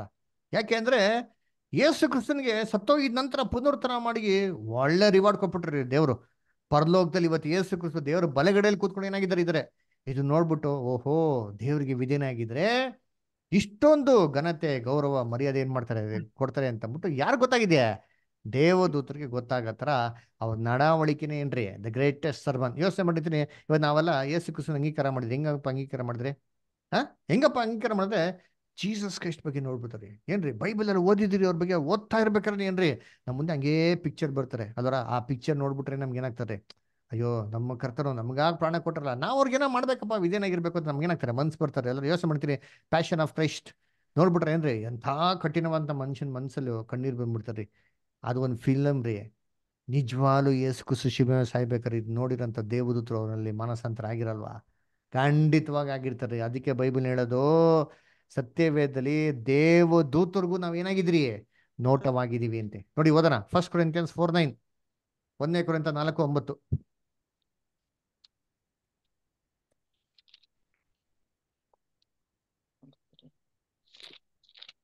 ಒಂದನೇ ಕೊರಿಂತ ನಾಲ್ಕು ದೇವರು ಹಾಗಾಗದೆ ದೇವರು ಅಪೊಸ್ತಲರ ಅಪೊಸ್ತಲರಾದ ನಮ್ಮನ್ನು ಮರಣವಿಧಿ ಹೊಂದಿದವರನ್ನು ಎಂಬಂತೆ ಕಡೆಯವರಾಗಿ ತೋರಿಸಿದ್ದಾನೆಂದು ನನಗೆ ತೋಚುತ್ತದೆ. ನಾವು ದೇವದೂತರಿಗೂ ಮನುಷ್ಯರಿಗೂ ಅಂತೂ ಜಗತ್ತಿಗೆಲ್ಲ ನೋಟವಾದೆವು. ನೋಡ್ರಾ, ನಾವು ದೇವದೂತರಿಗೂ ಮನುಷ್ಯರಿಗೂ ಅಂತೂ ಎಲ್ಲಾರ್ಗು ಜಗತ್ತಿಗೆಲ್ಲ ನೋಟವಾಗಿದ್ದೇವೆ. ದೇವದೂತರಿಗೂ ನೋಟ, ದೇವದೂತರು ನಮ್ ನೋಡಿ ಮಾಡ್ತಾ ಪಡ ಕಲಿತವ್ರೆ. ಅಲ್ವರಾ? ಏನ್ರಿ, ನಾವು ಅದಕ್ಕೆ ಔಟ್ ಬೈಬಲ್ ತೊಗೊಂಡಿದ್ರಲ್ಲ ಬೈಬಲ್ ಓದ್ಬೇಕಾದ್ರೆ ಹತ್ತು ಭಾಷೆಗಳಿದೆ. ನೇರವಾಗಿರೋ ಭಾಷೆ ನೇರವಾಗಿ ಓದ್ಬೇಕು ಆತ್ಮಿಕವಾಗಿರೋ ಭಾಷೆ ಆತ್ಮಿಕ ರೀತಿಯಲ್ಲಿ ಮಾಡ್ಬೇಕು ಓದ್ಬೇಕು. ಚಿಹ್ನೆಗಳ ರೀತಿಯಲ್ಲಿ ಬರ್ತದೆ ಚಿಹ್ನೆ ರೀತಿಯಲ್ಲಿ ಮಾಡಕ್ಕೆ ನಾವು ಓದ್ಬೇಕು. ಅಲ್ವರ? ಕರ್ತನಲ್ಲಿ ಪ್ರೀತಿ ಅನ್ಸ್ಕೊಳ್ಳೆ. ಇಲ್ಲಿ ಯೇಸು ಕ್ರಿಸ್ತು ನೇರವಾಗಿ ಏನು ಉಪದೇಶ ಮಾಡಿಲ್ಲ ಅವರು ಜೀವನನೇ ಏನಾಗಿತ್ತು? ಉಪದೇಶ ತರ ಇದೇ ತರ ನಮ್ಗೇನ್ ಹೇಳ್ತಾರೆ? ನಿಮ್ ಜೀವನ ಏನಾಗಿರ್ಬೇಕಂತೆ? ದಿನ ಕ್ರಿಸ್ತನ ಮರಣವನ್ನು ಪ್ರತಿಬಿಂಬಿಸ್ಬೇಕು ಅಂತ ಹೇಳ್ತಾರೆ. ಅಲ್ವರ? ಹಂಗ್ರೇನು ದಿನ ನಾವು ಯೇಸು ಕ್ರಿಸ್ತ ದಿನ ಶಿಲ್ಬೆ ಸಾಯ್ತಾ ಇರ್ಬೇಕಾ? ಇಲ್ಲ ರೀ. ದಿನನಿತ್ಯ ನಾವು ನಮ್ಮ ಆಸೆ ಆಕಾಂಕ್ಷೆಗಳಿಗೆ ಬಿಟ್ಟು ತ್ಯಾಗ ಮಾಡ್ತಾ ಇದ್ರೆ ಅದೇನ್ರಿ? ಕ್ರಿಸ್ತನ್ ತರ ನಾವು ದಿನ ಸತ್ತಂತೆ ರೇಖರ ಅದನ್ನ ಹೇಳೋದು, ಅದನ್ನ ಅರ್ಥ ಮಾಡ್ಕೊಬೇಕಷ್ಟೇ. ಅದರ ಕರ್ತನಲ್ಲಿ ಪ್ರೀತಿಗಳೇ ಅದರಿಂದ ಏನ್ರಿ? ಇದು ಆತ್ಮ ಸಾಯಲ್ಲ, ಅಲ್ಲೋಗ್ಬಿಡ್ತಾ ಇಲ್ಲೋಗ್ಬಿಡ್ತಾ ಅಂತ ಹೇಳೋದಕ್ಕೆ ಪ್ರೂಫ್ ಆಗಿ ತಗೊಳಕ್ಕೆ ಸಾಧ್ಯ ಇಲ್ಲ. ನೆಕ್ಸ್ಟ್ ಇನ್ನೊಂದು ಯಾವುದು? ಅಪೋಸ್ಲು ಕೃತ್ಯಗಳು ಅದೊಂದು ಬರ್ತದೆ ಓದನ ಅಪೋಸ್ಲು ಕೃತ್ಯಗಳು ಹತ್ತನೇ ಅಧ್ಯಾಯ ಹನ್ನೊಂದನೇ ವಾಕ್ಯ ಓದಿ. ಅಪೋಸ್ಲು ಕೃತ್ಯಗಳು ಹತ್ತನೇ ಅಧ್ಯಾಯ ಹನ್ನೊಂದನೇ ವಾಕ್ಯ ಓದಿ ದಯವಿಟ್ಟು. ಅವನು ಧ್ಯಾನ ಪರಮಶ್ ಪರವಶನಾಗಿ ಆಕಾಶವು ತೆರೆದಿರುವುದನ್ನು ನಾಲ್ಕು ಮೂಲೆಗಳನ್ನು ಹಿಡಿದಿದ್ದ ದೊಡ್ಡ ಜೋಲಿಗೆಯಂತಿರುವ ಏನೋ ಒಂದು ವಸ್ತುವು ಭೂಮಿಯ ಮೇಲೆ ಇಳಿಯುವುದನ್ನು ಕಂಡನು. ಅದರೊಳಗೆ. ಅದರೊಳಗೆ ಸಕಲ ವಿಧವಾದ ಪಶುಗಳು ನೆಲದ ಮೇಲೆ ಹರಿದಾಡುವ ಕ್ರಿಮಿಕೀಟಗಳು ಅಂತರಿಕ್ಷದಲ್ಲಿ ಹಾರಾಡುವ ಅಕ್ಕಿಗಳು ಇದ್ದವು. ನೋಡ್ರ ಒಂದ್ ಜೋಳಿಗೆ ನೋಡ್ತಾರಂತ್ರಿ. ಅದು ಆಕಾಶದಿಂದ ಒಂದು ತೆರೆದು ಒಂದು ಜೋಳಿಗೆ ನೋಡ್ತಂದ್ರೆ ಏನ್ರಿ ಎಲ್ಲ ಅಶುದ್ಧ ಪ್ರಾಣಿಗಳಿತ್ತಂತೆ. ನಾಲ್ಕು ಕಾಲುಗಳಿರುತ್ತೆ ಅಶುದ್ಧ ಪ್ರಾಣಿ ಕ್ರಿಮಿಕೀಟಗಳೆಲ್ಲ ಇತ್ತಂತೆ. ಅದರ ಆವಾಗ ಪೇತ್ರನಿಗೆ ಇದು ಬಂದು ಏನು ಹೇಳ್ತಾರೆ, ಇದು ಎದ್ದು ಕಡ್ದು ತಿನ್ನು ಅಂತ ಹೇಳ್ತಂತೆ. ಇದು ಮೂರು ಸತಿ ಬರ್ತಾರಂತೆ. ಅದರ ಇದೇನಿದು ಅಯ್ಯೋ, ಹಂಗಾರೆ ಬ್ರದರ್ ಪರಲೋಕದಲ್ಲಿ ಐತೆ ನೋಡಿ ಪ್ರಾಣಿಗಳೆಲ್ಲ ಇದಾರೆ. ಆ ಜೋಳಿಗಳ ಪ್ರಾಣಿಯಿಂದ ಪರಲೋಕದಿಂದನೇ ಆಕಾಶದಿಂದ ಇಲ್ಲಿ ಬಂತು. ಹಂಗಾರೆ ಇದೇ ಬ್ರದರ್ ಅಂತ ಎಷ್ಟೋ ಜನ ಥಿಂಕ್ ಮಾಡ್ಬಿಡ್ತಾರೆ. ಸ್ವಲ್ಪ ನಾವು ತಾಳ್ಮೆ ಏನ್ ಮಾಡಬೇಕು, ಸತ್ಯವೇದನ ಓದ್ಬೇಕು. ನೋಡಿ, ಓದೋಣ. ಹದಿನೇಳನೇ ವಾಕ್ಯ ಓದಿ ಆ ಪ್ರಶ್ನೆಗೆ ಅಲ್ಲೇ ಉತ್ತರ ಕೊಟ್ಟವ್ರೆ. ಪೇತ್ರನು ತನಗಾದ ದರ್ಶನವು ಏನಾಗಿರಬಹುದೆಂದು ತನ್ನಲ್ಲಿ ಕಳವಳ ಪಡುತ್ತಿರುವಾಗಲೇ ಕೊರ್ನೇಲನು ಕಳಿಸಿದ್ದ ಆ ಮನುಷ್ಯರು ಸಿಮೋನನ ಮನೆ ಸಿಮೋನನ ಮನೆ ಯಾವುದು ಎಂದು ಕೇಳಿಕೊಂಡು ಬಂದು ಆ ಮನೆಯ ಬಾಗಿಲಲ್ಲಿ ನಿಂತು ನೋಡ್ರ ನೋಡ್ರಿ ಸಿಮೋನ್ ಏನ್ ಥಿಂಕ್ ಮಾಡ್ತದಂತೆ ತನಗಾದಂತ ದರ್ಶನ. ದರ್ಶನ. ಅರ್ಥ. ದರ್ಶನ ಅಂಗ್ರಿ ನೋಡ್ಸಿರೋದು ಅದರ ಲಿಟ್ರಲ್ಲ ಹಂಗೆ ಜೋಳಿಗೆ ಮೇಲೆ ಪ್ರಾಣಿ ಬಂದ್ಬಿಡ್ತು. ಏನಾಯ್ತು ಆಮೇಲೆ? ಬಂದ್ಬಿಟ್ಟು? ಎಲ್ಲೋ ಹೋಗ್ಬಿಡ್ತು? ಅಂದ್ರೆ ಎಲ್ಲೋ ಓಡ್ಬಿಡ್ತು? ದರ್ಶನ ಇದು ಲಿಟ್ರಲ್ ಅಲ್ಲ. ಇದು ಏನೋ ಅಂತ ಥಿಂಕ್ ಮಾಡ್ತಾ ಇರ್ಬೇಕಾದ್ರೆ ಕರೆಕ್ಟಾಗಿ ಕೊರ್ನೋಲಿಯಸ್ ಮನೆಯಿಂದ ಒಬ್ಬರು ಸೇವಕರು ಬರ್ತಾರೆ. ಕೊರ್ನೋಲಿಯಸ್ ಏನ್ರಿ? ಅನ್ಯ ಜನಾಂಗದವರಲ್ಲಿ ಮೊದಲು ಯೇಸು ಕ್ರಿಸ್ತನ ರಕ್ಷಕನಾಗಿ ಅಂಗೀಕಾರ ಮಾಡಿರೋಂಥವ್ರು. ಅಲ್ವರ? ಅಂದ್ರೆ ಏನರ್ಥ? ಅಶುದ್ಧವಾಗಿರಂತ ಅನ್ಯ ಜನಾಂಗದವರು. ಎಲ್ಲ ಕ್ರಿಮಿ ಕಿಟಿಗಳ ತರ ಇದಾರೆ. ದೇವರು ಪರಲೋಕದಲ್ಲಿ ಅವ್ರಿಗೆ ದ್ವಾರ ತೆಗಿತಾ ಇದ್ದಾರೆ. ದೇವರೇ ಕಳ್ಸಿಕೊಡ್ತಾ ಇದ್ದಾರೆ ಅವ್ರಿಗೆ ಸುವಾರ್ತೆ ಸಾರು ಅಂತ ಪೇತ್ರನಿಗೆ. ಅದನ್ನ ಕಡ್ದು ತಿನ್ನೋದೇ ಮೀನಿಂಗು ಇನ್ಮೇಲಿಂದ ಅವರು ದೇವರಿಗೆ ಸಜೀವಯಜ್ಞವಾಗಿ ತನ್ನ ಬಲಿಗಳನ್ನ ಸಲ್ಲಿಸ್ತಾರೆ. ಅವ್ರನ್ನ ತನ್ನ ತಾನೇ ಸಾಯ್ತಾರೆ. ಕಡಿತಾರೆ. ಅಲ್ವರ? ಸ್ಯಾಕ್ರಿಫೈಸ್ ಮಾಡ್ತಾರೆ. ತನ್ನ ತಾನೇ ಸ್ಯಾಕ್ರಿಫೈಸ್ ಮಾಡ್ತಾರೆ. ಅದನ್ನ ಅಕ್ಸೆಪ್ಟ್ ಮಾಡು. ಪೇತ್ರ, ನೀನ್ ಅಂಗೀಕರಿಸು. ನೀನು ಅವ್ರಿಗೆ ಮಾಡೋದು? ಸುವಾರ್ತಿನ ಹೇಳು ಅಂತ ನನಗೆ. ಅದಕ್ಕೆ ನೋಡ್ರಿ ಕರೆಕ್ಟಾಗಿ ಎಂಟ್ರಿ ಆಗ್ತದೆ ಅಲ್ಲಿ. ಅಲ್ಲಿ ಕ್ಲೀನಾಗಿ ಇದೇ ತರ ಬರ್ತದೆ. ಮೂರು ಸತಿ ಆಯಿತು ಅಂತಂದ್ರೆ ಕನ್ಫರ್ಮ್ ಆಗಿ ನೀನು ಸುವಾರ್ತೆನ ಸಾರು ಅಂತ. ಅಂದಿನ ಜನ ಹೋಗಿ ಏನ್ಮಾಡ್ತಾರೆ ಮಾಡ್ತಾರೆ? ಇವರು ಸಾರೋದಕ್ಕೆ ಏನು ಮಾಡ್ತಾರೆ? ಶುರು ಮಾಡ್ತಾರೆ. ಅದನ್ನ ಕರ್ತನಲ್ಲಿ ಪ್ರೀತಿ ಅಂತ ಸೊಗಳೆ ಇದು ಆತ್ಮ ಸಾಯಲ್ಲ ಅಂತ ಹೇಳೋದಕ್ಕೆ ಪ್ರೂಫ್ ಆಗಿ ತೊಗೊಳಕ್ಕೆ ಸಾಧ್ಯ ಇಲ್ಲ. ಯಾಕಂದರೆ ಇದು ಒಂದು ದರ್ಶನ. ಸರಿ, ಇನ್ನ ಒಂದು ಎರಡು ಇನ್ಸಿಡೆಂಟ್ ಇದೆ. ನೋಡ್ಬಿಡೋಣ. ಓಕೆ ಇನ್ನೊಂದು ಇನ್ಸಿಡೆಂಟ್ ಯಾವುದಪ್ಪ ಅಂದ್ರೆ ಮತೆಯ ಇಪ್ಪತ್ತೇಳನೇ ಅಧ್ಯಾಯದಲ್ಲಿ ಐವತ್ತೆರಡು ಮತ್ತೆ ಐವತ್ ಮೂರನೇ ವಾಕ್ಯದಲ್ಲಿ ಬರೋಂಥ ಮಾತು. ಓದೋಣ. ಮತ್ತೆ ಇಪ್ಪತ್ತೇಳನೇ ಅಧ್ಯಾಯ ಐವತ್ತೆರಡು ಮತ್ತೆ ಐವತ್ಮೂರು. ಭೂಮಿಯು ಅದರಿತು ಬಂಡೆಗಳು ಸಿಡಿ ಹೋದವು ಸಮಾಧಿಗಳು ತೆರೆದವು ನಿದ್ದೆ ಹೋಗಿದ್ದ ಅನೇಕ ಭಕ್ತರ ದೇಹಗಳು ಎದ್ದವು ಮತ್ತು ಆತನು ಎದ್ದ ಮೇಲೆ ಸಮಾಧಿಗಳೊಳಗಿಂದ ಹೊರಗೆ ಬಂದು ಪರಿಶುದ್ಧ ಪಟ್ಟಣದೊಳಕ್ಕೆ ಹೋಗಿ ಅನೇಕರಿಗೆ ಕಾಣಿಕೆ ಕಾಣಿಸಿಕೊಂಡರು. ಶತಾಧಿಪತಿಯು ಮತ್ತು ಅವನ ಥ್ಯಾಂಕ್ ಯು ಸರ್ ಸೊ ಅದಕ್ಕೆ ನೋಡ್ಬೇಕಾದ್ರೆ ಇಲ್ಲಿ ಏನಪ್ಪ ನೋಡಿದ್ರೆ ಭೂಮಿಯು ಅದರಿತು, ಬಂಡೆಗಳು ಸಿಳಿ ಹೋದವು, ಸಮಾಧಿಯಲ್ಲಿ ತೆರೆದವು, ನಿದ್ರೆ ಹೋದರ ಅನೇಕ ಭಕ್ತರ ದೇಹಗಳು ಎದ್ದು ಬಂದವು. ಅದರ ಎದ್ದು, ಏನ್ರಿ, ಆತನೆದ್ದ ಮೇಲೆ ಯಾರೇ ಅಂಡರ್ಲೈನ್ ಮಾಡ್ಕೊಳ್ಳಿ ಮುಖ್ಯವಾದ ಪಾಯಿಂಟ್ ಇದು. ಏಸು ಕ್ರಿಸ್ತ ಇದ್ದ ಮೇಲೆ ಇಮ್ಮಿಡಿಯೇಟ್ ಆಗಲ್ಲ. ಆದ್ರೆ, ಏನ್ರಿ, ಭೂಮಿ ಅದುರ್ ಬಿಡ್ತು. ಅದರ ಬಂಡೆಗಳು ಅವಾಗೆ ಸೀಳ್ಬಿಡ್ತು ಏಸು ಕ್ರಿಸ್ತ ಸತ್ತಿದ ತಕ್ಷಣ, ಸಮಾಧಿಗಳು ಅವಾಗೆ ತೆರೆದು ಬಿಡ್ತಾರೆ ಆದರೆ ಈ ನಿದ್ರೆ ಹೋದವ್ರು ಅನೇಕರು ಏನ್ರಿ? ಎದ್ದು ಬಿಟ್ರಂತೆ ಆದ್ರೆ ಅವ್ರು ಎದ್ದಿ ಸಮಾಧಿ ಒಳಗಿಂದ ಬರ್ದಿಂದ ಯಾವಾಗ ಏಸು ಕ್ರಿಸ್ತು ಪುನರುತ್ಥಾನ ಆಗಿದ್ಮೇಲೆ ಸಮಾಧಿನ ಹೊರಗಡೆ ಬಂದ್ರಂತೆ. ಬಂದ್ಬಿಟ್ಟು ಎಲ್ಲಪ್ಪ ಹೋದ್ರು, ಇವರು ಪರ್ಲೋಕಕ್ಕೆ ಹೋದ್ರ? ಇಲ್ಲ ರೀ. ಏನ್ ಕೊಟ್ಟಿದ್ರೆ ಪರಿಶುದ್ಧ ಪಟ್ಟಣಕ್ಕೆ ಹೋಗಿ ಅನೇಕ ಜನಗಳಿಗೆ ಕಾಣಿಸ್ಕೊಂಡ್ರಂತೆ. ಅದಕ್ಕೆ ಇವ್ರು ಯಾರಪ್ಪ ಅಂದ್ರೆ ಎಷ್ಟು ಜನ ಬಿಡ್ತಾರೆ, ನೋಡಪ್ಪ, ಏಸು ಕ್ರಿಸ್ತು, ಪುನರುತ್ಥಾನ ಆಗೋ ತನಕ ಯಾರು ಸತ್ತಿಲ್ಲ. ಎದ್ದವ್ರು ಯಾ ಸತ್ತವ್ರು ಯಾರು ಇದ್ದು ಬಂದಿಲ್ಲ. ಏಸು ಕುಸು ಯಾವಾಗ ಸತ್ಯ ಪುನರ್ತನ ಆಗ್ಬಿಟ್ರ ಏನ್ರಿ, ಎಲ್ಲಾರು ಇದ್ ಬಂದ್ಬಿಟ್ರು ಸಮಾಜದಲ್ಲಿ ಇರೋರು, ಹಳೆ ಕಾಲ ವಿಶ್ವಾಸ ವೀರಗಳು ಇವನ್ನೆಲ್ಲ ಏಸು ಕುಸು ಹೋಗ್ಬಿಟ್ರು ಅಂತ ಹೇಳ್ತಾರೆ. ಹಾಗಾದ್ರೆ ಅಪೋಸ್ಟ್ಲು ಪೌಲ್ ಏನು ಕೇಳ್ಬೇಕು? ಏನ್ರಿ ಪುನರ್ತನದ ಬಗ್ಗೆ ನೋಡಿ ಏನ್ ಹೇಳ್ತಾರೆ, ಓದೋಣ. ಒಂದನೇ ತಿಸಲೋನಿಕ ನಾಲ್ಕು ಹದಿನಾರು, ಎಲ್ಲಾರು ಸತ್ತೋರು ಯಾವಾಗಂತ ಎದ್ ಬರೋದು, ಓದಿ. ಒಂದನೇ ತಿಸಲೋನಿಕ ನಾಲ್ಕು ಹದಿನಾರು.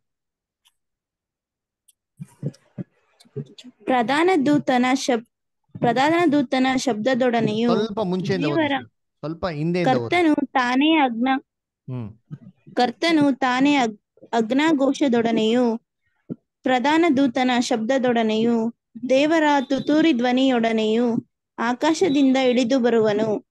ಆಗ ಕ್ರಿಸ್ತನಲ್ಲಿರುವ ಸತ್ತವರು ಮೊದಲು ಎದ್ದು ಬರುವರು. ಆಮೇಲೆ ಹೀಗೆ ಕೇಳ್ಬೇಕಾಯ್ತು ಹಂಗಾರೆ ಆಡಿ ಎಲ್ಲ ಸತ್ತೋರು ಎದ್ದೋಗ್ಬಿಟ್ಟಿದ್ದಂದ್ರೆ ಯಾಕೆ ಕೇಳ್ಬೇಕಾಯ್ತು? ಆ, ಕ್ರಿಸ್ತನಲ್ಲಿ ಸತ್ತೋರು ಮೊದಲು ಎದ್ದು ಬರ್ತಾರೆ ಅಂತ ಆರ್ಡಿ ಒಬ್ರು ಎದ್ದೋಗಿರ್ಬೇಕ್ರೆ ಕ್ರಿಸ್ತನಲ್ಲಿ ಸತ್ತೋರು ಎರಡನೇ ಭಾಗಿಯಾಗಿ ಬರ್ತಾರೆ ಅಂತ ಹೇಳ್ಬೋದಾಯ್ತಲ್ಲ, ಯಾಕೆ ಕೇಳಲಿಲ್ಲ?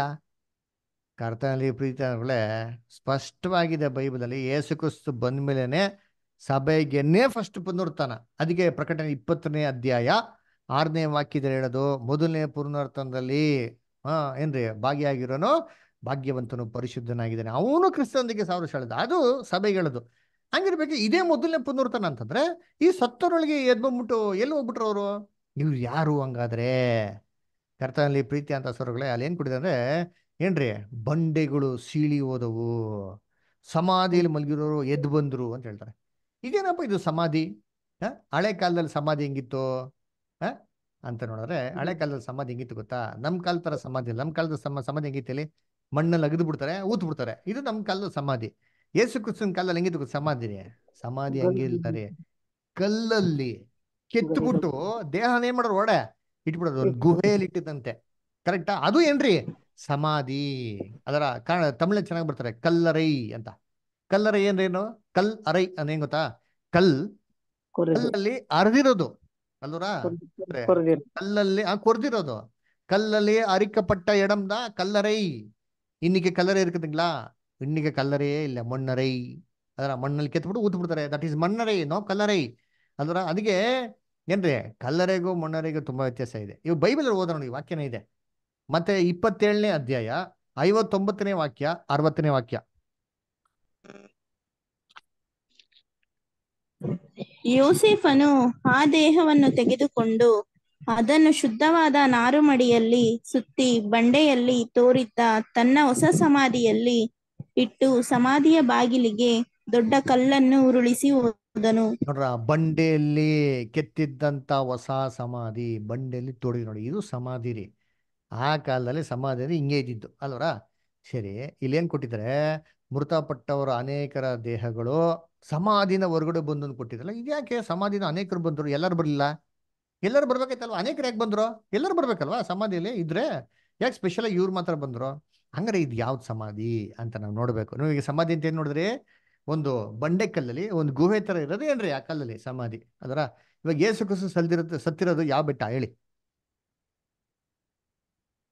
ಏಸು ಆ ಗೋಲ್ಗೊತ್ತಾ ಬೆಟ್ಟ. ವೆರಿ ಗುಡ್ ಗೋಲ್ಗೊತ್ತಾ ಅಂದ್ರೆ ಪದದ ಅರ್ಥ ಏನು? ಕಪಾಳ. ಸ್ಥಳ ಏನ್ ಕಪಾಳ ಸ್ಥಳ? ಕಪಾಳ ಸ್ಥಳ ಏನು? ಕಪಾಳ ಅಂದ್ರೆ ಏನರ್ಥ? ಗೊತ್ತಿಲ್ಲ ಅಲ್ವರಾ? ಸರಿ ಓದೋಣ. ನಮ್ಗೆ ಕನ್ನಡದಲ್ಲಿ ಬರಲ್ಲ ಕಪಾಳ ಅಂದ್ರೆ ಕಪಾಳ ಮೋಕ್ಷ. ಅದೇ ಕೆನ್ನೆ ಹೊಡಿತದೆ ಅದಕ್ಕೆ ಈಗ ಇಂಗ್ಲಿಷ್ ಅಲ್ಲಿ ಓದಿದ್ರೆ that is the place of skull ಬುರ್ಡೆ. ಏನ್ರಿ? ಬುರುಡೆ. ಬುರ್ಡೆ ಹೊಳಿತು ಗೊತ್ತಾ? ಆ ತರ ಅಂತೀರಿ ಆ ಸ್ಥಳ. ನೋಡಿ ಇಲ್ಲಿ ಫೋಟೋ ಕಾಣಿಸ್ತಿರ್ ಗೊತ್ತಾ? ಈ ತರ. ಓದ ನೋಡಿದ್ರಿ ಇಲ್ಲಿ ಮತ್ತೆ ಇಪ್ಪತ್ತೇಳು ಮೂವತ್ಮೂರು ಓದಿ. And they come unto a place called Golgotha, that ಹಾ that is that is to that is to say a place of a skull. ಆ that is to say a place of a skull skull ಯಾಕೆ ಹಿಂಗ್ ಹೇಳ್ತಾರೆ? ಕನ್ನಡದಲ್ಲಿ ಓದಮ್ಮ ಇವಾಗ ಹಾ. ಮತ್ತು ಆಮೇಲೆ ಅವರು ಆಮೇಲೆ ಅವರು ಗೊಲ್ಗೊತ್ತ ಎಂದು ಕರೆಯಲಾಗುತ್ತಿದ್ದ ಸ್ಥಳಕ್ಕೆ ಬಂದರು ಅದರ ಅರ್ಥ ತಲೆಬುರುಡೆಯ ಸ್ಥಳ ಎಂಬುದು. ಹಾ ಸೂಪರ್ ಆಗಿದೆ. ನೋಡಿ, ಬೇರೆ ಟ್ರಾನ್ಸ್ ತಲೆ ಬುಡೆ ಸ್ಥಳ ಅಂತ ಅಂದ್ಬಿಟ್ಟು, ಏನ್ ತಲೆ ಬುಡೆ ಸ್ಥಳ ಎಲ್ಲ ತಲೆ ಬುಡೆ ಇಟ್ಟಿದ್ರ ಅಂದ್ರೆ ಇಲ್ಲ. ಆ ಸ್ಥಳ ನೋಡಕ್ಕೆ ತಲೆ ಬುಡೆ ತರ ಐತ್ರಿ. ದೂರದಿಂದ ನೋಡಿ ಹಿಂಗೆ, ನೋಡಿ ಫೋಟೋ ಇದು. ನೋಡಿ, ಇನ್ನು ಇನ್ನೊಂದು ಫೋಟೋ ನೋಡಿ, ಹಿಂಗೆ. ಹೆಂಗಿದೆ? ನೋಡ್ರ ಮನುಷ್ಯನ ತಲೆ ಬುಡೆ ತರ ಇದೆಯಾ? ಅಂದ್ರೆ ಆ ಬೆಟ್ಟದ ಕೆಳಗಡೆ ಅನೇಕ ಗುಹೆಗಳೇನಾಗಿತ್ತು, ಇತ್ತು. ಸರಿ ಈ ಗುಹೆಗೂ ಯೇಸು ಕ್ರಿಸ್ತನ್ಗೂ ಈ ಏನ್ ಸಂಬಂಧ? ಈ ಗುಹೆಯಲ್ಲಿ ಯಾರಿದ್ರು? ಅಂತ ನೋಡಿದ್ರೆ ಈ ಗುಹೆಗಳಲ್ಲಿ ಕುಷ್ಠರೋಗಿಗಳು ಏನ್ ಮಾಡ್ತಿದ್ರು? ವಾಸ ಮಾಡ್ತಾ ಇದ್ರು. ಅದರ ಸರಿ ಬದರಿ ಕುಷ್ಠರೋಗಿಗೂ ಇದಕ್ಕೂ ಏನ್ ಬದ ಸಂಬಂಧ ಅಂತ ನೋಡಿದ್ರೆ ನಮಗೆಲ್ಲ ಚೆನ್ನಾಗಿ ಗೊತ್ತು. ಇಸ್ರೇಲ್ ಧರ್ಮಶಾಸ್ತ್ರದ ಪ್ರಕಾರ ಆ ಕಾಲದಲ್ಲಿ ಕುಷ್ಠರೋಗ ಅಂದ್ರೆ ವಾಸಿ ಆಗ್ದಿರಂತ ಕಾಯಿಲೆ. ಏನೇ ಕಾರಣಕ್ಕೂ ಕಾಯಿಲೆ ಏನಾಗ್ತದೆ ವಾಸಿ ಆಗ್ತಾನೆ ಇರ್ಲ ರೀ. ಅದರ ಇವಾಗ ಆ ಕಾಲದಲ್ಲಿ ಕುಷ್ಠರೋಗ ಬಂದ್ಬಿಟ್ಟ ಅಂದ್ರೆ ಅವನು ಸಿಟಿ ಒಳಗೆ ಬರಂಗಿಲ್ಲ. ಅವನು ಎಲ್ಲಿರ್ಬೇಕು? ಸಿಟಿನ ಹೊರಗಡೆ ಏನಾಗಿರ್ಬೇಕು ಅವನು? ಅವನ್ ಇರ್ಬೇಕು. ಪ್ರತ್ಯೇಕವಾಗಿ ವಾಸ ಮಾಡಬೇಕು ಅವನು ಸಿಟಿಯಲ್ಲಿ ಯಾರ ಸಂಬಂಧವಾಗೂ ಬರೋಂಗಿಲ್ಲ ಕಾಂಟ್ಯಾಕ್ಟ್ ಎಲ್ಲ ಇಟ್ಕೊಳಂಗಿಲ್ಲ ಯಾಕಂದ್ರೆ ಅದು ಕಂಟ್ಯಾಮಿನೇಟಿಂಗ್ ಡಿಸೀಸ್ ಕೋವಿಡ್ ಇತ್ತಲ್ಲ, ಹೆಂಗಿತ್ತು?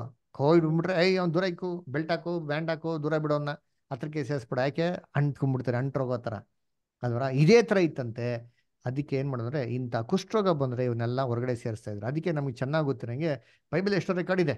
ಯಾಜಕ ಕಂಡ ಹದಿಮೂರನೇ ಅಧ್ಯಾಯ, ನಲ್ವತ್ತೈದು ಒಂದು ನಲ್ವತ್ತಾರನೇ ವಾಕ್ಯದ ಬಹು ಸ್ಪಷ್ಟವಾಗಿ ಬರ್ತಾರೆ ರಾಜ ಉಜಿಯ ಅವನು ಕುಷ್ಠರೋಗ ಬಂದಿದ್ದ ರಾಜನಾಗಿದ್ರು ಸರಿ ಊರು ಹೊರಗಡೆ ಅವ್ನು ಏನ್ ಮಾಡ್ತಾರೆ ಗೊತ್ತಾ? ಒಂದ್ ಮನೆಯನ್ನು ಕಟ್ತಾನೆ ಅಲ್ಲೇ ವಾಸ ಮಾಡ್ತಾನೆ.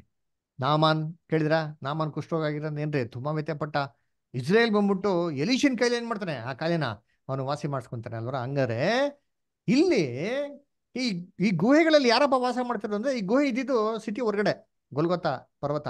ಆ ಪರ್ವತದ ಕೆಳಗಡೆ ಕುಷ್ಠರೋಗಿಗಳು ಏನ್ ಮಾಡ್ತಾ ಇದ್ರು? ವಾಸ ಮಾಡ್ತಾ ಇದ್ರು. ಅಲ್ವರ? ಹೇಗೆ ಹೇಳ್ಬೋದು?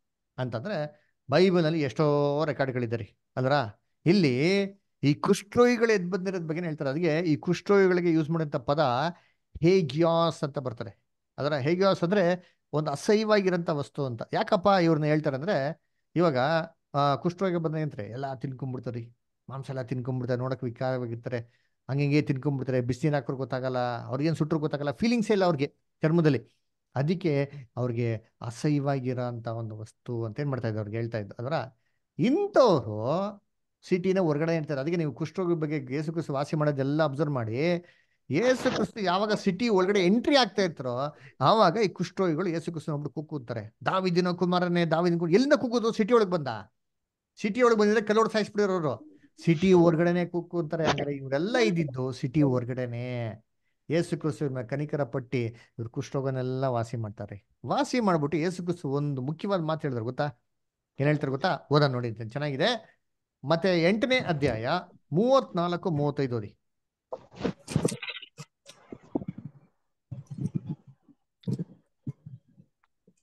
ತಿಳಿದವರ ಸಂಗತಿ ಸಹಿತವಾಗಿ ತಿಳಿಸಲು ಊರಿನವರೆಲ್ಲರೂ ಅಧ್ಯಾಯ ಮೂರು ಮತ್ತೆ ನಾಲ್ಕು. ಮೂರು ನಾಲ್ಕು. ಆಗ ಯೇಸು ಕೈಚಾಚಿ ಅವನನ್ನು ಮುಟ್ಟಿ ನನಗೆ ಮನಸ್ಸಿದೆ, ನೀನು ಶುದ್ಧನಾಗು ಎಂದು ತಕ್ಷಣವೇ ಅವನು ಕುಷ್ಠವು ಕುಷ್ಠವು ಹೋಗಿ ಅವನು ಶುದ್ಧನಾದನು. ಆಗ ಯೇಸು ಅವನಿಗೆ, ನೋಡು, ಇದನ್ನು ನೀನು ಯಾರಿಗೂ ಹೇಳಬೇಡ. ಹೋಗಿ ಯಾಜಕನಿಗೆ ನಿನ್ನ, ನಿನ್ನನ್ನು ತೋರಿಸಿಕೊಂಡು ಜನರಿಗೆ ಸಾಕ್ಷಿಯಾಗುವಂತೆ ಮೋಶೆಯು ಆಜ್ಞಾಪಿಸಿದ ಕಾಣಿಕೆಯನ್ನು ಅರ್ಪಿಸಿ ಎಂದು ಹೇಳಿದರು. ವೆರಿ ಗುಡ್ ಬ್ರದರ್ ಏನ್ ಹೇಳ್ತಾರೆ? ನೀನು ಯಾರಿಗೂ ಹೇಳ್ಬೇಡ. ಫಸ್ಟ್ ಹೋಗ್ಬಿಟ್ಟು ಏನ್ ಮಾಡಿ ನೀನು? ಇದನ್ನ ಮೋಸೆ ಧರ್ಮಶಾಸ್ತ್ರದ ಪ್ರಕಾರ ಏನ್ ಕಾಣಿಕೆ ಕೊಡ್ಬೇಕು? ಅದನ್ನ ಕೊಟ್ಬಿಟ್ಟು ನೀನು ಹಾ, ಸಾಕ್ಷಿಗಾಗಿ ಫಸ್ಟ್ ಕೊಡು ಅಂತ ಹೇಳಿದ್ರೆ ಯಾಕೆ ಹಿಂಗೆ ಹೇಳಿದ್ರ? ಕುಷ್ಠೋಗ ವಾಸಿ ಆಯ್ತಲ್ಲ ಇಮಿಡಿಯಾಗಿ ಎಲ್ಲರೂ ನೋಡ್ಬೋದಲ್ಲ. ಯಾಕೆ? ಯಾಕೆ ಅಂದ್ರೆ, ಬರ್ಕೊಳ್ರಿ, ಯಾಜಕ ಕಾಂಡ, ಏನ್ರಿ, ಹದಿಮೂರನೇ ಅಧ್ಯಾಯದಲ್ಲಿ ನೀತಿ ನಿಯಮಗಳು ಕೊಟ್ಟವ್ರೆ. ಯಾರಿಗ ಕುಷ್ಠೋಗ ಬಂದ್ರೆ ಕುಷ್ಠೋಗ ವಾಸಿ ಆದ್ರೆ ಅವ್ನ ಹೆಂಗ್ ಗೊತ್ತ ಮಾಡಕ್ ಫಸ್ಟ್ ಮಹಾಯಾಜಕ ಸರ್ಟಿಫೈ ಮಾಡ್ಬೇಕ್ರಿ. ಮಹಾಯಾಜಕ ನೋಡ್ಬಿಟ್ಟು ಇಂತಿಂತ ಪರೀಕ್ಷೆ ಮಾಡಿದ್ಮೇಲೆ ಅವನಿಗೆ, ಓ, ಕುಷ್ಠರೋಗ ಹಂಡ್ರೆಡ್ ಪರ್ಸೆಂಟ್ ವಾಸಿ ಆಗಿದೆ ಅಂತ ಹೇಳ್ಬೇಕು. ಅವಾಗೇನೆ ಇವ್ನು ಸಿಟಿ ಒಳಗೆ ಬರಬೇಕು. ಹಂಗೇನೋ ಓದ್ಗಿದೆ ಅಂತಂದ್ರೆ ಜನಗಳು ಇವ್ ಕುಷ್ಠರೋಗ ವಾಸಿ ಆಗಿರೋದು ಯಾರು ಕಂಡಿಕಾಯ್ತದೆ ಏನು ಗ್ಯಾರಂಟಿ ಇದೆ? ಕುಷ್ಠರೋಗ ಕಮ್ಮಿ ಆಗಿರ್ಬೋದು. ತಿರ್ಗಿ ಅಂಟ್ಕೊಂಡ್ಬಿಡ್ತಾರಲ್ಲ, ಅದಕ್ಕೆ ಹೊಡೆದ್ಬಿಡ್ತಾರೆ ಹಂಗೆಲ್ಲ ಮಾಡಕ್ಕೋಬೇಡಪ್ಪ ಫಸ್ಟ್ ನೀನು ಹೋಗ್ಬಿಟ್ಟೆ ಮಾಡು. ಏನಿದೆ? ಧರ್ಮಶಾಸ್ತ್ರದ ಪ್ರಕಾರ ಏನು ಯಜ್ಞಗಳು ಕೊಡಬೇಕು ಅಂತ ಫಸ್ಟ್ ಮಾಡೋದು ನೀತಿ ನಿಯಮ ಪ್ರಕಾರ ನೀನು ರೂಲ್ಸ್ ಮಾಡು ಅಂತ ಹೇಳ್ತಾರೆ. ಇದನ್ನ ಹೋಗ್ಬಿಟ್ಟು ಮಹಾಜನ್ ಪ್ರಕಾರ ಮಾಡು ಅಂತ ಹೇಳ್ತಾರೆ. ಇವಾಗ ನೀವು ಹೇಳ್ರಿ, ಮಹಾಜಕ ಎಲ್ಲಿರ್ತಾನಪ್ಪ? ಇಸ್ರೇಲ್ ಅಲ್ಲಿ ಮಹಾಜಕ ಎಲ್ಲಿರ್ತಾನೆ?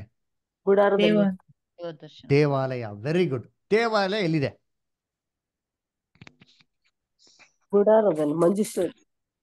ಕರೆಕ್ಟ್ ಮಂಜುಷ ಪೆಟ್ಟಿರೋ ಜಾಗದಲ್ಲಿ ದೇವಾಲಯ ಇದೆ. ದೇವಾಲಯ ಎಲ್ಲಿದೆ? ಅಲ್ಲಿ ಇದೆ ಯೆರೂಸಲೇಮ್ ಎಲ್ಲಿದೆ? ಏನ್ ಬದ್ರೆ ಹಿಂಗ್ ಕೇಳ್ತೀರಾ? ಓದೇ ಬಿಡನ್ ಬೈಬಲ್ ಅಲ್ಲಿ ಮತ್ತೆ ನಾಲ್ಕು ಐದು ಓದಿ. ಮತ್ತೆ ನಾಲ್ಕನೇ ಅಧ್ಯಾಯ ಐದನೇ ವಾಕ್ಯ ಓದಿ.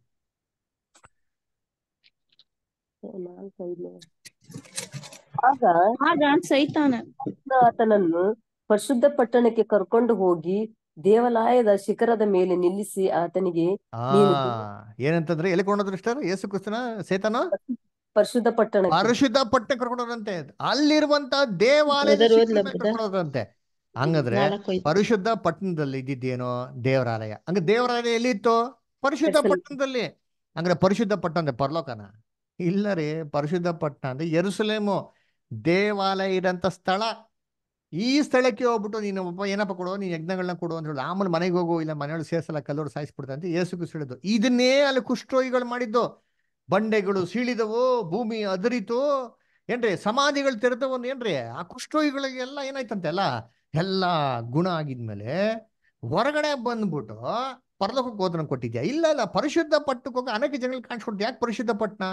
ಮಹಾಜಕ ಅಲ್ಲಿದ್ದಾನೆ ರೂಲ್ಸ್ ಪ್ರಕಾರ ಅವ್ನು ನೋಡ್ಸ್ಬಿಟ್ಟು ಯಜ್ಞಗಳ ಸಲ್ಸಿದ್ಮೇಲೆ ಗುಣ ಆಯಿತು ಅಂತ ಅಂದ್ಬಿಟ್ಟು ಹಂಡ್ರೆಡ್ ಪರ್ಸೆಂಟ್ ವಾಸಿ ಆಗಿದ್ಮೇಲೆ ಜನಗಳಿಗೆ ಮಾಡೋಕೆ ನೋಡ್ಸ್ಬೇಕು? ಇದನ್ನೇ ಅಲ್ಲಿ ಮಾಡಿದ್ದು ಹೊರತು ಸತ್ತೋರು ಎದ್ದು ಬಂದಿರೋ ಘಟನೆ ಅಲ್ಲ. ಇದಕ್ಕೆ ಪ್ರೂಫ್ ಇದೆಯಾ? ಎಸ್ ಪ್ರೂಫ್ ಇದೆ. ಅಲ್ವರಾ? ಎಲ್ಲಪ್ಪ ನಮ್ಗೆ ಇದು ಕೊಟ್ಟಿದ್ದಾರೆ ಅಂತಾರೆ ನೋಡಿ ಯೇಸು ಕ್ರಿಸ್ತು ಗೊಲ್ಗೊತ್ತಾ ಪರ್ವತದ ಮೇಲೆ. ಕೆಳಗಡೆನೆ ಇದ್ದ ಸ್ಥಳಗಳೇನಾಗಿದ್ದು? ಇದ್ದಿದ್ದು. ಯೇಸು ಕ್ರಿಸ್ತು ಎಷ್ಟು ಪವರ್ಫುಲ್ ಅಂತಂದ್ರೆ ಯೇಸು ಕ್ರಿಸ್ತು ಸಾಯ್ಬೇಕಾದ್ರೆ ಮೈಯೆಲ್ಲ ಉಣ್ಣುರಿ. ಅದ್ರ ಬಗ್ಗೆ ಇನ್ನೊಂದು ಕತೆ ಓದೋಣ, ಯಾವತ್ತರ ಓದೋಣ. ಕೀರ್ತನೆ ಇಪ್ಪತ್ತೆರಡರಲ್ಲಿ ಬರ್ತಾರೆ ನೂರ ಮೂವತ್ತರಲ್ಲಿ ಬರ್ತಾರೆ ಬೆನ್ನು ಉಳ್ಬಿಟ್ಟಿದ್ದಾರಂತ ರೀ ಬರೀ ರಕ್ತ ರೀ, ಬರೀ ಮಖಾಲ ಛಿದ್ರ ಆಗ್ಬಿಡಿತಂತೆ ರಕ್ತ ಎಲ್ಲ ಹೆಬ್ಬು ಕಟ್ಬಿಟ್ಟಿದ್ದು, ಬೈಬಲ ವಾಕ್ಯಗಳಿದೆಯಲ್ಲ? ದೇಶ ಐವತ್ತೆರಡರಲ್ಲೆಲ್ಲ ಇದೆ ಐವತ್ಮೂರಲ್ಲೆಲ್ಲ ಇದೆ. ಇಷ್ಟು ಕ್ರೂರವಾಗಿ ಏಸು ಕ್ರಿಸ್ತನ ಸಾಯಿಸ್ಬೇಕಾರೆ ಅವ್ರ ಮೈಯೆಲ್ಲ ಏನಾಗಿತ್ತು, ರಕ್ತನ ತುಂಬಿತ್ರಿ ಏಸು ಕ್ರಿಸ್ತು ಸಾಯ್ಬೇಕಾರೆ ದಟ್ಟವಾಗಿರೋಂಥ ಕತ್ಲು ಆವರಿಸ್ಕೊಂಡಿತ್ತು. ಸತ್ಯವೇದ ನಮ್ಗೆ ಏನ್ ಮಾಡಿದ್ರೆ ಕೊಟ್ಟಿದ್ದಾರೆ. ಅದರ ಮೂರು ಗಂಟೆ ಕಾಲ ಅದರ ಹನ್ನೆರಡರಿಂದ ಹಿಡ್ದು ಮಧ್ಯಾಹ್ನ ಮೂರು ಗಂಟೆವರೆಗೂ ಭಯಂಕರ ದಟ್ಟವಾಗಿರೋಂಥ ಕತ್ಲಿದೆ ಇವಾಗ ಬೇಸಿಗೆ ಕಾಲದಲ್ಲಿ ದಟ್ಟವಾಗಿರೋಂಥ ಮೋಣ ಬರ್ತಾರೆ ಕತ್ಲು ಬರ್ತಾನೆ ಏನರ್ಥ ನೆಕ್ಸ್ಟ್ ಏನ್ ಬರ್ತಾರೆ ಅಂತ ಅರ್ಥ? ಮಳೆ ಮಳೆ ಬರ್ತದೆ. ಎಸ್ ಇದೇ ಮಳೆ ಬಂದಿದೆ. ಆ ಮಳೆ ಬಂದವಾಗ ಏನಪ್ಪ ಆಗಿದೆ ಅಂದ್ರೆ ಈ ಮಳೆ ಯೇಸು ಕ್ರಿಸ್ತ ಮೇಲೆ ಬಿದ್ದಿ ಅವ್ರ ರಕ್ತದ ಜೊತೆ ಮಿಶ್ರಣ ಆಗಿ ಈ ಕೆಳಗಡೆದಂತ ಪರ್ವತ ಕೆಳಗಂತ ಎಲ್ಲಾ ಜನಗಳ ಮೇಲೆ ಏನಾಗಿದೆ? ಕುಷ್ಠರೋಗಿಗಳ ಮೇಲೆ ಬಿದ್ದಿದೆ. ಅಲ್ವರ? ಬಿದ್ದೋಗಿದ್ಮೇಲೆ ಆ ಕುಷ್ಠರೋಗಿಗಳು ಏನಾಗಿದೆ? ವಾಸಿಯಾಗಿದೆ ಆದರೆ ಅವ್ರಿಗೆ ಆಗಿ ಏನಾಗಿಲ್ಲ ಗೊತ್ತಾಗಿಲ್ಲ. ಯಾಕಂದ್ರೆ ಕುಷ್ಠರೋಗಿಗಳು ಗುಹೆನ ಹೊರಗಡೆ ಬರ್ತಾ ಇಲ್ಲ ದಿನ. ಏನೋ ಹಸಿವಿದ್ದವಾಗ ಮಾತ್ರ ಬರ್ತಾ ಇದ್ರು ಅಷ್ಟೇ. ಅದಕ್ಕೆ ಯೇಸು ಕ್ರಿಸ್ತು ಪುನರ್ತನ ಆಗಿದ್ಮೇಲೆ ಇವ್ರಿಗೆ ಏನಾಗಿದೆ? ಹೊರಗಡೆ ಬಂದ್ಮೇಲೆ ನೋಡಿದರೆ ಕೈ ಕಾಲೆಲ್ಲ ಏನಾಗ್ಬಿಡಿದೆ ವಾಸಿ ಆಗ್ಬಿಡಿದೆ ಅದಕ್ಕೆ ಆತನ ಪುನರ್ತನ ಆಗಿದ ತಕ್ಷಣ ಇವೆಲ್ಲ ಗೊತ್ತಾಗಿದ್ಮೇಲೆ ಹೊರಗಡೆ ಬಂದು ಜನಗಳಿಗೆ ಏನ್ ಮಾಡ್ತೀವ್ರು ನೋಡ್ಸೋದು ನಮಗೂ ಕೂಡ ಏನಾಗಿದೆ? ಕುಷ್ಠರೋಗ ವಾಸಿಯಾಗಿದೆ ಅಂತ. ಇದನ್ನ ಬೆನ್ಹರ್ ಅಂತ ಒಂದು ಫಿಲಮ್ ತೆಗೆದಿರೋ ನೋಡಿರ್ತೀರಿ ಅದರ ಇದು ಜೋಸಫಸ್ ಬರ್ದಿರಂತ ಹಿಸ್ಟೋರಿಯನ್ ಕ್ರಿಶ್ಚಿಯನ್ ಬರ್ದಿರಂತ ಬುಕ್ ಮೇಲೆ ರಿಯಲ್ ಆಗಿ ಫ್ಯಾಕ್ಟ್ಸ್ ಮೇಲೆ ಬರ್ದಿರಂತ ಒಂದು ಬುಕ್ ಇಲ್ಲಿ ಅವರು ಬೆನ್ನರ್ ಅವರು ಅಕ್ಕ ಮತ್ತೆ ಅವರು ತಾಯಿಗೆ ಕುಷ್ಠರೋಗ ಇರ್ತಾರೆ. ಇದೇ ಥರ ಅವರು ಪರ್ವತದ ಕಡೆ ಗುಲ್ಗೊತ್ತಲ್ಲಿ ವಾಸ ಮಾಡ್ತಾ ಇರ್ತಾರೆ ನೋಡ್ತೀನಿ ಏಸು ಕುಸ್ತುನ ರಕ್ತ, ಏನ್ರಿ ಆ ನೀರ್ ಜೊತೆ ಮಿಶ್ರಣ ಆಗಿ ಅವ್ರ ಮೈ ಮೇಲೆ ಬಿದ್ದಾವಾಗ ಏನ್ ಗೊತ್ತಾಗ್ತಾರೆ? ಆ ಕುಷ್ಠರೋಗನ ಏನ್ರಿ ತುಂಬಾ ಸಂತೋಷ ಪಡ್ತಾರೆ. ಅವ್ರಿಗೆ ಗೊತ್ತೇ ಆಗೋದಿಲ್ಲ ಇಮ್ಮಿಟಗೆ ಏನ್ರಿ, ಅನಂತರ ಏನಾಗೋದು ಅವ್ರಿಗೆ? ಅವ್ರಿಗೆ ಗೊತ್ತಾಗೋದು, ಅಯ್ಯೋ, ನಮ್ ಕುಷ್ಠರೋಗ ಏನಾಯ್ತು? ವಾಸಿ ಆಗ್ಬಿಡ್ತು ಅಂತಂದ್ರೆ ಯೋಚನೆ ಮಾಡಿದ್ದೀನಿ ಕುಷ್ಠರೋಗ ಹಾಕಲ್ಲ, ವಾಸಿ ಆಗೋದು ಏನ್ರಿ? ಸುಮ್ಮನೆ ಈಸಿ ಕೆಲಸ ಅಲ್ಲ. ಇದೇ ಏನು ಮೆಡಿಸಿನ್ ಕೊಟ್ಟರೆ ವಾಸಿ ಆಗ್ತಾ ಇರಲ್ಲ. ದೇವರಿಂದ ಮಾತ್ರ ಏನ್ರಿ? ವಾಸಿ ಆಗ್ತಾ ಇತ್ತಲ್ವರ? ಅದಕ್ಕೆ ನೋಡ್ಬೇಕಾದ್ರೆ ಕರ್ತನಲ್ಲಿ ಪ್ರೀತಿ ಅಂತ ಸೊರಗಳೆ ಇಲ್ಲಿ ಹೇಳ್ತಾ ಇರೋದು ಕುಷ್ಠರೋಗಿಗಳು. ಅವರ ಕುಷ್ಠರೋಗಿಗಳಿಗೆ ಯಾವ ರೀತಿ ಏನಾಯ್ತು ಹಾ ವಾಸಿ ಆಯ್ತು ಅಂತ ಅಂದ್ಬಿಟ್ಟು ಹೇಳ್ತಾರೆ. ಅದಕ್ಕೆ ಇವ್ರು ಯಾರು ಎದ್ದು ಬಂದ್ರು ಪರ್ಲಕ್ಕೆ ಹೋದ್ರು ಕೊಟ್ಟೆ ಪರ್ಲಕ್ಕೆ ಹೋಗ್ಬೇಕಾಯ್ತಲ್ವಾ? ಯಾಕೆ ಪರ್ಲಕ್ಕೆ ಹೋಗಿಲ್ಲ? ಯಾಕೆ ಜನಗಳಿಗೆ ಕಾಣಿಸ್ಕೊಂಡ್ರು? ಜನಗಳಿಗೆ ಟಾಟಾ, ಬಾಯ್ ಬಾಯ್, ನಾನು ಹೋಗ್ತಾ ಇದ್ದೀನಿ, ನೋಡ್ಬಿಟ್ಟು ಹೇಳ್ಬಿಡ್ಕೋಬೇಕಾ ಇವಾಗ ಆ ಥರ ಯಾರು ಹೋಗೋರೆ? ಯಾರು ಇಲ್ಲ ರೀ. ಅದಕ್ಕೆ ಹೇಳೋದು ಅಪೋಸ್ಟ್ಲ್ ಪೋಲು. ಕ್ರಿಸ್ತನಲ್ಲಿ ಸತ್ತಿರೋರೇ ಎರಡನೇ ಬರುವಿಕೆಲಿ ಫಸ್ಟ್ ಎದ್ದು ಬರೋದು. ಅಲ್ಲಿವರೆಗೂ ಯಾರು ಎದ್ದು ಬರಲಿಲ್ಲ ಸಮಾಧಿ ಏನು ಮಾಡ್ತಾ ಇರ್ತಾರೆ ಮಲಗಿರ್ತಾರೆ. ಅದು ಯೇಸು ಕ್ರಿಸ್ತನ ರಕ್ತಗಿರೋಂಥ ಪವರ್ ರೀ. ಯೇಸು ಕ್ರಿಸ್ತನಲ್ಲಿ ಏನ್ರಿ ಪವರ್ ರೀ? ಹಾಂ ಯೇಸು ಕ್ರಿಸ್ತನ ಬಗ್ಗೆ ನಮ್ಗೆ ಚೆನ್ನಾಗಿ ಗೊತ್ತು. ಒಬ್ಬ ಸೇನಾಧಿಪತಿಗೆ ಹೇಳ್ತಾರೆ. ಅದರ ಸೇನಾಧಿಪತಿ ಒಬ್ಬ ಸೇವಕ. ಹುಷಾರಿರಲ್ಲ. ಸೇನಾಧಿಪತಿ ಓಡ್ ಬರ್ತಾನೆ. ದಯವಿಟ್ಟು ಸ್ವಾಮಿ, ಏನ್ರಿ? ನನ್ನ ಮಗನಿಗೆ ಏನಾಗಿಲ್ಲ. ಹುಷಾರಿಲ್ಲ ಅಂತ ಅಂದ್ಬಿಟ್ಟು ಏನು ಮಾಡ್ತಾರೆ? ಅಲ್ಲಿ ಹೇಳ್ತಾರೆ, ಅದರ ಆವಾಗ ನಡೀರಿ, ಹೋಗೋಣ, ನಡೀರಿ ಅಂತ ಹೇಳ್ತಾರೆ. ಅವಾಗ ಯೇಸು ಕ್ರಿಸ್ತನ್ಗೆ ಏನು ಹೇಳ್ತಾರೆ? ಆ ಸೇವಾಗ ಇವರು ಸೇನಾಧಿಪತಿ, ದಯವಿಟ್ಟು ಬರಬೇಡಿ ಸರ್ ನೀವು. ಅದರ ನಾನು ಅಧಿಕಾರದಲ್ಲಿ ಇದ್ದೀನಿ. ನನಗೆ ಎಷ್ಟು ಪವರ್ ಇದೆ ಅಂತಂದ್ರೆ, ನಾನು ಹೇಳಿದ ತಕ್ಷಣ ತಕ್ಕಂತ ಏನು ಇಲ್ಲ ಕೆಲಸ ಆಗ್ತಾರೆ ನಿಮಗೂ ಅಷ್ಟೇ ಪವರ್ ಇದೆ. ನೀವು ದಯವಿಟ್ಟು ಇಲ್ಲಿ ನುಡಿ. ನನ್ನ ಮಗ ಏನಾಗ್ತಾನೆ? ವಾಸಿ ಆಗ್ತಾನೆ ಅಂತ ಹೇಳ್ತಾರೆ. ಇಲ್ಲಿ ನುಡಿತಾರೆ ನೋಡ್ರಿ ಇಂತೀನಿ ಟಕ್ಕಂತ ಅಲ್ಲೇನಾದ್ರು ಮಗ ವಾಸಿ ಆದ್ರು. ಇದು ಹಿಂಗ್ರಿ? ಈ ಕಾಲದಲ್ಲಿ ಯಾರೇ ಹೇಳ್ಬಿಡ್ಲಿ ನೋಡೋಣ ಅಂತೀರಿ ಡಾಕ್ಟ್ರು ನಾನೆಲ್ಲ ಮೆಡಿಸಿನ್ ಕೊಡೋಕ್ಕಾಗಲ್ಲಮ್ಮ? ಪೇಷಂಟ್ ಕರ್ಕೊಂಬನ್ನಿ ಅಂತ ಹೇಳ್ತಾರೆ. ಅದು ಏಸುಕು ಸಂಗೀತಾರೆ ಡಾಕ್ಟ್ರು ಇಲ್ಲಿಂದ ಹೇಳಿದ್ರು ಎಂಥ ಖಾಲಿ ಇದ್ರೇನ್ರಿ ಆಗೋದು. ಮಾತಲ್ಲೇ ಎಷ್ಟು ಪವರ್ ಅಂತಂದರೆ ಏಸು ಕ್ರಿಸ್ತನ ರಕ್ತದಲ್ಲಿ ಎಷ್ಟು ಪವರ್ ಯೇಸು ಕ್ರಿಸ್ತನ ಬಟ್ಟೆಯಲ್ಲಿ ಎಷ್ಟು ಪವರ್ ಇತ್ತು ಅಂತಂದರೆ ಅವರ ಬಟ್ಟೆಯ ಸೆರಗು ತುದಿ ಮುಟ್ಟಿದ ತಕ್ಷಣ ರಕ್ತ, ಕುಸುಮ, ರೋಮ ಇರೋ ರೋಗ ಇರೋಂಥ ಸ್ತ್ರೀ ವಾಸಿ ಆಗ್ಬಿಟ್ಟಂತೆ. ಹನ್ನೆರಡು ವರ್ಷದಿಂದ ಇವೆಲ್ಲ ಬೈಬಲ್ ತುಂಬ ವಾಕ್ಯಗಳಿದೆ. ನಿಮ್ಗೆ ಟೈಮ್ ಆಯ್ತು ಅಂತ ನೋಡಿಸ್ತಲ್ಲ, ಅಷ್ಟೇ ಏನಿಲ್ಲ ನೋಡ್ರಿ. ಬೈಬಲ್ ಹೇಳ್ತಾರೆ ಹನ್ನೆರಡು ವರ್ಷದಿಂದ ಇತ್ತಂತೆ. ಆ ಸ್ತ್ರೀ ತನ್ನ ಇರೋ ಬದುಕನ್ನೆಲ್ಲ ಖಾಲಿ ಮಾಡ್ಬಿಟ್ಟಿದಂತೆ ಯೋಚನೆ ಮಾಡಿರ್ತೀನಿ ಒಬ್ರು ಸ್ತ್ರೀಗೆ ರಕ್ತಕುಸುಮ ರೋಗ ಇದ್ರೆ ಎಷ್ಟು ಕಷ್ಟ ಆಗ್ತಾರೆ, ಎಷ್ಟು ವೇದನೆ ಆಗ್ತಾರೆ, ಎಷ್ಟು ಟಯರ್ಡ್ ಆಗ್ತಾರೆ ಇರೋದನ್ನೆಲ್ಲ ಖರ್ಚು ಮಾಡ್ಬಿಡ್ಲಿ ಅಂತಾರೆ. ನೋಡಿ ಸುಸ್ತಾಗೋದಕ್ಕೆ ಆಗ್ಲಿಲ್ಲ ಅಂತೆ ಏಸು ಕುಸ್ತು ಹೋಗ್ತಾ ಇರ್ಬೇಕು. ಮನ್ಸಲ್ಲಿ ನೆನ್ಸ್ಕೊಂತಾರೆ, ಅಯ್ಯೋ, ನಾನು ಸ್ವಾಮಿಯ ಬಟ್ಟೆ ಮುಟ್ರೆ ಸಾಕಲ್ಲಪ್ಪ, ವಾಸಿ ಆಗ್ಬಿಡ್ತಾರೆ ಮುಟ್ತಾರೆ ನೋಡ್ರಿ ಗುಂಪಲ್ಲಿ. ಟಕ್ ಅಂತ ವಾಸಿ ಆಗ್ಬಿಟ್ರೆ. ಏಸು ಕುಸ್ತು ಕೇಳ್ತಾರೆ ಯಾರ್ದನ್ನು ಮುಟ್ಟಿದ್ದು? ಏಸು ಕ್ರಿಸ್ತನ ಬಟ್ಟೆಗೆ ಎಷ್ಟು ಪವರ್ ಅಂತಂದ್ರೆ, ಏಸು ಕ್ರಿಸ್ತನ ರಕ್ತಕ್ಕೆ ಎಷ್ಟು ಪವರ್ ಇಲ್ಲ. ಅದೇ ಕರ್ತನಲ್ಲಿ ಪ್ರೀತಿ ಅಂತ ಸ್ವರಗಳೇ ಮತ್ತೆ ಇಪ್ಪತ್ತೇಳನೇ ಅಂತ ಹೇಳ್ಕೊಟ್ಟಿದ್ರು ಅದರಿಂದ ಇದು ಆತ್ಮ ಸಾಯಲ್ಲ, ಹಂಗೆ ಹೋಗ್ಬಿಡ್ತು, ಅಲ್ಲಿ ಹೋಗ್ಬಿಡ್ತು, ಇಲ್ಲಿ ಹೋಗ್ಬಿಡ್ತು ಹೇಳೋದ್ರ ಸಾಕ್ಷಿಗೆ ನಾವು ತೊಗೊಳಕ್ಕೆ ಖಂಡಿತವಾಗ ಸಾಧ್ಯ ಇಲ್ಲ. ಇನ್ನು ಕೊನೆಯದಾಗ ಒಂದು ವಾಕ್ಯ ಇದೆ. ಓದ್ಬಿಡೋಣ. ಪ್ರಕಟಣೆ ಆರನೇ ಅಧ್ಯಾಯ ಒಂಬತ್ತು ಮತ್ತೆ ಹತ್ತನೇ ವಾಕ್ಯ. ಪ್ರಕಟಣೆ ಆರನೇ ಅಧ್ಯಾಯ ಒಂಬತ್ತು ಮತ್ತೆ ಹತ್ತನೇ ವಾಕ್ಯ. ಆತನು ಐದನೆಯ ಮುದ್ರೆಯನ್ನು ಒಡೆದಾಗ ದೇವರ ವಾಕ್ಯದ ನಿಮಿತ್ತವಾಗಿಯೂ ತಾವು ಹೇಳಿದ ಸಾಕ್ಷ್ಯ ನಿಮಿತ್ತವಾಗಿಯೂ ಹತವಾದವರ ಆತ್ಮಗಳು ಯಜ್ಞ ವೇದಿಯ ಕೆಳಗಿರುವುದನ್ನು ಕಂಡೆನು. ಅವರು ಒಡೆಯನೆ, ಪರಿಶುದ್ಧನೂ ಸತ್ಯವಂತನೂ ಆಗಿರುವಾತನೇ. ಭೂನಿವಾಸಿಗಳು, ನಮ್ಮನ್ನು ಕೊಂದದ್ದಕ್ಕಾಗಿ ನೀನು ಎಷ್ಟು ಕಾಲದವರೆಗೂ ನ್ಯಾಯ ವಿಚಾರಿಸದೆಯೂ, ಪ್ರತಿದಂಡನೆ ಮಾಡದೆಯೂ ಇರುವಿ ಎಂದು ಮಹಾ ಶಬ್ದದಿಂದ ಕೂಗಿದರು. ನೋಡ್ರ, ಇಲ್ಲಿ ಬಲಿಪೀಠ ಕೆಳಗಡೆ ಹತರಾದವರ ಆತ್ಮ ಕೂಗಿದ್ನ ನಾವೇನ್ ಮಾಡ್ತೀವಿ ನೋಡ್ತೀರಿ. ಆತ್ಮನೇ ಸಾಯ್ತದೆ ಅಂದ್ಮೇಲೆ, ಈ ಆತ್ಮ ಸತ್ತಿನ ಮೇಲೆ ಏನು ಇಲ್ಲ ಅಂತಂದ್ಮೇಲೆ ಕಾರ್ಯ ಏನೂ ಇಲ್ಲ ದ್ವೇಷ ಹೊಟ್ಟೆ ಕಿಚ್ಚು ಪ್ರೀತಿ ಏನೂ ಇಲ್ಲ. ಇಲ್ಲಿ ಹೆಂಗೆ ದೇವರಿಗಾಗಿ ನೀತಿನ ಕೇಳೋರು ಹಾ ಅಲ್ವರಾ? ಕರ್ತನಲ್ಲಿ ಪ್ರೀತಿ ಅನ್ಸೋಗಳೇ ಬಲಿಪೀಠ ಕೆರಡಂತ ಆತ್ಮಗಳು ಯಾಕೆ? ಯಾಕೆ ಬಲಿಪೀಠ ಕೆರಡನಿತ್ತು ಇಲ್ಲ ಆತ್ಮಗಳು ಎಲ್ಲ ಬಲಿಪೀಠ ಕಡೆ ಇದೆಯಾ? ಆ ಬಲಿಪೀಠ ಎಲ್ಲಿತ್ತು? ದೇವ್ರ ದರ್ಶನ ಗುಡಾರದಲ್ಲಿ. ಅಲ್ವರ? ಹಂಗಾರೆ ದೇವ್ರ ದರ್ಶನ ಗುಡಾರದಲ್ಲಿ ಎಲ್ಲ ಬಲಿಪೀಠ ಕೆಳಗಡೆ ಎಲ್ಲ ಆತ್ಮಗಳಿದ್ಯಾ ಅಲ್ವರ? ಯಾಕೆ ಅಲ್ಲೇ ಇದ್ವು. ಅಲ್ವರ? ಇದು ಯಾವಾಗ ಆಯ್ತು? ಅಂತ ಹೇಳಿದ್ರೆ ಐದನೇ ಮುದ್ರೆ ಹೊಡೆದವಾಗ ಹಾಗಾದ್ರೆ ನಾವೇನ್ ಮಾಡ್ಬೇಕು ಅಂದ್ರೆ ಇದಕ್ಕಿಂತ ಮುಂಚೆ ಏನಪ್ಪ ನಡೀತು ಅಂತ ಓದ್ಬೇಕು. ಅಲ್ದರ ಕರ್ತನಲ್ಲಿ ಪ್ರೀತಿ ಅಂತ ಸರ್ಗಳೇ ಪ್ರಕಟಣೆ ಪುಸ್ತಕ ಓದಕ್ಕಿಂತ ಮುಂಚೆ ಅದ್ರಲ್ಲಿರೋಂಥ ಏನೋ ಒಂದು ಮಾತನ್ನ ಹೇಳೋದಕ್ಕಿಂತ ಮುಂಚೆ ಪ್ರಕಟಣೆ ಪುಸ್ತಕ ಹೇಗ್ ಬರ್ದಿದ್ರೆ ಅಂತ ಫಸ್ಟ್ ಟೈಮ್ ನಾವು ತಿಳ್ಕೊಬೇಕು. ಅಲ್ವರ ಪ್ರಕಟಣೆ ಪುಸ್ತಕ ಹೇಗ್ ಬರ್ದಿದ್ದಾರೆ? ಓದಿ ಒಂದು ಸಾಂಪಲ್ ಪ್ರಕಟಣೆ ಒಂದು ಒಂದು ಓದಿ. ಯೇಸು ಕ್ರಿಸ್ತನ ಪ್ರಕಟಣೆಯು ಆತನು ಬೇಗನೆ ಸಂಭವಿಸಬೇಕಾಗಿರುವ ಸಂಗತಿಗಳನ್ನು ತನ್ನ ದಾಸರಿಗೆ ತೋರಿಸುವುದಕ್ಕಾಗಿ ದೇವರಿಂದ ಈ ಪ್ರಕಟಣೆಯನ್ನ ಹೊಂದಿದನು. ಇದಲ್ಲದೆ ಆತನು ತನ್ನ ದೂತನನ್ನು ಕಳುಹಿಸಿ ಅವನ ಮೂಲಕ ಆ ಸಂಗತಿಗಳನ್ನು ತನ್ನ ದಾಸನಾದ ಯೋಹಾನನಿಗೆ ಸೂಚಿಸಿದನು. ಏನ್ ಮಾಡುತ್ತೆ? ದಾಸನಾದ ಯೋಹಾನನ್ಗೆ ತಿಳಿಸಿದರು ಅಂತ ಕೊಡ್ಲಿಲ್ಲ. ಸೂಚಿಸಿದರು ಅಂತ ಕೊಟ್ಟಿದ್ದಾರೆ. ಸೂಚಿಸಿದ್ರು ನಿಂಗು ತಮ್ಮ ನೀವು ಚಿಹ್ನೆಗಳ ಮುಖಾಂತರ ಸೂಚನೆಗಳ ಮುಖಾಂತರ ಏನ್ ಮಾಡಿದ್ರು? ಅಲ್ಲಿ ತಿಳಿಸ್ಕೊಟ್ರು ಅಂತ. ಅದಕ್ಕೆ ಪ್ರಕಟಣೆ ಪುಸ್ತಕ ಪೂರ್ತಿ ಬರ್ದಿರೋದು ಏನ್ರಿ ಮೆಜಾರಿಟಿ ಪ್ರಕಟಣೆ ಪುಸ್ತಕ ಬರ್ದಿರುತ್ತಲ್ಲ ಏನ್ರಿ? ಸಿಂಬಾಲಿಕ್ ಲ್ಯಾಂಗ್ವೇಜ್ ನೇರವಾಗಿರೋ ಭಾಷೆನೇ ಅಲ್ಲ ರೀ. ಉದಾಹರಣೆಗೆ ನೋಡ್ಬೇಕಾದ್ರೆ ಇಲ್ಲಿ ನಾವು ಐದನೇ ಮುದ್ರೆ ಅಂತ ನೋಡ್ತೀವಿ ಗೊತ್ತಾ? ಹಂಗಾರೆ ಇದಕ್ಕಿಂತ ಮುಂಚೆ ಏನು ನಾಲ್ಕು ಮುದ್ರೆ ಹೊಡೆದಿರ್ಬೇಕು ಈ ನಾಲ್ಕು ಮುದ್ರೆ ಹೊಡೆದವಾಗ ಏನಾಗ್ತಾರೆ ಅಂದ್ರೆ ನಾಲ್ಕು ವಿಧವಾದ ಒಂದು ಬಣ್ಣಗಳಿಂದ ಕುದುರೆಗಳೇ ಬರ್ತಾವಂತೆ. ಒಂದೇ ಕುದುರೆ. ಆದ್ರೆ ಬರ್ತಾ ಬರ್ತಾ ಕುದುರೆ ಬಣ್ಣ ಏನಾಗ್ತಾ ಇದ್ದೆ ಅಲ್ಲಿ ಮಾರ್ಪಾಡಾಗ್ತದೆ ಯಾವಾಗ ಮುದ್ರೆ ಹೊಡೆದವಾಗ ಒಂದೊಂದೇ ಮುದ್ರೆ ಹೊಡೆದವಾಗ ಒಂದೊಂದೇ ಬದಲಾವಣೆ ಆಯ್ತು ಅಂತ ನೋಡ್ತೀರಿ. ಹಂಗಾರೆ ಇದೇನರ್ಥ? ನಾವೇನ್ ಮಾಡಬೇಕು? ಕುದುರೆ ಏನೆಂದು ಉತ್ತರ ಬೈಬಲ್ ಹುಡುಕ್ಬೇಕು. ನೆಕ್ಸ್ಟ್ ಅದ್ರ ಮೇಲೆ ಇರೋಂಥ ಸವಾರರು ಯಾರು? ಯಾಕೆ ಬಣ್ಣ ಚೇಂಜ್ ಆಗ್ತಿದೆ? ಅಂದ್ರೆ ಬಣ್ಣಗಳಿಗೆ ಏನಾರ್ಥ ಇದೆ? ಸತ್ಯವಂತ ಏನ್ ಮಾಡ್ಕೋ ಉತ್ತರನ ಹುಡುಕ್ಬೇಕು. ಅಲ್ವಾ ಆಮೇಲೆ ಅಲ್ಲಿ ದ್ರಾಕ್ಷಿ ರಸನ ಇಷ್ಟು ಬೆಲೆಗೆ ಮಾರಿದ್ರು. ಆಮೇಲೆ ಗೋಧಿನ, ಜವೆ ಗೋಧಿನ ಇಷ್ಟು ಬೆಲೆಗೆ ಮಾರ್ದು ಅಂತ ಕೊಟ್ಟಿದೆ. ಆಮೇಲೆ ಹಿಂದೆ ಸಮಾಧಿಯವನು ಹಿಂದೆ ಬಂತು ಅಂತ ಹೇಳ್ತಾರೆ. ಸಮಾಧಿ ಕುದುರೆಯಿಂದ ಬರಕ್ ಸಾಧ್ಯನಾ? ಇವೆಲ್ಲ ಏನ್ರಿ? ಸಿಂಬಾಲಿಕ್ ಲ್ಯಾಂಗ್ವೇಜ್ ಡೈರೆಕ್ಟ್ ಲ್ಯಾಂಗ್ವೇಜ್ ಅಲ್ಲ. ಹಾಗಿರ್ಬೇಕಾದ್ರೆ ಇಲ್ಲಿ ಐದನೇ ಮುದ್ರೆ ಹೊಡೆದಿರ್ಬೇಕಾದ್ರು ಕೂಡ ಇಲ್ಲಿ ನಡೆದಿರೋದು ನೇರವಾಗಿರೋ ಭಾಷೆನೇ ಅಲ್ಲ. ಹೊರ್ತು ಸಿಂಬಾಲಿಕ್ ಲ್ಯಾಂಗ್ವೇಜ್ ಅದರಿಂದನೇ ಹೇಳೋದು. ಆ ಒಂದು ಏನ್ರಿ ಬಲಿಪಿಟಿಕೆಡಿರೋಂಥ ಆತ್ಮಗಳು ಮಾತ್ರ ಯಾಕೆ ಕೂತ್ಕೊಂಡು ಅಂದ್ರೆ ಇವ್ರು ಯಾರು ಅಂತ ಅಂದ್ಬಿಟ್ಟು ನಾವೇನ್ ಮಾಡ್ಬೇಕು ಅಂದ್ರೆ ಆ ಪ್ರಕಟಣೆ ಪುಸ್ತಕನ ಓದ್ಬೇಕಾದ್ರೆ ನಾವು ನೋಡೋಣ. ಒಟ್ಟಲ್ಲಿ ಇದು ಸತ್ತೋಗಿರೋಂಥ ಮನುಷ್ಯರ ಆತ್ಮ ಅಂತೂ ಅಲ್ವೇ ಅಲ್ಲ. ಅಲ್ವರ? ಅದರಿಂದ ಇದು ಸಿಂಬಾಲಿಕ್ ಲ್ಯಾಂಗ್ವೇಜ್ ಇನ್ನೊಂದು ವಾಕ್ಯ ಓದೋಣ. ಪ್ರಕಟಣೆ ಹದಿಮೂರು ಒಂದು ಓದಿ. ಪ್ರಕಟಣೆ ಹದಿಮೂರು ಒಂದು.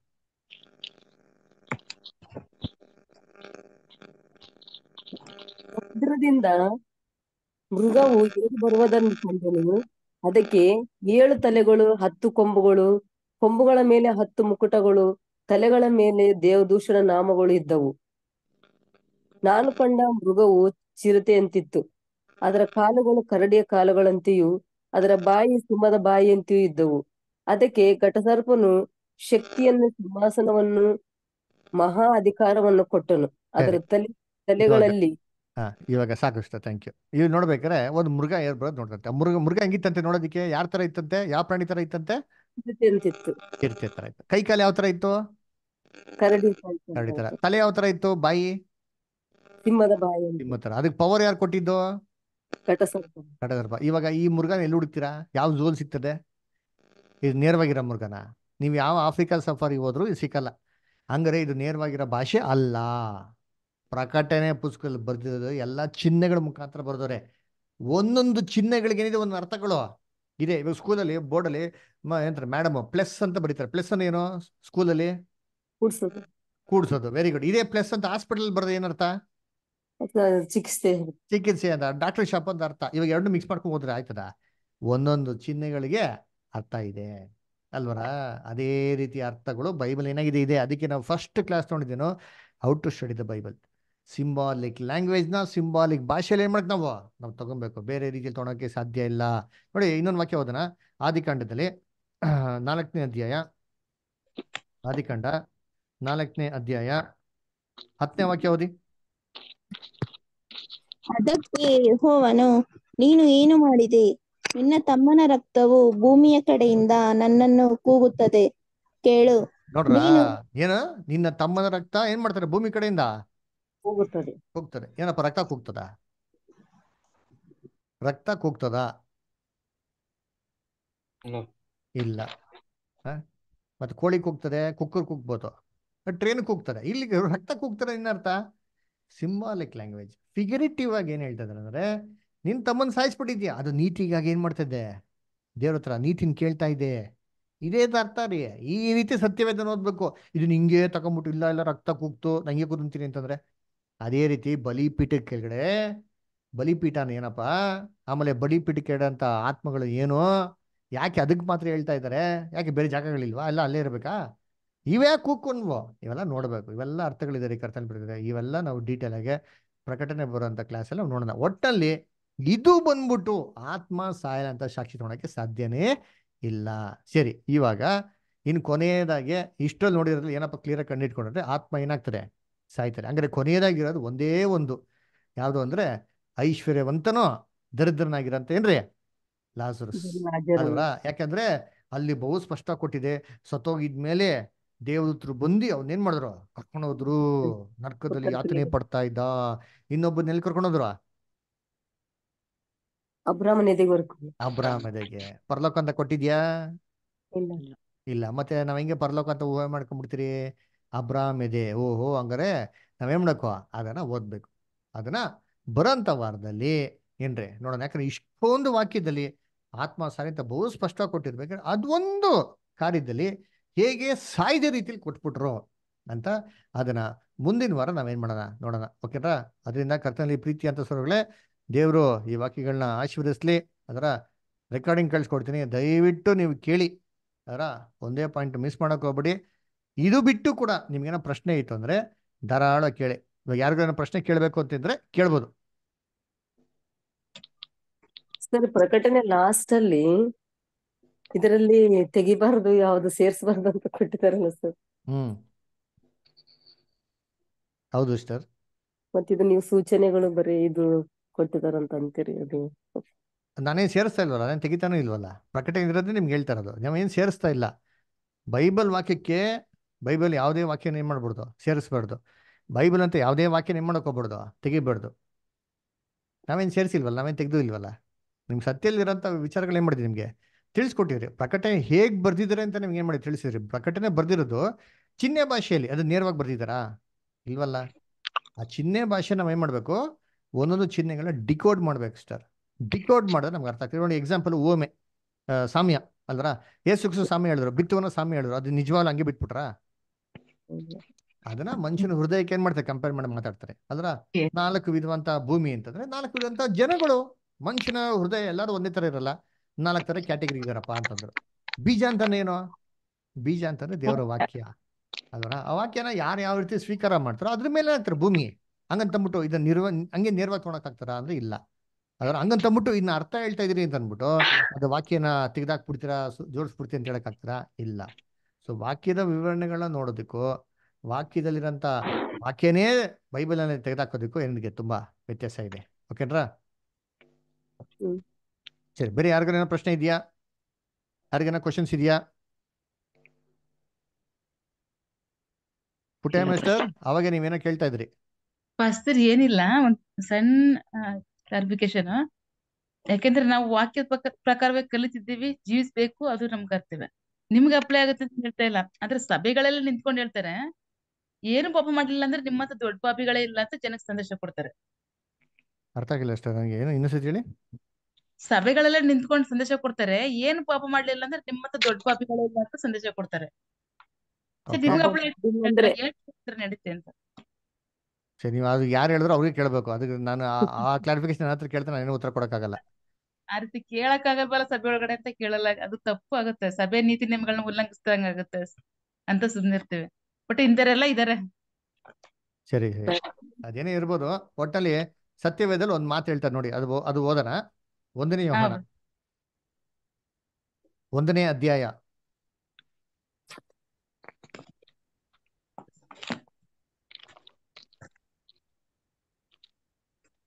ಆ, ಏಳನೇ ವಾಕ್ಯ? ಒಂದನೇ ಯೋಹಾನ ಒಂದನೇ ಅಧ್ಯಾಯ ಏಳರಿಂದ. ಒಂಬತ್ತು ಓದಿ ಸತ್ಯವನ್ನ ಅರಿಸ ಸತ್ಯವನ್ನ ಅರಿ ಅನುಸರಿಸುವವರು ಅಲ್ಲ ಆದರೆ ಆತನು ಬೆಳಕಿನಲ್ಲಿರುವಂತ ಆತನು ಬೆಳಕಿನಲ್ಲಿ ಬೆಳಕಿನಲ್ಲಿರುವಂತೆಯೇ ನಾವು ಬೆಳಕಿನಲ್ಲಿ ನಡೆದರೆ ನಾವು ಒಬ್ಬರ ಸಂಗಡಲ್ಲಿ ಒಬ್ಬರು ಅನ್ಯೋನ್ಯತೆಯಲ್ಲಿದ್ದೇವೆ ಮತ್ತು ಆತನ ಮಗನಾದ ಯೇಸುವಿನ ರಕ್ತವು ಸಕಲ ಪಾಪವನ್ನು ನಿವಾರಣೆ ಮಾಡಿ ನಮ್ಮನ್ನು ಶುದ್ಧಿ ಮಾಡುತ್ತದೆ. ನಮ್ಮಲ್ಲಿ ಪಾಪವಿಲ್ಲವೆಂದು ನಾವು ಹೇಳಿದರೆ ನಮ್ಮನ್ನು ನಾವೇ ಮೋಸಪಡಿಸಿಕೊಳ್ಳುತ್ತೇವೆ. ಮತ್ತು ಸತ್ಯವೆಂಬುದು ನಮ್ಮಲ್ಲಿಲ್ಲ. ನಮ್ಮ ಪಾಪಗಳನ್ನು ಒಪ್ಪಿಕೊಂಡು ಹರಿಕೆ ಮಾಡಿದರೆ ಆತನು ನಂಬಿಗಸ್ತನು ನೀತಿವಂತನು ಆಗಿರುವುದರಿಂದ ನಮ್ಮ ಪಾಪಗಳನ್ನು ಕ್ಷಮಿಸಿಬಿಟ್ಟು ಸಕಲ ಅನೀತಿಯನ್ನು ಪರಿಹರಿಸಿ ನಮ್ಮನ್ನು ಶುದ್ಧಿ ಮಾಡುವನು. ನಾವು ಪಾಪ ಮಾಡಲಿಲ್ಲವೆಂದು ಹೇಳಿ, ಹೇಳಿದರೆ ಆತನನ್ನು ಸುಳ್ಳುಗಾರರನ್ನಾಗಿ ಮಾಡುತ್ತೇವೆ ಮತ್ತು ಆತನ ವಾಕ್ಯವು ನಮ್ಮಲ್ಲಿ ಇಲ್ಲ. ಥ್ಯಾಂಕ್ ಯು ಸ್ಟರ್ ಓಕೆನಾ ಸ್ಟಾರ್ ಏನೋ ಬೇರೆ ಪ್ರಶ್ನೆ ಇದೆಯಾ? ಏನಿಲ್ಲ ಬ್ರದರ್ ಹಾಗಂತ ಪಾಪ ಮಾಡ್ಬಿಟ್ಟು ಕ್ಷಮೆ ಕೇಳ್ಬಿಟ್ಟು ಕೇಳ್ಬಿಟ್ಟು ಪಾಪ ಮಾಡೋದು ತಪ್ಪಲ್ವೇ ಏನ್ ಮಾಡಕ್ಕಲ್ಲ ಮನುಷ್ಯನ ಬಲ ಅಂತ ಇರ್ತಲ್ವಾ ಅದಕ್ಕೆ ದೇವ್ರು ನಮ್ಗೆ ನೀತಿ ವಸ್ತ್ರ ಅಂತ ಕೊಟ್ಟಿರೋದು. ನಾವು ಸಭೆ ಅಂತ ಪಾಠ ನೋಡಿದ್ರಲ್ಲ? ಒಂದ್ ನಿಮಿಷ ರೀ ಅವ್ರು ಫಸ್ಟ್ ಪ್ರಶ್ನೆ ಮುಗಿಸ್ಬಿಡ್ತೀನಿ. ಆಮೇಲೆ ಒಬ್ಬೊಬ್ಬರು ಕೇಳಿ ಖಂಡಿತವಾಗೂ ಎಲ್ಲರೂ ಹೇಳ್ತೀನಿ. ದೇವ್ರು ನಮ್ಗೆ ಏನ್ ಮಾಡ್ತಾರೆ ಅಷ್ಟೇ ನಾವು ಯಾವಾಗ ಯೇಸು ಕೃಷ್ಣ ಅಂಗೀಕಾರ ಮಾಡ್ತಾರೆ ನಾವೆಲ್ಲ ಪಾಪಿಗಳೇ. ಆದ್ರೆ ದೇವ್ರು ನಮ್ಗೆ ನೀತಿ ವಸ್ತ್ರ ಕೊಟ್ಬಿಟ್ಟು ನಮ್ಮನ್ನ ಕ್ರಿಸ್ತನ ಮುಖಾಂತರ ನೋಡ್ಬೇಕಾದ್ರೆ ನಾವು ಪಾಪಿಗಳ ತರ ದೇವ ದೃಷ್ಟಿ ಕಾಣಿಸಲ್ಲ. ಆದ್ರೆ ಈ ಕೊಟ್ಟಿರಂತ ನೀತಿ ವಸ್ತ್ರನ ದಿನ ಪರಿಶುದ್ಧವಾಗಿ ಏನ್ ಮಾಡ್ಬೇಕು ನಾವು? ನಾವು ಕಾಪಾಡ್ಕೊಬೇಕು. ಇದನ್ನ ನೀಟಾಗಿ ಇಟ್ಕೊಂಡು ಪರಿಶುದ್ಧವಾಗಿ ಇಟ್ಕೊಂಡು ಕ್ರಿಸ್ತನ್ ತರ ಏನ್ ಮಾಡ್ಬೇಕು? ನಾವು ಶುದ್ಧವಾಗಿ ಬಳೋದಕ್ಕೆ ಪ್ರಯತ್ನ ಮಾಡ್ಬೇಕು ನಡೆ ನುಡಿ ಆಲೋಚನೆಗಳಲ್ಲಿ ಅಲ್ವರ? ಸೊ ನಮ್ಮ ಒಂದು ನಡೆ ನುಡಿ ಆಲೋಚನೆಗಳಲ್ಲಿ ಏನಾರ ಒಂದು ಪಾಪದ ಒಂದು ಕಲ್ಮಶಗಳ ಬತ್ತ ಬರೀ ತಕ್ಷಣ ನಾವೇನ್ ಮಾಡ್ಬೇಕಪ್ಪ ಅಂದ್ರೆ ಇದನ್ನ ತೊಳ್ಕೊಳಕ್ ಆದಷ್ಟು ಏನ್ ಮಾಡಕ್ ನಾವು? ಪ್ರಯತ್ನ ಮಾಡಬೇಕು. ಅಲ್ವಾ ಅದಂಗೆ ಹಿಂಗೆ ಪ್ರಾರ್ಥನೆಯಲ್ಲಿ ಹೋಗಿ ದೇವರೇನ ಮಾಡೋ ತಪ್ಕೊಂಡ ಕ್ಷಮಿಸು ಅಂತ ಹೇಳಿದಾಗ ನಾವು ಸ್ವಲ್ಪ ಬಲ ಕೊಡು ನಾನು ಜಯಿಸ್ಬೇಕು ಅಂತ ಕೇಳ್ಕೊಂಡು ಅವಾಗ ನಾವೇನ್ರಿ ಕ್ರಿಸ್ತನ ಮಾರ್ಗ ನಡೆದಕ್ಕೆ ನಾನು ಆಸೆ ಪಡ್ತಾ ಇದ್ದೀನಿ ಅಂತ ಅರ್ಥ. ಸೊ ಇದು ಕ್ರಿಶ್ಚಿಯನ್ ವಾಕ್ ಆಫ್ ಲೈಫಲ್ಲಿ ದಿನ ಡೇ ಟು ಡೇ ಇರೋಂಥ ಆಕ್ಟಿವಿಟಿ ಇದೇ ಚಿಕ್ಕ ಇಂಡು ದೇ ಲಕ್ಷದ ನಲವತ್ನಾಲ್ಕು ಸಾವಿರದಿಗೆ ಮತ್ತೆ ದೊಡ್ಡ ಸುಮ್ಮಗೆ ಬೇರ್ಪಾಡು ಮಾಡುವಂತ ಒಂದು ವ್ಯತ್ಯಾಸ ಅಂತ ನೋಡಿದಿರಿ. ಓಕೆನ್ರ ಅದರಿಂದ ಪಾಪಗಳ ಸಾಯವರೆಗೂ ಮಾಡ್ತಾನೆ ಐತ್ರಿ ಅದರಲ್ಲಿ ಇಲ್ವೇ ಇಲ್ಲ. ಅದು ಯಾರ ಕೈಲೂ ಹಂಡ್ರೆಡ್ ಪರ್ಸೆಂಟ್ ಸಾಧ್ಯ ಇಲ್ಲ. ಆದ್ರೆ ನಾವು ನಮ್ಮ ನಡೆ ನುಡಿ ಆಲೋಚನೆಗಳಲ್ಲಿ ಉದ್ದೇಶಗಳಲ್ಲಿ ಮನಸ್ಸಲ್ಲಿ ಕ್ರಿಸ್ತಂತರಾಗೋದಕ್ಕೆ ನಾವೇನ್ ಮಾಡಬೇಕು? ಪ್ರಯತ್ನ ಮಾಡಬೇಕು. ಓಕೆ ಸರಿ ಆಯ್ತಾ ನೆಕ್ಸ್ಟ್ ಬೇರೆ ಯಾರು ಡೌಟ್ಸ್ ವಾಣಿ ಸ್ಟಾರ್ ಏನೋ ಕೇಳಿದ್ರಿ ನೀವು?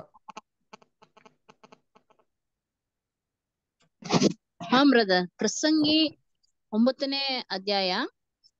ಆ ಐದರಿಂದ ಶುರು ಆಗುತ್ತೆ ಸತ್ತವರಿಗೆ ಯಾವ ತಿಳುವಳಿಕೆಯೂ ಇಲ್ಲ ಅವರಿಗೆ ಇನ್ನು ಮೇಲೆ ಪ್ರತಿಫಲವೂ ಇಲ್ಲ. ಅವರ ಜ್ಞಾಪಕವೇ ಹೋಯಿತಲ್ಲವೇ? ಅವರು ಸತ್ತಾಗಲೇ ಅವರ ಪ್ರೀತಿಯಾಗಿ ಹೊಟ್ಟೆ ಕಿಚ್ಚು ಅಳಿದು ಹೋಗುವು. ಅಂದ್ರೆ ನಂದು ಒಂದು ಕ್ವಶನ್ ಬ್ರದರ್ ಸತ್ತ ಮೇಲೆ ಅವ್ರಿಗೆ ಜ್ಞಾಪಕ ಇಲ್ಲ ಅಂತ ಹೇಳಿ ಪ್ರಸಂಗಿಯಲ್ಲಿದೆ ಆದ್ರೆ ಲೂಕನ ಸುವಾರ್ತೆ ಹದಿನಾರನೇ ಅಧ್ಯಾಯ ಭೋಗ ಪುರುಷನು ಭಿಕ್ಷುಗಾರನೋದ್ರಲ್ಲಿ ಭೋಗ ಪುರುಷನಿಗೆ ಬಂದು ಈ ಜ್ಞಾಪಕ ಅಂದ್ರೆ ಇವ್ರ ಕೆಳಗಡೆಯಿಂದ ನೋಡುವಾಗ ಹ್ಮ್. ಬಂದಿ ಅಬ್ರಾಹ್ಮನ ಎದೆಯಲ್ಲಿ ಅವ್ರು ಹೊರ್ಕೊಂಡಿರ್ತಾರಲ್ಲ ಹ್ಮ್. ಇವ್ರಿಗೆ ಹೆಂಗ್ ಜ್ಞಾಪಕ ಇದೆ ಅನ್ನೋದೊಂದು ಕ್ವಶನ್ ಬ್ರದರ್ ನನಗೆ. ವೆರಿ ಗುಡ್ ಕ್ವಶನ್ ಸರ್ ಈ ಕ್ವಶನ್ಗೆ ನೆಕ್ಸ್ಟ್ ವೀಕ್ ಆ ಪಾಠ ನೋಡ್ಬೇಕಾದ್ರೆ ಫುಲ್ ಕವರ್ ಆಗ್ಬಿಡ್ತಾರೆ ಓಕೆನಾ ನೆಕ್ಸ್ಟ್ ವೀಕ್ ಇದೇ ಪಾಠ ನೋಡೋದು. ಲೂಕನ ಬರೆದಂತ ಸುವಾರ್ತೆಯಲ್ಲಿ ಆ ಭೋಗ ಪುರುಷ ಮತ್ತೆ ಭಿಕ್ಷುಕ ಐತಲ್ಲ ಅದನ್ನೇ ನಾವು ನೋಡೋದು.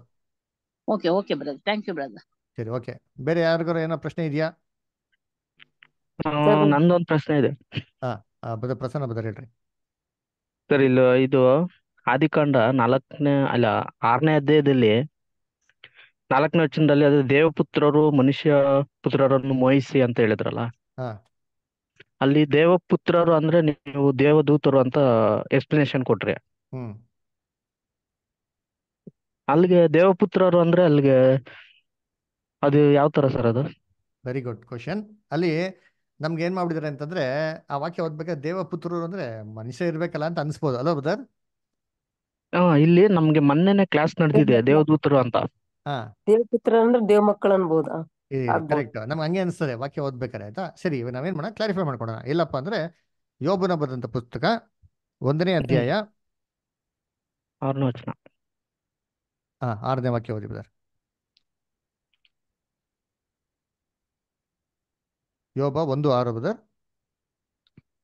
ಒಂದೊಂದು ದಿನ ದೇವದೂತರು ಯೆಹೋವನ ಸನ್ನಿಧಿಯಲ್ಲಿ ಕಾಣಿಸಿಕೊಳ್ಳಲು ಬರಲಾಗಿ ಸಾಯ್ತೀನಿ ಅಂತ ಅರಕದೂತನ ಅವರ ಜೊತೆಯಲ್ಲಿ ಬಂದ. ಓದ್ರಿ ಜೋರಕ್ಕೆ ಕೇಳಿಸ್ಲಿ ಎಲ್ಲರಿಗೂ ಕೇಳಿಸ್ಲಿ ಜೋರ್ಗೆ ಓದ್ರಿ. ಓದಿ ಬದ ಪ್ರಸನ್ನ ಬದರ್ ಓದಿ.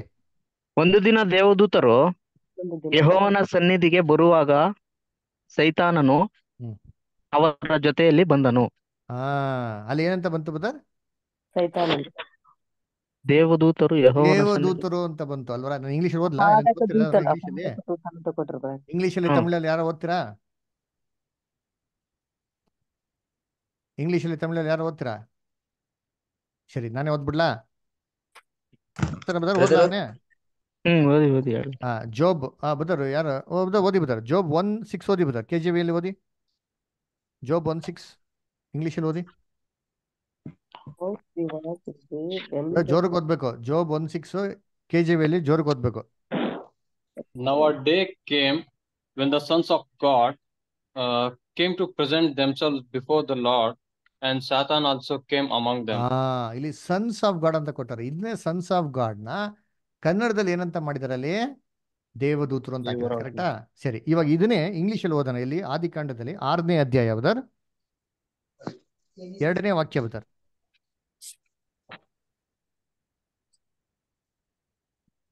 ವಾಕ್ಯ ಎರಡು ಎರಡನೇ ವಾಕ್ಯ ಸೆಕೆಂಡ್ ವರ್ಸ್ ಹಾ. Uh, that the sons of God saw the daughters of men, hmm. that they were beautiful, and ಹಾ. they took wives for themselves of all whom they choose. ಹಾ ನೋಡಿ ಸನ್ಸ್ ಆಫ್ ಗಾಡ್ ಅಂತ ಕೊಟ್ರೆ ಹಂಗಾರೆ ಇಲ್ಲಿ sons of god ಅಂತಂದ್ರೆ ಇಲ್ಲಿ ದೇವದೂತರ ಬಗ್ಗೆನೇ ಹೇಳ್ತಾರೆ ಅದು ಹೊರತು ಮನುಷ್ಯರ ಬಗ್ಗೆ ಅಲ್ಲ. ಒಂದು ರೆಫರೆನ್ಸ್ ಇನ್ನೊಂದು ರೆಫರೆನ್ಸ್ ಇದೆ. ಯೋಬ ಮೂವತ್ತೆಂಟು ಏಳು ಓದಿ. ಯೋಬ ಮೂವತ್ತೆಂಟು ಏಳು. ಆರು ಮತ್ತೆ ಹೇಳಿ ಕನ್ನಡದಲ್ಲಿ ಓದಿ ಆರು ಮತ್ತೆ ಏಳು ಒಟ್ಟಿಗೆ ಓದಿ. ಮೂವತ್ತೆಂಟು ಏಳಲ್ಲ ಹಾ ಮೂವತ್ತೆಂಟು ಆರು ಮತ್ತೆ ಏಳು ಓದಿ ಕನ್ನಡದಲ್ಲಿ. On what are its foundation foundations? ಇಲ್ಲ ಕನ್ನಡದಲ್ಲಿ ಓದಿ ಬದ ಮೊದಲು ಕನ್ನಡದಲ್ಲಿ ಓದೋಣ ಮೊದಲು ಹಾ. ಪ್ರಸನ್ನ ಬದರ್ ಓದ್ತೀರಾ? ಮುಂಜಾನೆಯ ಮುಂಜಾನೆ ನಕ್ಷತ್ರ ಮುಂಜಾನೆಯ ನಕ್ಷತ್ರಗಳು ಒಟ್ಟಾಗಿ ಉತ್ಸಾಹ ಧ್ವನಿ ಎತ್ತುತ್ತಾ ದೇವಕುಮಾರರೆಲ್ಲರೂ ಆನಂದ ಘೋಷ ಘೋಷ ಮಾಡುತ್ತಾ ಇರಲು ಭೂಲೋಕದ ಸಣ್ಣ ಪಾದಗಳು ಭೂಲೋಕದ ಸುಣ್ಣ ಪಾದಗಳು ಯಾವುದರಲ್ಲಿ ನೆಲೆಗೊಂಡವು? ಅದರ ಮೂಲೆಗಲ್ಲು ಹಾಕಿದವರು ಯಾರು? ನೋಡ್ರ ವೆರಿ ಗುಡ್ ಇಲ್ಲಿ ಅಂದ್ರೆ ಮುಂಜಾನೆ ನಕ್ಷತ್ರಗಳು ಆಮೇಲೆ ದೇವಪುತ್ರರು ಅಂತ ಬರ್ತಾರೆ ದೇವಪುತ್ರರು ಯಾರು? ಭೂಮಿಗೆ ಫೌಂಡೇಶನ್ ಹಾಕ್ಬೇಕಾರೆ ಮುಂಜಾನೆ ನಕ್ಷತ್ರಗಳು. ಮತ್ತೆ ದೇವಪುತ್ರರು ಎಲ್ಲ ಹರ್ಷಧ್ವನಿಯಿಂದ ಹಾಡ್ತಾ ಇದ್ರು ಅಂತ ಹೇಳ್ತಾರೆ. ಹಂಗಾರೆ ಯಾರು ಇವರು? ಮನುಷ್ಯರ? ಆ ಮನುಷ್ಯನ ಸೃಷ್ಟಿನೇ ಮಾಡಿಲ್ವಲ್ಲ ಇಲ್ಲಿ? ಇಲ್ಲಿ ಹೇಳ್ತಾ ಇರೋದು ದೇವದೂತರ ಬಗ್ಗೆನೆ ಅಲ್ವರ? ಆ ದೇವದೂತರನ್ನ ಇಲ್ಲಿ ಏನ್ ಮಾಡಿದಾರೆ? ದೇವಪುತ್ರರು ಅಂತ ಹಾಕವ್ರೆ. ಇದನ್ನೇ ಆದಿಕಾಂಡದಲ್ಲಿ ಹಾಕಿರೋರು. ಅಲ್ವರ? ಸರಿ ಇವಾಗ ಅಲ್ಲಿ ಹಾಕಿದ್ಮೇಲೆ ಯೋಬ ಒಂದು ಆರಲ್ಲಿ ಕೂಡ ಹಾಕ್ಬೇಕಲ್ವಾ? ಸೊ ಇಲ್ಲಿ ಟ್ರಾನ್ಸ್ಲೇಷನ್ ಸ್ವಲ್ಪ ಏನಾಗಿದೆ? ಅಲ್ಲಿ ವ್ಯತ್ಯಾಸವಾಗಿರೋದು ನಮ್ಗೆ ಓದ್ಬೇಕ್ರಿ ಅಂತ ಕಷ್ಟ. ಆಗ ಆದರೆ ಬೈಬಲ್ನಲ್ಲಿ ನಾವು ವಾಕ್ಯಗಳು ಇಟ್ಕೊಂಡ್ ಮುಖಾಂತರ ವಾಕ್ಯ ವಾಕ್ಯ ಕಂಪೇರ್ ಮಾಡ್ಕೊಂಡ್ರೆ ನಮ್ಗೆ ಅಂತ ಸ್ಪಷ್ಟವಾಗಿ ಗೊತ್ತಾಗ್ತಾರೆ. ಆಮೇಲೆ ಇನ್ನೊಂದು ಯೋಚನೆ ಮಾಡ್ರಿ. ಇಲ್ಲಿ ಇದು ಮನುಷ್ಯರ ಬಗ್ಗೆನೇ ಹೇಳ್ತಾ ಇದ್ರೆ ಆದಿಕಾಂಡದಲ್ಲಿ ಮನುಷ್ಯ ಗಂಡು ಹೆಣ್ಣು ಸೇರ್ಕೊಂಡ್ರೆ ಏನು ಹುಟ್ಟಬೇಕು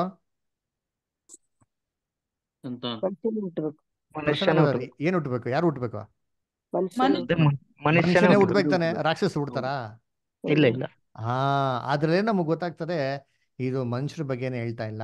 ದೇವ ದೂತರು ಅವ್ರಿಗೆ ಹುಟ್ಟಿದಂತ ಮಕ್ಳುಗಳು ಯಾರಪ್ಪ ಅಂದ್ರೆ ರಾಕ್ಷಸಗಳು. ಇದಕ್ಕೆ ಪ್ರೂಫ್ ಎಲ್ಲಿದೆ? ಯೂಧನ ಪುತ್ರ ಕೆಲವು ಬರ್ತಾರೆ. ಅದರ ಸೋದಮನ್ ಗೊಬ್ಬರ ಕೂಡ ದೇವದೂತರಂತೆ ವ್ಯವಿಚಾರ ಮಾಡಿದ್ರು. ಅದರ ಬೇರೆ ಮಾಂಸಗಳಿಗೆ ಏನ್ ಮಾಡೋದು ಮನ್ಸು ಕೊಟ್ಟರು ಅಂತ ಬೈಬಲ್ ಸ್ಪಷ್ಟವಾಗಿ ಇದೆಯಲ್ಲ? ಓದ್ಬೇಕು ಓದನ ವಾಕ್ಯನ? ಇಬ್ರು ಅಲ್ಲಿ ದೇವ ದೇವಪುತ್ರ ಅಂತ ಬರ್ತದೆ ಬಸ್ ಹೌದು. ಇಂಗ್ಲಿಷಲ್ಲಿ ಕೂಡ ಚೆನ್ನಾಗಿ ಬರ್ತದೆ ಇಂಗ್ಲಿಷ್ ಇಂಗ್ಲಿಷಲ್ಲಿ ಕೂಡ ಚೆನ್ನಾಗಿ ಬರ್ತಾರೆ ನೋಡಿ. ಇಂಗ್ಲಿಷಲ್ಲಿ ಓದಿದ್ರೆ ಹಾ. ಆ ದೇವದೂತರ್ ಮೀನ್ಸ್ ಇಬ್ರು ಇದರಲ್ಲಿ ದೇವಪುತ್ರರು ಅಂತಾನೆ ಟ್ರಾನ್ಸ್ಲೇಷನ್ ತೋರಿಸುತ್ತೆ. ಹೌದು ಬದರ್ ಹೌದು. ಆಮೇಲೆ ಇದು ನೋಡಿದ್ವಿ ಬದರ್ ಯೂದನ ಪತ್ರಿಕೆಯಲ್ಲಿ ಆ ಹ್ಮ್. ಏಳನೇ ವಾಕ್ಯ ಓದಿ ಬದರ್. ಸೋದಮ್ ಗೋಮರ ಪಟ್ಟಣಗಳವ ಪಟ್ಟಣಗಳವರು ಅವುಗಳ ಸುತ್ತಮುತ್ತಣ ಪಟ್ಟಣಗಳವರು ಆ ದೂತರಂತೆ ನಡೆದುಕೊಂಡು ತಮ್ಮನ್ನು ಜಾರತ್ವಕ್ಕೆ ಒಪ್ಪಿಸಿಬಿಟ್ಟು ಅಂದ್ರೆ ದೂತರು ಏನ್ ಮಾಡಿದ್ರೆ? ಜಾರತ್ವಕ್ಕೆ ಒಪ್ಪಿಸ್ಕೊಂಡಿದ್ದಾರೆ. ಇದು ಯಾವಾಗ ಆಯ್ತು ದೂತರು ಬೇರೆ ಎಲ್ಲೂ ಬಂದಿದ್ವಲ್ಲ ದೂತರು ಆಕಾಶದಲ್ಲಿ ಇಟ್ಕೊಂಡು ಜಾರತ್ವ ಮಾಡಕ್ಕಾಗ್ತದ? ಅಂದ್ರೆ ಭೂಲೋಕದಲ್ಲಿ ಮಾಂಸದಲ್ಲಿ ಬಂದಿರ್ಬೇಕು. ಇದು ಎಲ್ಲಾಯ್ತು ಆಯ್ತು? ಮೊದಲೇ ಲೋಕದಲ್ಲಿ ಆಗಿರೋದು. ಹತ್ರ ಸೊ ಅದಕ್ಕೆ ರಾಕ್ಷಸ ಏನಾಗಿರೋದು? ಹುಟ್ಟಿರೋದು. ಅದಕ್ಕೆ ಏನ್ ಮಾಡೋದು ದೇವರು? ಜಳೆ ಪಳೆದ ಏನ್ ಮಾಡಿದ್ರು. ಅವನ್ನ ನಾಶ ಮಾಡಕ್ಕರು ಓಕೆನಾ ಬದರ್ ಹ್ಮ್ ಓಕೆ ಬಟ್ ಇದು ದೇವದೂತರು ಹೆಂಗ್ ಉಂಟು ಮಾಡಿದ್ರು? ಇಲ್ಲಿ ಕೀರ್ತನೆಗಳಲ್ಲಿ ನಮ್ಗೆ ತೋರಿಸಿದ್ದಾರೆ ಅಪ್ಪನೆ ಕೊಟ್ರೆ ಉಂಟಾದ್ರು ದೇವದೂತರು ಅಂತ. ಹ್ಮ್. ಅಪ್ಪನೆ ಇವಾಗ ಈ ಲೋಕದಲ್ಲಿ ಅಪ್ಪನೆ ಕೊಟ್ಟಿರೋರು ಯಾರು ಮಕ್ಕಳಾಗಿಲ್ವಲ್ಲ? ಉಂಟು ಮಾಡಿ ನಮ್ಮನ್ನ ಉಂಟು ಹಾ ಹಾ ಹಾ ಹೇಳಿ ಹೇಳಿ. ಹೇಳಿ ನೀವ್ ಹೇಳ್ರಿ. ಅದೇ ಅದೇ ಇವಾಗ ಕೀರ್ತನೆಗಳು ನೂರ ನಲವತ್ತೆಂಟು ಐದನೇ ವಚನದಲ್ಲಿ ಆತನು ಅಪ್ಪನೆ ಕೊಡಲು ಇವೆಲ್ಲ ಉಂಟಾದವು ಅಂತ. ಓಕೆ ಆ ಅಪ್ಪನೆ ಕೊಟ್ಟಿದ್ದು ಉಂಟಾಗಿರೋವು ಇವಾಗ ದೇವದೂತರು ಅಪ್ನ ಕೊಟ್ಟಿರೋದಕ್ಕೆ ಇವ್ರು ಉಂಟಾಗಿದ್ದಾರೆ. ಮಕ್ಳು ಹೆಂಗ್ ಆಗ್ತಾರೆ ಅಂತ. ಅದೊಂದ್ ಸ್ವಲ್ಪ ಡೌಟ್ ಅಷ್ಟೇ. ಅವರು ದೇವ್ರ ಮಕ್ಳು ಹೆಂಗ್ ಆಗ್ತಾರೆ ಅಂತನಾ? ಹಾ ಅದೇ. ಅದೊಂದು ಡೌಟ್ ಸರಿ ಇವಾಗ ದೇವರು ನುಡಿದ ಮಾತ್ರಕ್ಕೆ ಏನೈತೆ? ಎಲ್ಲ ಉಂಟಾಯ್ತು ಅಂತಂದ್ರೆ ಇದು ಸೃಷ್ಟಿಕರ್ತ ಅಥವಾ ಇದು ಉಂಟು ಮಾಡಿದವನು ಯಾರು? ದೇವರು. ದೇವ್ರೇ. ಇರುವ ಅಲ್ವರ ದೇವರು. ಈ- ಅಲ್ವರ ದೇವ್ರೇ ಅಲ್ವರ ಹಂಗಾರೆ ಇದಕ್ಕೆ ಕ್ರಿಯೇಟರೇ ಯಾರಪ್ಪ ಅಂದ್ರೆ ದೇವ್ರು. ಇದಕ್ಕೆ ಒಡೆಯನೇ ಏನ್ರಿ? ದೇವ್ರು ಅದರ ದೇವ್ರು. ಇದಕ್ಕೆ ಜೀವ ಕೊಟ್ಟವ್ರು ಯಾರಪ್ಪ ಅಂದ್ರೆ ದೇವರು. ಇದಕ್ಕೆ ತಂದೆನೇ ಯಾರು ಅಂತ ಹೇಳ್ಬೋದು ಅಂದ್ರೆ ದೇವ್ರು ಅಂತ ಹೇಳ್ಬೋದು ಏನ್ ಮಾಡೋದು ಹೇಳ್ಬೋದು. ಒಂದ್ ರೀತಿ ತಗೊಂಡ ಈ ಜಗತ್ತಿಗೆಲ್ಲಾನು ಏನ್ರಿ ಸೃಷ್ಟಿಕರ್ತ ಮೂಲಕರ್ತ ಏನ್ರಿ ಈ ಫೌಂಟೇನ್ ಆಫ್ ಲೈಫ್ ಅಂತ ಹೇಳ್ತಾರೆ ಅಲ್ವರ? ಅದು ಯಾರಪ್ಪ ಅಂತಂದ್ರೆ ಏನ್ರಿ ಅದು ದೇವ್ರೆ ಅಲ್ವರ? ಅದರಿಂದ ನೋಡ್ಬೇಕ್ರೆ ಎಲ್ಲಾ ಸೃಷ್ಟಿಗಳು ಯಾರ ಮಕ್ಕಳು ಅಂತ ಹೇಳ್ಬೋದು ಇಂಡೈರೆಕ್ಟ್ ಆಗಿ ಅಂತಂದ್ರೆ ದೇವರು ಒಂದು ಮಕ್ಕಳು ಅಂತ ಏನ್ ಮಾಡೋದು ನಾವು ನಾವು ಹೇಳ್ಬೋದು ಅದರ ಇವಾಗ ದೇವದೂತನ ಹೇಗೆ ಎಕ್ಸಾಕ್ಟ್ ಆಗಿ ಸೃಷ್ಟಿ ಮಾಡೋದು ನಮ್ಗೆ ಗೊತ್ತಿಲ್ಲ. ಅದರ ಅದಕ್ಕೆ ದೇವ್ರ ನುಡ್ದಿದ್ ಮಾತ್ರಕ್ಕೆ ಏನಾಯ್ತು? ಆಯ್ತು ಅಂತ ಕೊಟ್ಟಾರೆ. ಅದರ ದೇವರಿಂದ ಮಾಡಲ್ಪಟ್ಟಿದ್ರಿಂದ ಏನ್ ಮಾಡ್ತಾರೆ? ದೇವರಿಗೆ ಆ ಒಂದು ಫಾದರ್ ಆಫ್ ಆಲ್ ಕ್ರಿಯೇಷನ್ಸ್ ಅಂತ ನಾವ್ ಏನ್ ಮಾಡ್ತೀವಿ ನೋಡ್ತೀವಿ. ಅದು ವಾಕ್ಯನೂ ಕೂಡ ಇರಬೇಕು. ಅದರ ಹೊಸ ಒಡಂಬಡಿಕೆಯಲ್ಲಿ is the father of all creations ಅಂತ ಏನ್ ಮಾಡ್ತೀವಿ ನಾವು ನೋಡ್ತೀರಿ. ಎಪಿಸೋಡ್ ಮತ್ತೆ ಪತ್ರಿಕೆಯಲ್ಲಿ ಬರ್ತಾರೆ ಈ ಜಗತ್ತಿಗೆ ಏನ್ರಿ? ಆ ಈ ಜಗತ್ತು ಏನಾಗಿದೆ ಅಂತೆ ಆತನ ಕುಟುಂಬವಾಗಿದೆ ಅಂತ. ಆ ರೀತಿ. ಸರಿ. ಓಕೆ ಬೇರೆ ಯಾರಿಗಾರ ಏನೋ ಪ್ರಶ್ನೆ ಇದೆಯಾ? ಸರಿ. ಓಕೆ ಹಂಗಂದ್ರೆ ನೆಕ್ಸ್ಟ್ ವೀಕು ನಾವೇನು ಮಾಡೋಣ? ಇದೇ ತರ ಸಿಕ್ಕನ ಕರೆಕ್ಟ್ ಟೈಮ್ ಇವತ್ತೆಲ್ಲ ವೆರಿ ಗುಡ್ ತುಂಬ ಟೈಮಿಗೆ ಕರೆಕ್ಟಾಗಿ ಬಂದ್ರಿ ದಯವಿಟ್ಟು ಅದೇ ತರ ನೆಕ್ಸ್ಟ್ ವೀಕ್ ಕೂಡ ಏನು ಮಾಡಿ ನೀವೆಲ್ಲರೂ ಕರೆಕ್ಟ್ ಟೈಮಿಗೆ ಬನ್ನಿ. ನಾವೇನು ಮಾಡೋಣ? ದೇವ್ರ ವಾಕ್ಯನ ನಾವು ಕೇಳೋಣ. ಅದರ ಮುಂದಿನ ವಾರ ಮುಖ್ಯವಾದ ಕಾಟ, ಪಾಠ ಇರೋದ್ರಿಂದ ದಯವಿಟ್ಟು ಎಲ್ಲರೂ ಏನು ಮಾಡಿ? ಸರಿಯಾಗಿ ಸಮಯಕ್ಕೆ ಬರ್ಬೇಕಾಗಿ ಕೇಳ್ಕೊತೀನಿ. ಥ್ಯಾಂಕ್ ಯು ಎವ್ರಿಬಡಿ ಸೊ ಕೊನೆಯದಾಗಿ ಒಂದು ಪ್ರಾರ್ಥನೆ ಮಾಡಿ ಮುಕ್ತಾಯ ಮಾಡೋಣ.